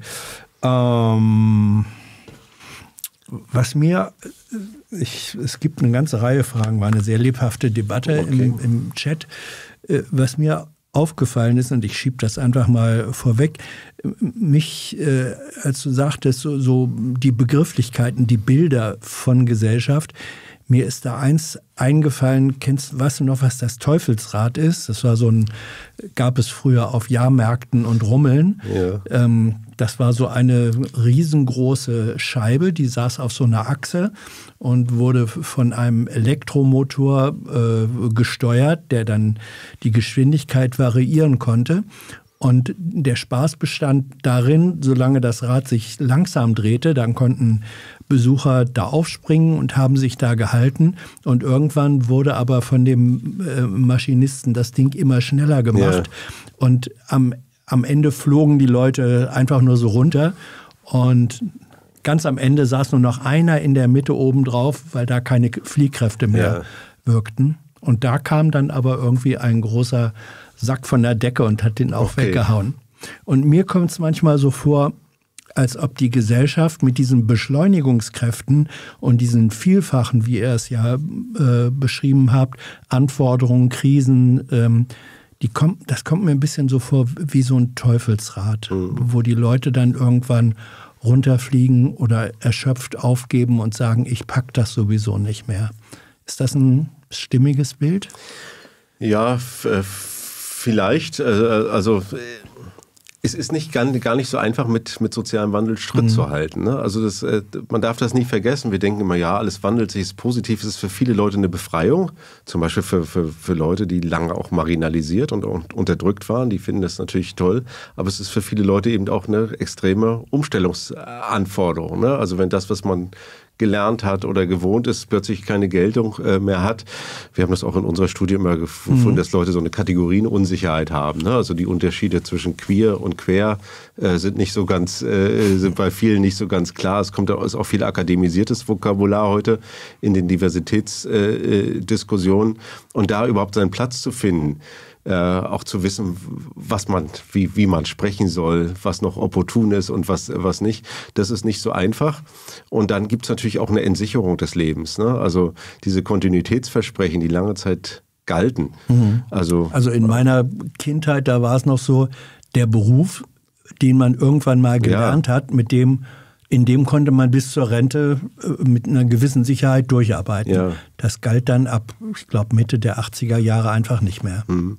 Und es ist natürlich so Wegfall dieses Fortschrittsoptimismus. Das ist mhm. ja natürlich auch immer ein Narrativ gewesen, äh, was die Leute irgendwie äh, sozusagen so eine Loyalität hineingebracht äh, hat, äh, wenn man irgendwie sagt, okay, jetzt äh, euch wird es allen besser gehen oder der nächsten Generation und so weiter, dann ist das ja auch ein Versprechen, dass die Gesellschaft an die Menschen abgibt und dann sind die vielleicht auch in der Lage, bestimmte, wenn es mal rumpelt oder nicht mehr so, so einfach ist, das irgendwie doch mit, mitzutragen. Und das ist heute eben nicht mehr so. Ne? Man kann eben nicht, mhm. nicht sagen, ob wir in fünf oder zehn Jahren denselben oder einen größeren Wohlstand haben als, als heute. Äh, und äh, das ist schon extrem herausfordernd, äh, gleichzeitig dann irgendwie so einen Kompass zu behalten. Und wir hatten das ja vorhin mit, mit Thilo mhm. auch, auch besprochen. Auch die Verbindung zum Politischen. Mhm. sind für die Leute natürlich viel prekärer geworden. Ne? Wenn man jetzt irgendwie so in dem so, so in traditionellen Parteimilieus, in Gewerkschaftszusammenhängen, in der Kleingartenanlage oder in, in so Assoziationen äh, sozialisiert wird, dann gibt es natürlich auch eine Menge an Halt mhm. an Orientierung und äh, so, setzt eben auch enorme Bindungskräfte frei. Und das ist heute äh, nicht mehr so. Also das Engagement ist punktueller geworden, auch äh, sozusagen diese Rückhaltefunktion von solchen assoziativen Kontexten äh, sind, sind andere. Und ich glaube, das ist extrem herausfordernd, weil Leute sich ihre Begriffe des Politischen häufig sehr allein bilden äh, müssen und dann auch unter, ja, äh, unter Nutzung von, von, äh, von neuen Medien zum Beispiel. Äh, das ist eben nicht mehr, dass alle in demselben Diskurskontext unterwegs sind, sondern es hat sich unglaublich stark vervielfältigt. Ihr, ähm, ich fand das eine sehr äh, anschauliche Erklärung dafür, warum die AfD vor allem regional gesehen in den ostdeutschen Bundesländern, also früher DDR, besonders attraktiv zu sein scheint. Ich glaube, eure Erklärung äh, oder ein Stück der Erklärung ist, dass ihr sagt, ja, das sind eben Menschen, die haben also mindestens in den letzten äh, 40 Jahren besondere Veränderungen durchmachen müssen. Und da trifft dann diese ähm, Veränderungserschöpfung, wie ihr das nennt, ähm, besonders dramatisch zu. Und dann machen die Leute einfach Tilt und mhm. gehen dahin, wo ihnen jemand verspricht, ähm, kommt zu uns und dann müsst ihr euch nicht dauernd verändern. Mhm. Ja, man hat ja immer sozusagen Viele Leute haben sich mal gefragt, ja, denen geht es doch gar nicht so schlecht. Mhm. Ne, das sind ja jetzt nicht immer die Ärmsten der Armen, Nö. die jetzt alle AfD wählen. Und wir haben gesagt, ja, man, man kann das natürlich das nicht, nicht, nicht, nicht, nur in der Verteilung, ja. sondern man muss ja. das in der Zeitlichkeit verstehen. Ja. Ne? Die Leute haben in den 90er Jahren unglaubliche ja, Veränderungsturbulenzen mitgemacht. Ja. Die sind froh, dass sie wieder äh, festen Grund unter den Füßen haben und sich irgendwie ihr privates Glück aufgebaut haben. Und äh, jetzt sind die, sobald jetzt irgendwie noch eine Veränderungszumute oben drauf kommt, dann gehen die in so eine veränderungsaversive ja. Festhaltementalität hinein und sagen, nee, wir wollen jetzt keine Migration mehr. Mhm. Nee, äh, ökologische Transformation äh, bitte nicht, hatten wir schon genug Transformation. Und wie soll Politik darauf reagieren, wenn Politik sagt, ja, es gibt aber objektiv diese Veränderungsnotwendigkeit der Gesellschaft auf vielen Ebenen, von Klima angefangen bis äh, Demografie und so weiter. Ähm ja, Politik muss das erstmal verstehen, dass das sozusagen äh, so, ein, so ein Faktor ist und deswegen tue ich mich ja immer schwer zu sagen, das sind jetzt alles irgendwie plötzlich Rassisten geworden oder das sind mhm. alles, äh, alles Rechte. Es ist viel zu, also man muss das wirklich soziologisch erklären. Ja, ja. Und äh, wir versuchen eine soziologische Erklärung, dass da natürlich auch chauvinistische und rassistische Haltungen mit darunter sind äh, und dadurch auch nochmal äh, angefeuert und auch bestärkt werden können, äh, ohne, ohne Zweifel. Aber ich glaube, man kommt so zu zu einer besseren Erklärung und vielleicht auch zu besseren Möglichkeiten, äh, äh, damit, damit umzugehen, indem man eben sagt, okay, für, für solche Bevölkerungssegmente ist eben die Frage, wie sozialer Wandel vermittelt wird. Mhm. Von oben, durch Maßnahmepakete und so weiter. Das macht eben einen Unterschied, ob man erstmal sich, sich überlegt, ja, wie kann ich eigentlich an diesen Alltagssinn für Gerechtigkeit anschließen? Es gab eine sehr interessante Studie, die ich neulich gelesen habe aus der Lausitz. Mhm. Und die sprechen immer so von, von äh, moralischen, äh, Moral Rifts nennen die das, also moralischen äh, Brüchen in der, äh, in der Vergangenheit. Und die sagen, die Transformationsbereitschaft jetzt auch auf der Ebene von Kommunalpolitikern äh, und, äh, und so weiter hängt extrem stark mit der Transformationserfahrung der 90er Jahre zusammen äh, weil die häufig nicht als nicht beglückend und nicht positiv wahrgenommen wurde. Da gab es eben viel, Die Veränderungsbatterien viele, ja, sind entladen ja, und erschöpft. Genau, ja, da gab es viel auch Enttäuschung und so weiter. Und äh, deswegen muss man bei den Leuten jetzt auch an so einen Gerechtigkeitssinn anschließen äh, und äh, versuchen zu verstehen, aus welcher Perspektive die eigentlich Veränderungsprozesse äh, betrachten. Und das ist eben eine andere Perspektive als eine Perspektive von jemandem, der irgendwie sagt, oh Gott, ich bin jung, ich kann, bin mhm. flexibel, kann überall hingehen, ich bin gut gebildet, sprich drei Sprachen, wo ist das Problem? Mhm. Jetzt habt euch doch mal nicht so. Kommen wir zu den Fragen, die im Chat reingekommen sind.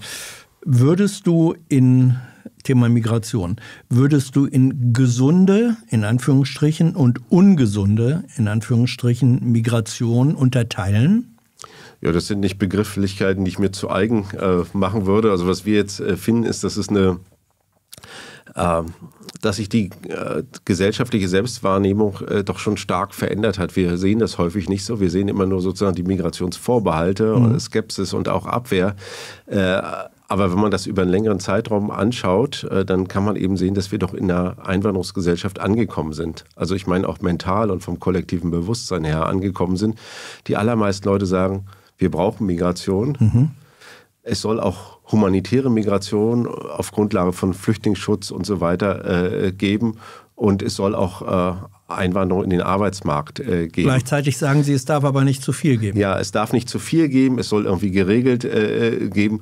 Und, äh, und äh, die Diskussion dreht sich eigentlich davor, ob die Leute, die die, die kommen, mit legitimen Gründen kommen oder nicht legitimen Gründen kommen. Da Rechten sagen eben, ja, alles Wirtschaftsflüchtlinge und die anderen sagen, das sind viele Leute, die, die, die Schutz brauchen. Äh, und um die Frage äh, von, von Integration. Das sozusagen die Rechten sagen, die Leute strengen sich nicht an, die wollen hier nur in der sozialen Hängematte liegen. Äh, und Leute eher von links, die sagen, der Staat muss auch die Voraussetzungen schaffen. Wir brauchen Bildungsangebote, wir müssen schnelle Arbeitsmarktintegration. Kapituliert die Bundespolitik auch von Parteien, die eigentlich traditionell, also ähm, eher auch offen waren für Migration, für Flüchtlinge? Kapituliert die Bundespolitik da im Moment vor diesem wachsenden, teilweise auch populistischen Druck? Ja, ich glaube, dass die Leistungsfähigkeit der Politik äh, erstmal sozusagen im Hinblick auf die Problemlösungskompetenzen äh, noch zu, zu, gering ist. Ich glaube, das sind, äh, das sind jetzt alles Dinge, die wir eigentlich bewältigen könnten. Ich mhm. bin kein Bürgermeister, ich bin auch nicht äh, verantwortlich, um Flüchtlingsunterkünfte zur Verfügung zu stellen. Äh, und äh, ich glaube auch die Klagen, dass es da, da knirscht. Aber wenn wir uns mal die Zahlen vergegenwärtigen, die eine Million äh, Geflüchtete kommen dieses Jahr nach Europa. Fast 500 Millionen Einwohner oder 450 Millionen in mhm. Europa. Das sind 0,2 Prozent in fünf Jahren ein Prozent der gesamten europäischen Bevölkerung. Ist das nicht zu schaffen? Ich kann es mir nicht vorstellen. Ich kann es mir nicht vorstellen. Es sind kleine Zahlen angesichts der demografischen Entwicklung und der Arbeitsmarktentwicklung in den europäischen äh, Ländern. Äh, ist Migration notwendig? Jeder äh, Arbeitsmarktexperte sagt das, die Unternehmen sagen das, die Wirtschaftsverbände äh, sagen das. Was uns nicht gelingt, ist sozusagen aus den Migrantinnen und Migranten, die wir haben, jetzt unabhängig davon, mhm. ob es sich um reguläre, irreguläre oder Ausreisepflichtige oder sonst was handelt, äh, äh, in hinreichender Zahl in den Arbeitsmarkt zu integrieren. Und das betrifft jetzt äh, nicht nur Leute aus Afghanistan oder Syrien, sondern auch Leute aus der äh, Ukraine. Und wenn wir da erfolgreicher werden, und zeigen, dass es äh, geht, dann wird sich meiner Ansicht nach auch die, die gesellschaftliche Akzeptanz erhöhen. Äh, und äh, das hat auch, das ist auch etwas, was die Politik verschleppt hat. Ne? Dieses Problem hat sich lange angedeutet. Es gab auch früh äh, Signale ja. aus, den, aus den Kommunen. Und dann hat man das irgendwie so laufen lassen und jetzt greift man zu einer Rhetorik, die letzten Endes ja eine Imitationsrhetorik im Verhältnis zu, zu rechtspopulistischen Akteuren ist. Dazu gab es eine Frage, die eigentlich benachbart ist. Gibt es eigentlich nach deinem Kenntnisstand als Sozialwissenschaftler, gibt es eigentlich Einwanderungsgesellschaften mit einem starken Sozialstaat? Hintergrund der Frage. Äh, der soziale Ausgleich war doch historisch eigentlich innerhalb der Nation im klassischen ja. Sinne üblich. Also Einwanderungsgesellschaft, wo ein starker Sozialstaat dafür sorgt, dass diese Integration auf verschiedenen Ebenen gelingt. Gibt es da? Mhm.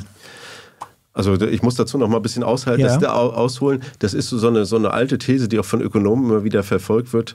Äh, sozusagen, je homogener eine Gesellschaft ist, desto ausgebauter ist der Sozialstaat weil sozusagen diese, mhm. diese Forschung von Ähnlichkeit oder von Wir-Gefühl irgendwie Voraussetzung ist, um so große kollektive Umverteilungsarrangements überhaupt äh, aufzubauen. Es gibt aber auch historisch andere Beispiele. Belgien, mhm. äh, sogar unterschiedliche Sprachen. Auch die Schweiz ist ein Sozialstaat und so weiter. Da gibt es auch heterogene Nationen, die eben die starken äh, Sozialstaate haben. Und dann gab es amerikanische Ökonomen, die haben gesagt, ja, wenn Europa jetzt äh, viel Einwanderung hat, dann wird es automatisch zu einer Zerfasung, zu einem Zerfall von Solidarität kommen. Und die Sozial das Sozialstaatsniveau wird aufs amerikanische Niveau abgesenkt äh, werden. Das ist aber nirgendwo äh, wirklich äh, passiert.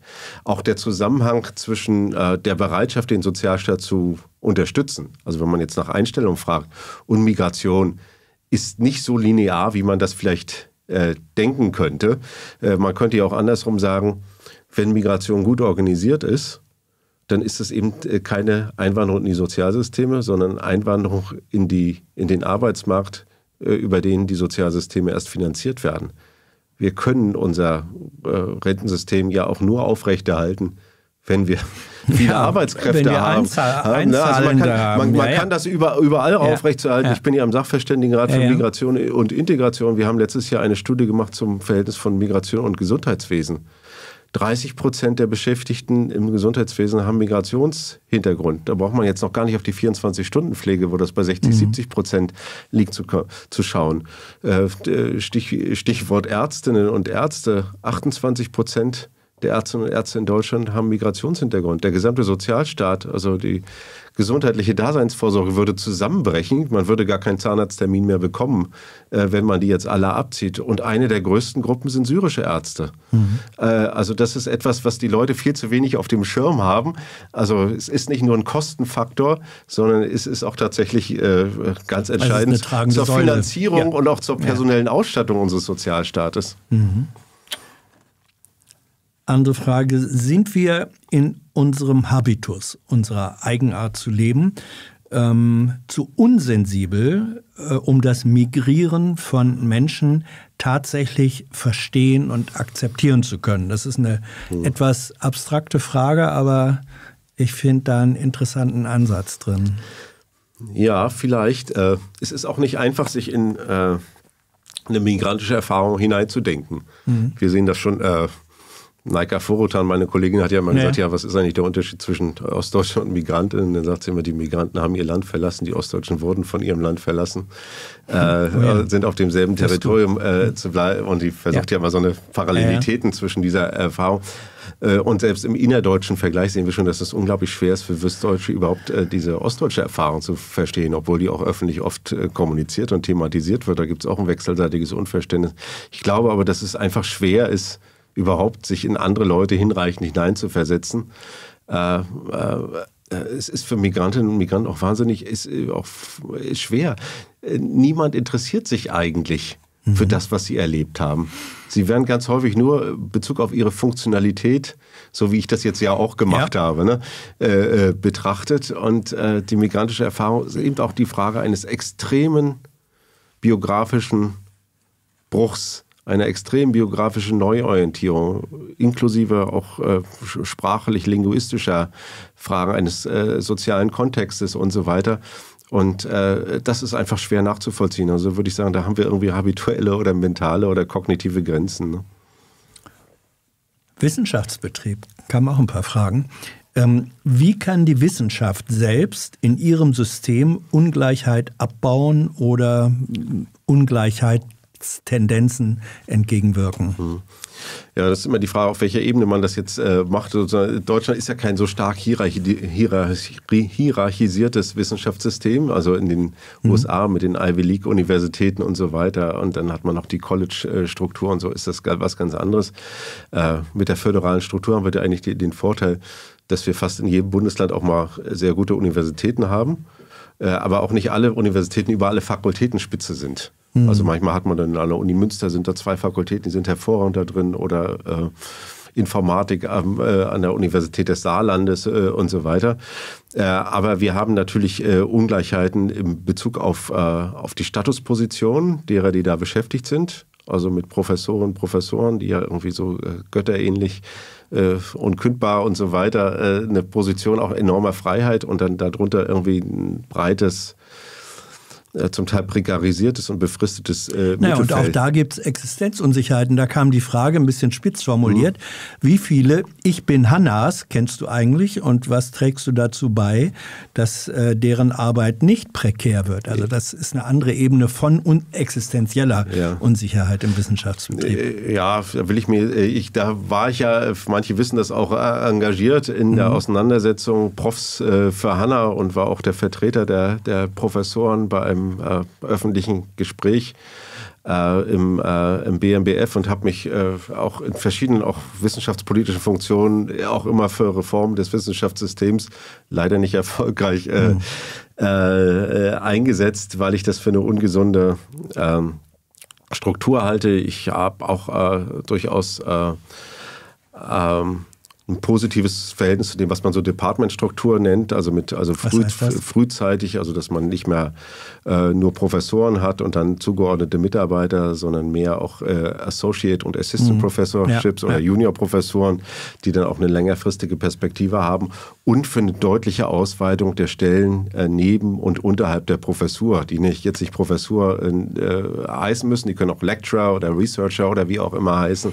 Äh, ich glaube, es ist ungesund in der Organisation äh, zu arbeiten, wo 90 Prozent der Leute befristet das, äh, beschäftigt sind. Das würde sich kein Unternehmen leisten, weil natürlich auch der, der Wissensumschlag und der Wissenstransfer. Das geht verloren. Äh, ja, es geht ja. immer alles verloren. Ja. Jeder fängt immer wieder äh, von Null an. Ja. Und wir haben auch ganz viele Infrastrukturaufgaben, Studierendenberatung, Forschungskoordination etc., äh, die natürlich auch von Leuten erfüllt äh, äh, werden müssen. Also das ist, glaube ich, nach wie vor ein äh, riesiges Reformpaket, was Universitäten da vor sich haben. Beschäftigst du dich mit den sozialen Folgen des Klimawandels? Ähm, mit den sozialen Folgen, also mit den Konflikten um Klima schon. Wir, ja. äh, ich habe da jetzt äh, so ein bisschen Blut geleckt, wenn ich das so sagen darf, mhm. weil ich das äh, und die Idee ist schon, auch was wir in diesem Buch Triggerpunkte machen, nicht nur jetzt die ökonomische Verteilung anzugucken, sondern äh, vier andere Arenen, die wir irgendwie mhm. innen, außen, also da geht es um Migration, äh, wir, sie, da geht es um Fragen von Diversität, Diskriminierung und heute Morgen, da geht es um Klimafragen und Nachhaltigkeit, äh, die doch in das sozusagen in, in den Bereich der Ungleichheitsforschung mit zu integrieren und systematisch in einem Verhältnis äh, zur Untersuchung. Und äh, da haben wir jetzt sozusagen wirklich auch klimapolitische Konflikte, auch die Verteilungsfrage in, im, im Bereich der, der, der, der der Macht Klimapolitik. Er das als nationale Soziologie oder als inter als globale? Das haben wir jetzt bezogen, bezogen auf Deutschland, ja. aber ich äh, bin mir äh, relativ sicher, dass Sie in diesem Feld weiterarbeiten. Und äh, äh wenn Leute das Buch äh, lesen, dann glaube ich, ist das Klimakapitel eines der innovativsten und äh, interessantesten, weil wir da wirklich eine Art von Panorama öffnen, das man so bislang nicht findet soziologische Frage. Wie kann der Staat bereits entstandene Parallelgesellschaften wieder aufbrechen? Kann er das überhaupt? Ja, ich weiß nicht, ob der Staat das kann ob, oder ob die Zivilgesellschaft. ja. äh, also der Staat kann das nur in, in, in dem Sinne, dass er irgendwie äh, ja, Wohnraumpolitik äh, macht, äh, da auch irgendwie eine Belegungspolitik. Das wird ja in manchen äh, Stadtvierteln auch schon gemacht, mhm. dass man irgendwie gute, interessante Mischungen hat. Also das ist ja eher sozusagen der kleine Staat äh, im kommunalen, städtischen Kontext.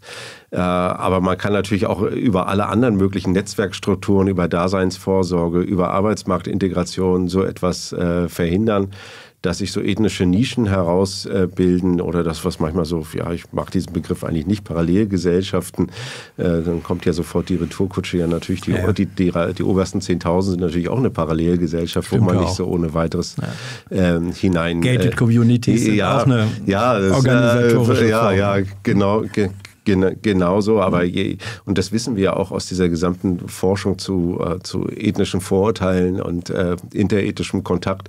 Je intensiver der Kontakt ist, desto geringer sind die äh, Vorurteile. Deswegen ist eine gute Durchmischung eben auch ein extrem guter Prädiktor für, für gelungene Integration. Was fällt dir zu Neukölln ein in diesem Zusammenhang? Ja, ich bin zu selten in Neukölln, um da wirklich kompetent was äh, sagen. Okay. Ich bin zwar hin und wieder auch mal abends da, aber jetzt, äh, jetzt, jetzt, jetzt, jetzt kein, äh, kein Experte, aber ich glaube, dass es äh, wenig Sinn macht, jetzt äh, über so einzelne Wohngebiete okay. zu sprechen. Naja, es war auch eine unfaire Frage, ein bisschen in die Wade getreten. Ähm, wie kann eine Welt mit offenen Grenzen aussehen? Beziehungsweise ist das überhaupt vorstellbar? Ja, es, wird, äh, es gibt ja einige Leute, die dafür äh, argumentieren und äh, die dafür Gerechtigkeitsargumente geltend machen. Also mhm. wir leben einfach so in globaler Hinsicht ja schon noch in einem globalen Feudalismus. Ne? Also in ja. der in, innergesellschaftlich haben wir so eine Meritokratie, unvollständig und problematisch, wie wir ja besprochen haben. Aber global ist man natürlich an seine Staatsbürgerschaft äh, gebunden und die ist mit ganz viel Privilegien oder Benachteiligung äh, mhm. verbunden. Man in, äh, in, Burkina Faso oder in der Schweiz äh, geboren wird, macht eben einen riesigen äh, Unterschied. Branko Milanovic, äh, der Ökonom, hatte einfach interessante Studien. Da sagte er irgendwie, okay, es gibt jetzt sozusagen den äh, sozusagen äh, Benefit of Place, also den Vorteil, den man einfach durch den Ort, an dem mhm. man lebt, durch die Infrastrukturen, durch die ja, Zivilität, durch Bildungsangebote und so weiter genießt. Und und äh, man könnte, wenn man jetzt so äh, Gerechtigkeitstheorien wie Rawls und so weiter äh, weiterdenkt auf, das, auf die globale Ebene, das machen ja einige, dann sagen die, okay, es, Grenzen sind eigentlich zu jeder, also für jede liberale Grundauffassung äh, sind die eigentlich ein Problem. Äh, weil, äh, und ich mache das ja auch in meiner globalen Soziologie, in dieser Mobilitätsforschung, wenn man jetzt sich mal guckt, wer hat eigentlich Mobilitätsrechte? Wer mhm. kann überhaupt woanders hinreisen? Wir würden von außen auf die Welt zusteuern denn, und die Länder wären dann sowas wie Waben. Dann würde man sehen, ja, da gibt es ein paar Bienen, die können überall hin und her fliegen. Das ist der globale Mobilitätsadel. Und dann gibt es ganz viele, die sind in diesen Waben festgeklebt. Ne? Von diesem. Wie verschieben sich da die Mengen, wenn man das mal als, als Menge und Verteilung sich ja, denkt? man denkt, man denkt immer sozusagen, das war ja eine Story der Globalisierung. Ne? Alle sind jetzt irgendwie in Bewegung, ja. Grenzen spielen keine Rolle mehr und, und sowas. Äh, und de facto haben wir erst, ich habe da auch Studien dazu gemacht, ne? also wenn wir, wir haben über äh, 300 Landgrenzen weltweit und äh, in den 80er äh, Jahren waren 5% dieser Landgrenzen sogenannte fortifizierte Grenzen, also Mauergrenzen, mhm. Mauern und Stacheldraht. Heute sind es 20 Prozent. In dem Moment, als die Berliner, Abschottung hat eigentlich zugenommen. Äh, als die Berliner Mauer sich geöffnet ja. hat, sind global überall Grenzen entstanden. Ganz Europa, ja. früher hat man vom festen Europa geredet, da haben dann Leute auf Konferenzen in Busse gesagt, das sei Unsinn, was man da redet. Heute gibt es fast, außer die Polen, Ukrainer, äh, äh, und zu Moldau gibt es fast keine nicht fortifizierte Grenze mehr. Äh, mhm. Äh, von daher nehmen die Grenzen eigentlich äh, zu. Und solange wir eine, eine, Welt extremer Ungleichheit haben, werden wir auch Grenzen haben, werden Staaten sozusagen ihre nationale Souveränität nutzen und sich gegen Zuwanderung oder Mobilität aus ärmeren Weltregionen sichern. Und von daher ist beides, also die Frage der Ungleichheit und die Frage der der Grenzen und der Grenzkontrolle ganz eng miteinander verknüpft. Schnitt, Biografie. Welche Resonanz hast du ähm, mit Lütten Klein, also diesem autobiografischen Buch, erfahren, sowohl innerhalb der sozialwissenschaftlichen Community als auch außerhalb? Ja, deutlich mehr außerhalb. Mhm. Äh, in der sozialwissenschaftlichen Community ist das Nischenthema. Äh, das interessiert ah, ja. ein, ein, paar Leute, die fanden das auch ganz interessant, äh, das mal zu lesen. Aber sozusagen DDR-bezogene Soziologie, das gibt's oder Ostdeutschland-bezogene, das gibt es jetzt ein bisschen mehr und es gab es immer, ein paar Leute haben das auch systematisch betrieben, aber das ist eine kleine Zahl. Äh, ich, man kann ja auch mal gucken, wie, wie so Bücher so zitiert werden und so. Und mhm. das ist jetzt nicht mein meist zitiertes Buch, aber es ist, glaube ich, mein meist gelesenes äh, Buch. Da sind ja irgendwie extrem viele äh, äh verkauft äh, worden und äh, hat auch viele Auflagen gehabt. Und äh, aber ich habe unglaublich viel Resonanz. Also ich glaube mehrere hundert äh, Briefe und so weiter bekommen, zum Teil 10, 20 Seiten äh, lang Material und so weiter. Und äh, jetzt gibt es ja mehr Ostdeutschland äh, Bücher, zu denen ich zum Teil eben auch eine kritische Haltung habe. Äh, aber das war, das Buch war so eine Gratwanderung, das war im Prinzip der Versuch, äh, die DDR sozusagen als Diktatur kritisch äh, zu betrachten und trotzdem irgendwie eine interessante soziologisch äh, und lebensweltlich dichte Geschichte zu erzählen. Und äh, die, viele Leute sagen ja, die DDR war eine Diktatur, aber nicht nur. Und dieses aber nicht nur, das wollen sie gerne miterzählt mhm. haben. Und deswegen hat das auch viele Leute irgendwie äh, irgendwie berührt oder mitgenommen. Ich habe ja auch unglaublich viele Lesungen, Lesungen gemacht, was für einen Soziologen ein bisschen ungewöhnlich. Und dann eben nicht in den üblichen akademischen Foren, sondern in Plattenbaugebieten. Ne? Mhm. Ne? Also ich bin überall gewesen, in Halle Neustadt und mhm. äh, Ellersdorf und, äh, und so weiter. Und das war für mich extrem interessante äh, Erfahrung, weil das Hat eben. Hat einer geschrieben im, äh, im Chat, ich war auf der gleichen Schule wie Steffen. Es ja. stimmt alles, was er da geschrieben okay. hat. Also das war sozusagen nochmal. Okay, das freut mich. Ja, Peer, das ist natürlich für, für, mich natürlich auch nochmal so ein Realitätscheck. Ich habe ja auch ja. in, in, äh, in Lüttenklein äh, mehrere Lesungen gemacht ja. und ich habe ja auch Leute da interviewt und da zittert man natürlich innerlich schon. Natürlich, jeder hat auch die DDR anders erlebt und mhm. interpretiert sie auch anders, äh, wenn man da so ein Stück weit Bestätigung erfährt und äh, es ging, geht mir ja nicht darum, Leuten, die jetzt irgendwie der DDR nachhängen, zum Bund zu reden, sondern es ging mir einfach darum, irgendwie ja, aus dem, was, was Ostdeutschland heute ist, das irgendwie äh, auf neue Art und Weise zu interpretieren. Und ich glaube, da muss man einfach die Vergangenheit der DDR-Gesellschaft und die Sozialstruktur und die Mentalitätsgeschichte der DDR genauso dazu nehmen äh, wie äh, die, die, die Transformationsphase der 90er und der Nuller Jahre. Und da sieht man einfach unglaublich viel Kontinuität. Und die meisten anderen Sachen, die ich kenne, die sagen immer entweder DDR Diktatur sozialisiert und mhm. deswegen ist heute alles zu erklären oder Transformationstrauma, das erklärt heute alles. Und dann sage ich, das stimmt beides eben nicht allein. Ja. Hast du eigentlich äh, den damaligen Stadtjugendpastor von Rostock persönlich kennengelernt, einen gewissen Joachim Gauck? Äh, ich habe ihn einmal äh, kennengelernt, er weiß aber sicher nicht, dass ich ihn mal. äh, mich hatte mal eine Freundin äh, zu so einem Jugendgottesdienst äh, mhm. mitgenommen und äh, er hat ja tatsächlich in einer Kirche gearbeitet, ja, die ja. auch im Plattenbau war und eigentlich nur 300 Meter von unserer Wohnung ja. entfernt. Und äh, von daher kannte ich ihn vom, vom, vom Hören sagen. Mhm. Und ich wusste auch mal, dass er sich so im weiteren Freundeskreis mal für äh, Jugendliche äh, intensiv eingesetzt äh, äh, hat äh, und die dann irgendwie gegenüber staatlichen Zurichtungen oder Zudringlichkeiten dann da auch in Schutz genommen hat. Aber keine engere persönliche Nee, keine engere persönliche Bekanntschaft. Mhm. Wir haben uns mal irgendwann später darüber unterhalten. Mhm. Ähm, Nochmal ein Zitat aus Lütten Klein. Zitat, so wie Betriebe wurden auch Menschen ähm, in ihren beruflichen Biografien stillgelegt. Da wird jetzt gefragt, inwiefern gilt das eigentlich auch für ganze Generationen äh, ostdeutscher Biografien nach dem Mauerfall? Hm. Ja, das ist schon eine, eine, starke Generationsschichtung. Ich hatte ja vorhin schon äh, gegenüber Thilo gesagt, ich hatte natürlich riesiges biografisches Glück, wenn ich fünf oder zehn Jahre älter gewesen wäre ja. oder vielleicht schon eine Familie gegründet hätte, äh, hätte das ganz anders ausgesehen.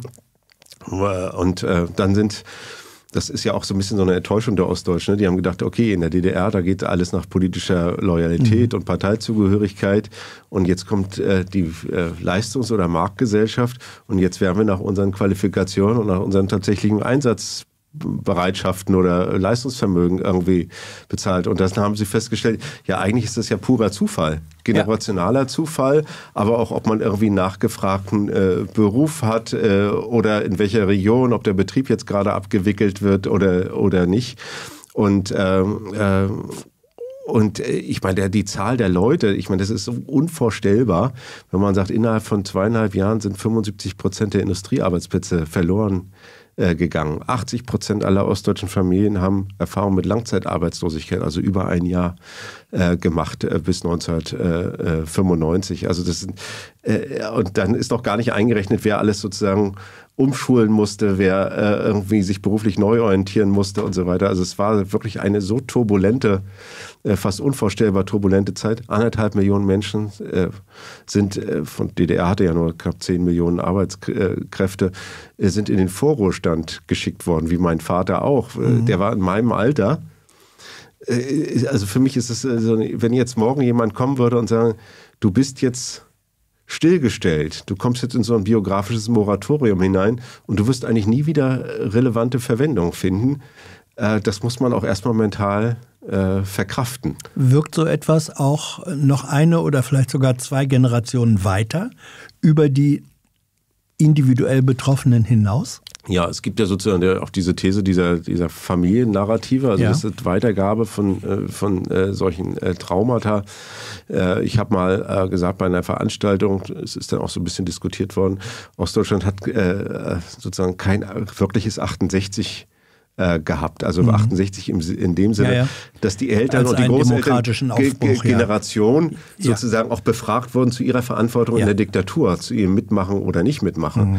Und äh, dann kann man sich fragen, woran liegt das eigentlich? Das liegt vor allen Dingen daran, also 68 in der Bundesrepublik war ja auch eine Herausforderung der Eliten.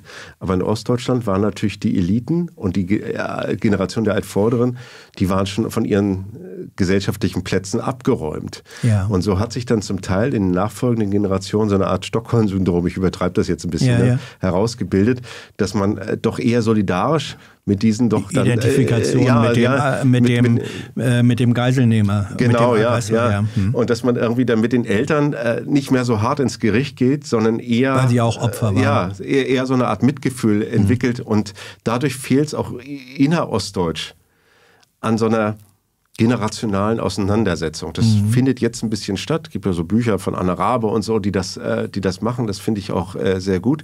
Aber lange Zeit war das so ein Beschweigen. Man hat mhm. die Leute gar nicht befragt. Keine äh, Katharsis. Ja, genau. Mhm. Wissenschaft. Wie schafft man es oder wie schafft man eine Brücke zwischen Uniforschung und Gesellschaft? Äh, besonders äh, wenn es akute Konflikte gibt, Beispiel Rechtsruck, Antifeminismus wurden als Stichworte genannt.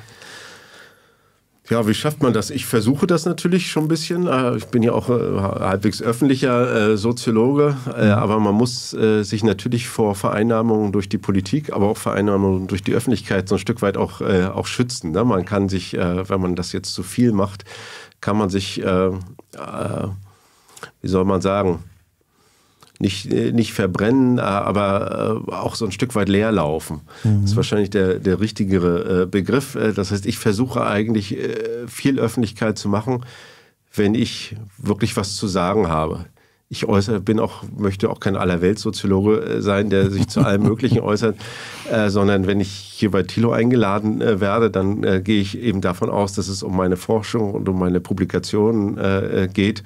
Und dann mache ich das unglaublich äh, gerne und dann versuche ich im Prinzip, mich als Wissenschaftler auch nicht zu kompromittieren. Natürlich muss man anders sprechen, kann man auch nicht sklavisch dann irgendwie an äh, äh, seinen Daten oder seinen Befunden bleiben, sondern muss die natürlich auch in einen gesellschaftlichen Deutungskontext hineinbringen. Und ähm, äh, das versuche ich, aber ich würde mich nie zu allen Problemen, ich werde ja auch manchmal gefragt, irgendwie, ob ich jetzt was äh, zum Russlandkrieg in der Ukraine sagen mhm. kann oder zum Palästina-Konflikt. Ich habe dazu Meinungen, zum Teil auch starke Meinungen, aber ich würde die öffentlich äh, äh, nicht, äh, nicht positionieren. Aber die eine Frage möchte ich dir jetzt stellen. Da wurde nämlich gefragt, gibt es eigentlich eine Kriegssoziologie und wenn ja, welches sind deren Erkenntnisse oder Thesen? Weißt ja, es gibt eine Kriegssoziologie, aber wie das immer so ist, äh, in Friedenszeiten wird das nicht so besonders gepflegt. Wir haben keine Friedenszeiten. Ja, ja, und es gab ganz wenig Leute und dann werden, verschwinden solche Felder auch, ne, die ah, das ja. gemacht haben, die zum Teil auch mit großen quantitativen Daten arbeiten, aber es gibt auch eine stärkere, auch nochmal Gewaltsoziologie. Mhm.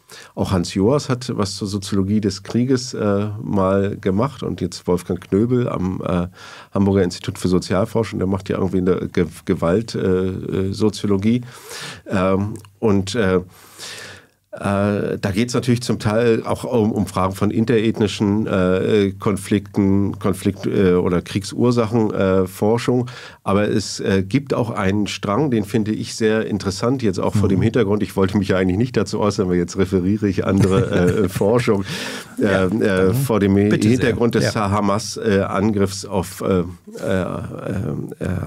auf Israel äh, wo ja immer gesagt wird, ja, man muss das jetzt alles kontextualisieren und historisieren. Mhm. Und äh, da gibt es einfach äh, äh, auch interessante Forschung, die die, die Frage der, der Gewaltexzesse oder eines Blutrausches in spezifischen sozialen Situationen das geht dann aber auch in die Sozialpsychologie. Ja, rein. ja, genau. Aber die, die, die, die sowas äh, untersuchen, weil im Prinzip, was immer man jetzt für Kontexte und auch sozusagen historische Faktoren anführt, äh, das, was da an Goldtaten passiert äh, ist, ne, äh, ich will das jetzt nicht im Einzelnen mhm. zitieren, ist ja so unvorstellbar und ist einfach jetzt sozusagen mit so einer kausal oder deterministischen Erklärung ja überhaupt nicht zu erklären, sondern es muss irgendwie was anderes noch dazu äh, kommen. Und äh, da gibt es so Ideen, äh, wie solche auch so, solche spontanen Gewaltexzesse, so fast rauschhafte zu, zu, Zustände äh, entstehen, äh, entstehen mhm. können. Und das finde ich sehr interessant.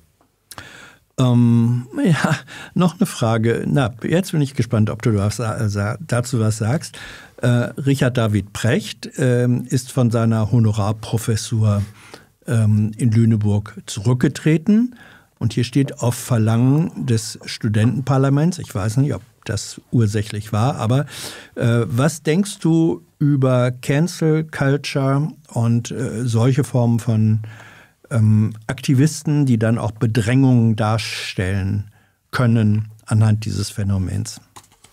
Also ich kenne jetzt diesen diesen Fall nicht. Ich weiß, dass es Richard David mhm. Precht gibt, aber ich verfolge jetzt nicht, was er, äh, äh was er macht, weiß jetzt den Kontext mhm. nicht, äh, nicht so. Ich, ich gucke ja. auch kaum Fernsehen oder sowas. Okay. Deswegen bin ich da auch nicht, äh, mhm. auch nicht so firm. Ähm, äh, äh Cancel Culture allgemein ist ja okay, erstmal, ja. erstmal ein politischer Begriff. Ne? Ja. Äh, ich bin auch erstmal ein Freund der, der freien Rede und des Austausches unterschiedlicher Positionen und es gibt natürlich Positionen, die ich äh, auch für nicht diskutabel halte. Ne? Wenn jemand irgendwie sich rassistisch äußert oder das N-Wort in Diskussion einbringt, das äh, finde ich ist eigentlich nicht satisfaktionsfähig. aber ansonsten bin ich eher skeptisch, dass man irgendwie immer andere Positionen sofort abräumen sollte. Ist vielleicht auch so ein bisschen so eine DDR-Erfahrung, mhm. dass ich doch, doch immer auch große Freude daran habe, wenn es irgendwie plural und in offener Rede mhm. zugeht und das doch eigentlich als Gegenstück zu einer kontrollierten und sich selbst in der Meinungsfreiheit beschneidenden Gesellschaft sehe. Also bei Precht, nur, ich will es nicht weiter diskutieren, aber der Anlass war gewesen, er hat in, äh, in seinem Podcast ähm, mit Lanz ähm, über Berufstätigkeit ähm, von Juden eine objektiv falsche und sprachlich völlig verunglückte Formulierung äh, gewählt, die man durchaus als vom nicht von der Intention her, aber vom Inhalt her als antisemitisch ähm, auslegen konnte. Er hat sich dann hinterher dafür äh, um Entschuldigung gebeten. Ähm, der Sender hat das dann verspätet rausgeschnitten und das hat dann diese Diskussion in Gang gesetzt. Aber wenn, das, ja. äh, also ich, wenn du das nicht verfolgt hast, äh, äh, ja. was die einzige ja, Frage, die man sich stellt, warum braucht ein Richard David Brecht eine Honorarprofessur? Das ist für mich die grundsätzliche Frage. Ne? Aber äh, fürs Renommee. Ja. Hm. Ähm, zu dir. Warum hast du den Begriff Trigger gewählt, der doch aus der Psychologie kommt und im Zusammenhang mit Trauma oder Traumata steht? Ja, wir haben den eher aus der. Äh, äh, äh, ich kenne ihn aus der Waffenkunde. Ach so, ja, da gibt es da auch. Ist der, ne, der Abzug ja. Äh, bei Waffen, ist ja der, der Trigger. Ne? Ja. Mhm. Na, wir haben das eher sozusagen als, äh, als körperliches Phänomen. Da gibt es das ja auch. Ja. Also, dass man Triggerpunkte hat, äh, die äh, bestimmte Druckpunkte, mhm. die auch mit anderen Körperarealen verbunden sein äh, können. Und wenn man die da drauf drückt, dann, dann löst das so eine Art von Schmerz ja. aus. Es kann auch entkrampfen, aber es mhm. ist auch ein Verspannungszeichen. Und wir sehen das ja eigentlich so als neuralgische, äh, mhm. inflammatorische äh, Zonen äh, der Gesellschaft, wo es eben so sozusagen diese äh, dann auch so Erregungszustände, positive und negative mhm. Gefühle gibt. Und wir dachten, das sei eigentlich ein ganz schönes äh, ja, Bild. Ja, nee, ist ja auch gut zu wissen, dass es, dass es also mehr als die eine ja. Äh, Definition gibt. Ähm, was hältst du von dem Begriff Protestwähler? Äh, Bezug ist natürlich die AfD im Osten und anderswo. Ist das ein verharmlosender Begriff oder ist er noch präzise? Nee, ich glaube, er ist un unpräzise, äh, aber äh, ich glaube auch nicht, dass man die AfD-Wähler homogenisieren äh, kann. Mhm. Ne? Also es gibt eben diesen harten, äh, auch rechten Kern, ja. Die äh, das teilen, was der Höckeflügel eben sagt und, und möchte. Es gibt irgendwie ein paar äh, verirrte mhm. Seelen. Es gibt Leute, die irgendwie äh, re rechte Neigung haben, aber vielleicht kein äh, kohärentes Weltbild. Und es gibt Leute, die irgendwie aus, aus Frust äh, oder mhm. wie auch immer äh, diese Partei dann wählen. Mhm. So, die letzten, ach, drei, vier, gehen wir schnell durch. Ähm, war in der DDR vor der Wende äh, eigentlich eine starke deutschnationale Mentalität verbreitet? Ja, es gab ein DDR-Deutschsein. Äh, das äh, schreibe ich in Lüttenklein auch. Also in der DDR konnte man deutscher sein als in der Bundesrepublik mhm. äh, der, der 80er Jahre. Und äh, das ist natürlich auch in gewisser Weise ein Boden, auf dem sich dann später nochmal was entwickeln äh, konnte. Und die DDR hat das relativ stark ge geprägt und, mhm. und gepflegt, äh, trotz äh, sozusagen auch dieser, dieses äh, ja, Internationalismus mhm. und der Völkerfreundschaft, ja, ja. die sie natürlich auch gepredigt hat. Aber de facto spielte das im, im Altersleben keine Rolle. Es gab auch eine stark deutschnationale äh, Neonazi-Jugendszene in der Absolut, DDR. Absolut, ja. Ne rechte Netzwerke waren sehr, sehr stark. Ist die Bildzeitung äh, ein Triggermedium? Ja, ist ein Triggermedium. Ja. Äh, äh, macht das ja regelmäßig und versucht genau sozusagen diese äh, diese Aufregerzonen zu identifizieren und die dann in eine mhm. Schlagzeile äh, zu verarbeiten, denke ich schon. Was hältst du von zivilem Ungehorsam? Ist der legitim oder gibt es Grenzen des Ungehorsams? Schwierige Frage, auch gar keine mhm. soziologische Frage, ist ja wahrscheinlich eher eine, eine rechtswissenschaftliche äh, ja. äh, Frage. Auch wahrscheinlich müsste ich da biografisch, also ja. es gibt, äh, ich könnte die Grenzen jetzt nicht ganz genau mhm. bestimmen, die muss jeder auch für sich äh, bestimmen, aber ansonsten glaube ich, ist ziviler Ungehorsam ein, erstmal auch ein legitimes äh, politisches äh, Mittel, solange es eben nicht um Angriffe auf mhm. Personen mhm. oder, oder Sachen geht. Ne? Welche Rolle spielt der Zusammenbruch der Sowjetunion beim derzeitigen Erstarken reaktionärer bzw. autoritärer politischer Bewegungen in den Post-Sowjet-Staaten? Gibt es da eine Art Erbe? Ja, also in Russland gibt es dieses Erbe ganz, ganz stark. Ne? Also diese äh, äh, noch starke Orientierung sozusagen mhm. an, der, an dem Sowjetimperium. Das ist ja auch für, für, für Putin, der dann in Dresden beim KGB war und ja. äh, äh, sozusagen die äh, biografische Urerfahrung eines äh, Verlustes, äh, äh, wo man ja. sich dann zurück und dann sind viele andere Sowjetrepubliken eben abgefallen und haben Eigenstaatlichkeit für sich beansprucht. Und äh, das haben die eigentlich niemals verwunden. Und äh, das ist auch bekannt. Gut, äh, der, äh, äh, also bei den Imperienforschern sagen die immer, okay, jetzt äh, zusammenfallende Imperien, die mal eine Größe hatten, sind immer gefährlich. Ja. Weil die äh, ziemlich stark. Weil sie Phantomschmerzen ja, erzeugen, die dann Und nach außen eine Aggressivität ja. entwickeln und versuchen sozusagen alte Größe wiederherzustellen, die eigentlich nicht mehr herzustellen ist. Wobei bei Putin ist das, glaube ich, noch ungeklärt oder anderen auch, ich sage jetzt mal, russischen Führern, ob der Bezugspunkt eigentlich die UdSSR oder das zaristische Russland Ja, das ist, stimmt, ne? das stimmt. Das kann noch weiter zurück. Uh, so, die, letzt, die allerletzten drei. Historisch hat es immer egalitäre Gesellschaften gegeben, die erfolgreich für längere Zeit ähm, existierten und auch innovativ waren. Wie erklärt sich deren Untergang und was können wir daraus lernen? Ja, äh, äh, es gibt ja egalitäre äh, Gesellschaften mit, äh, mit ähnlichen sozusagen Basisinstitutionen, mhm. wie wir sie jetzt haben, Marktwirtschaft und, und so weiter. Natürlich, die skandinavischen Länder sind über lange Zeit sehr viel egalitärer ja, aber gewesen. Inzwischen Jetzt ist es in Schweden auch sehr stark ja. ungleich äh, geworden. Aber Belgien ist zum Beispiel noch eine relativ egalitäre äh, Gesellschaft. Da ist die Ungleichheit anders als im sonstigen OECD-Trend nicht so stark auseinandergegangen. Äh, und ansonsten die sozialistischen Gesellschaft war natürlich immer eine Verbindung zwischen Egalität und Unfreiheit oder mhm. äh, diktatorischen die äh, diktatorische politisch, Egalität politischen ja. äh, System. Ähm, ja, mit welchen Gründen sind die äh, untergegangen? Also es bezieht sich jetzt wahrscheinlich wirklich auf den, den Staatssozialismus. Äh, da würde ich sagen, hat das nochmal mehr Defekte. Da war wahrscheinlich die Egalität nicht irgendwie die ausschlaggebende Ursache. Wünschen sich ja viele Leute auch in Ostdeutschland, wenn man ich glaub, fragt. Entschuldigung, ich glaube, es ist hier eher gemeint, ähm, dass äh, das vielleicht so skandinavische Modell, weil hier wurde ja gesagt, und die hatten auch innovative Funktionen. Das so, okay, würde man ja. beim Staatssozialismus nicht sagen. Ja, okay. Ja, aber da würde ich jetzt keinen Grund sehen, warum Schweden nicht wieder egalitärer äh, werden mhm. äh, könnte, außer politische Gründe, dagegen stehen. Aber ansonsten äh, äh, kann das ein erfolgreiches und egalitäres Land sein. So, die vorletzte Frage. Was hältst du vom bedingungslosen Grundeinkommen? ich bin da zurückhaltend. Äh, äh, das könnte ich jetzt länglich begründen. Vielleicht bin ich da auch zu, zu stark sozusagen traditioneller Sozialstaatsanhänger. ich glaube, das würde eine kategoriale Unterscheidung zwischen sozusagen Leuten, die im Arbeitsprozess sind und Leuten, die draußen sind, mit sich bringen.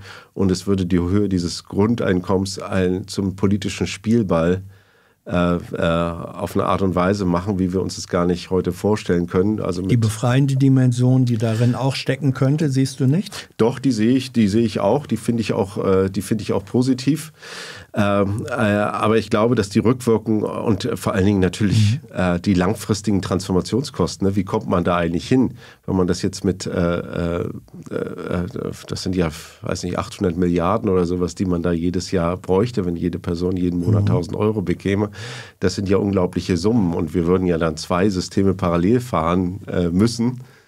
weil jetzt Rentenansprüche angesammelt sind und so weiter. Es mhm. ist fast unvorstellbar, wie so ein Umbau aussehen okay. könnte. Also da gibt es Leute, die sagen, oh, alles gar nicht so schwierig, aber das können wir ja, jetzt das nicht ich diskutieren. auch schon gehört. Ja.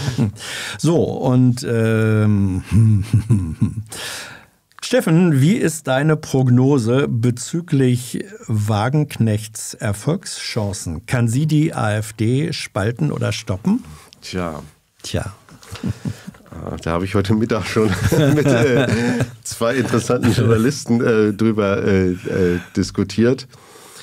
Ähm, ich glaube, äh, also dieser erste Auftritt, den ich von ihr gesehen habe, äh, äh, war, so Gestern, ja. ja. war so ein Stück weit äh, anders und moderater als das, was ich äh, sonst gehört habe. Sie scheint jetzt sich sehr stark auf das, was man vielleicht den gesunden Menschenverstand nennen könnte, mhm. also nicht mein Begriff, sondern als politischen ja. Begriff ähm, äh, äh, ein, einzulassen.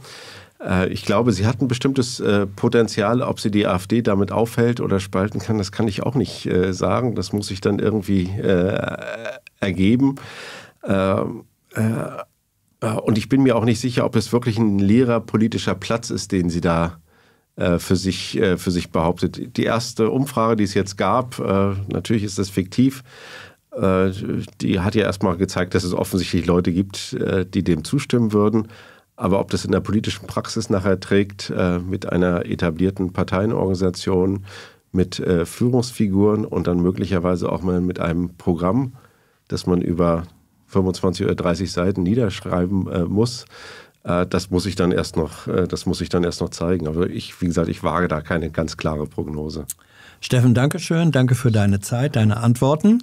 Danke für eure Fragen, euer Interesse und, äh, ja, Thilo hat es vorhin schon angesprochen, ich wiederhole es gerne, eure Unterstützung, ohne die es dieses Format nicht gäbe. Wer im vergangenen Monat dabei war, jetzt im Abspann. Wir sehen uns hoffentlich bald wieder. Bis dann. Tschüss. Dankeschön.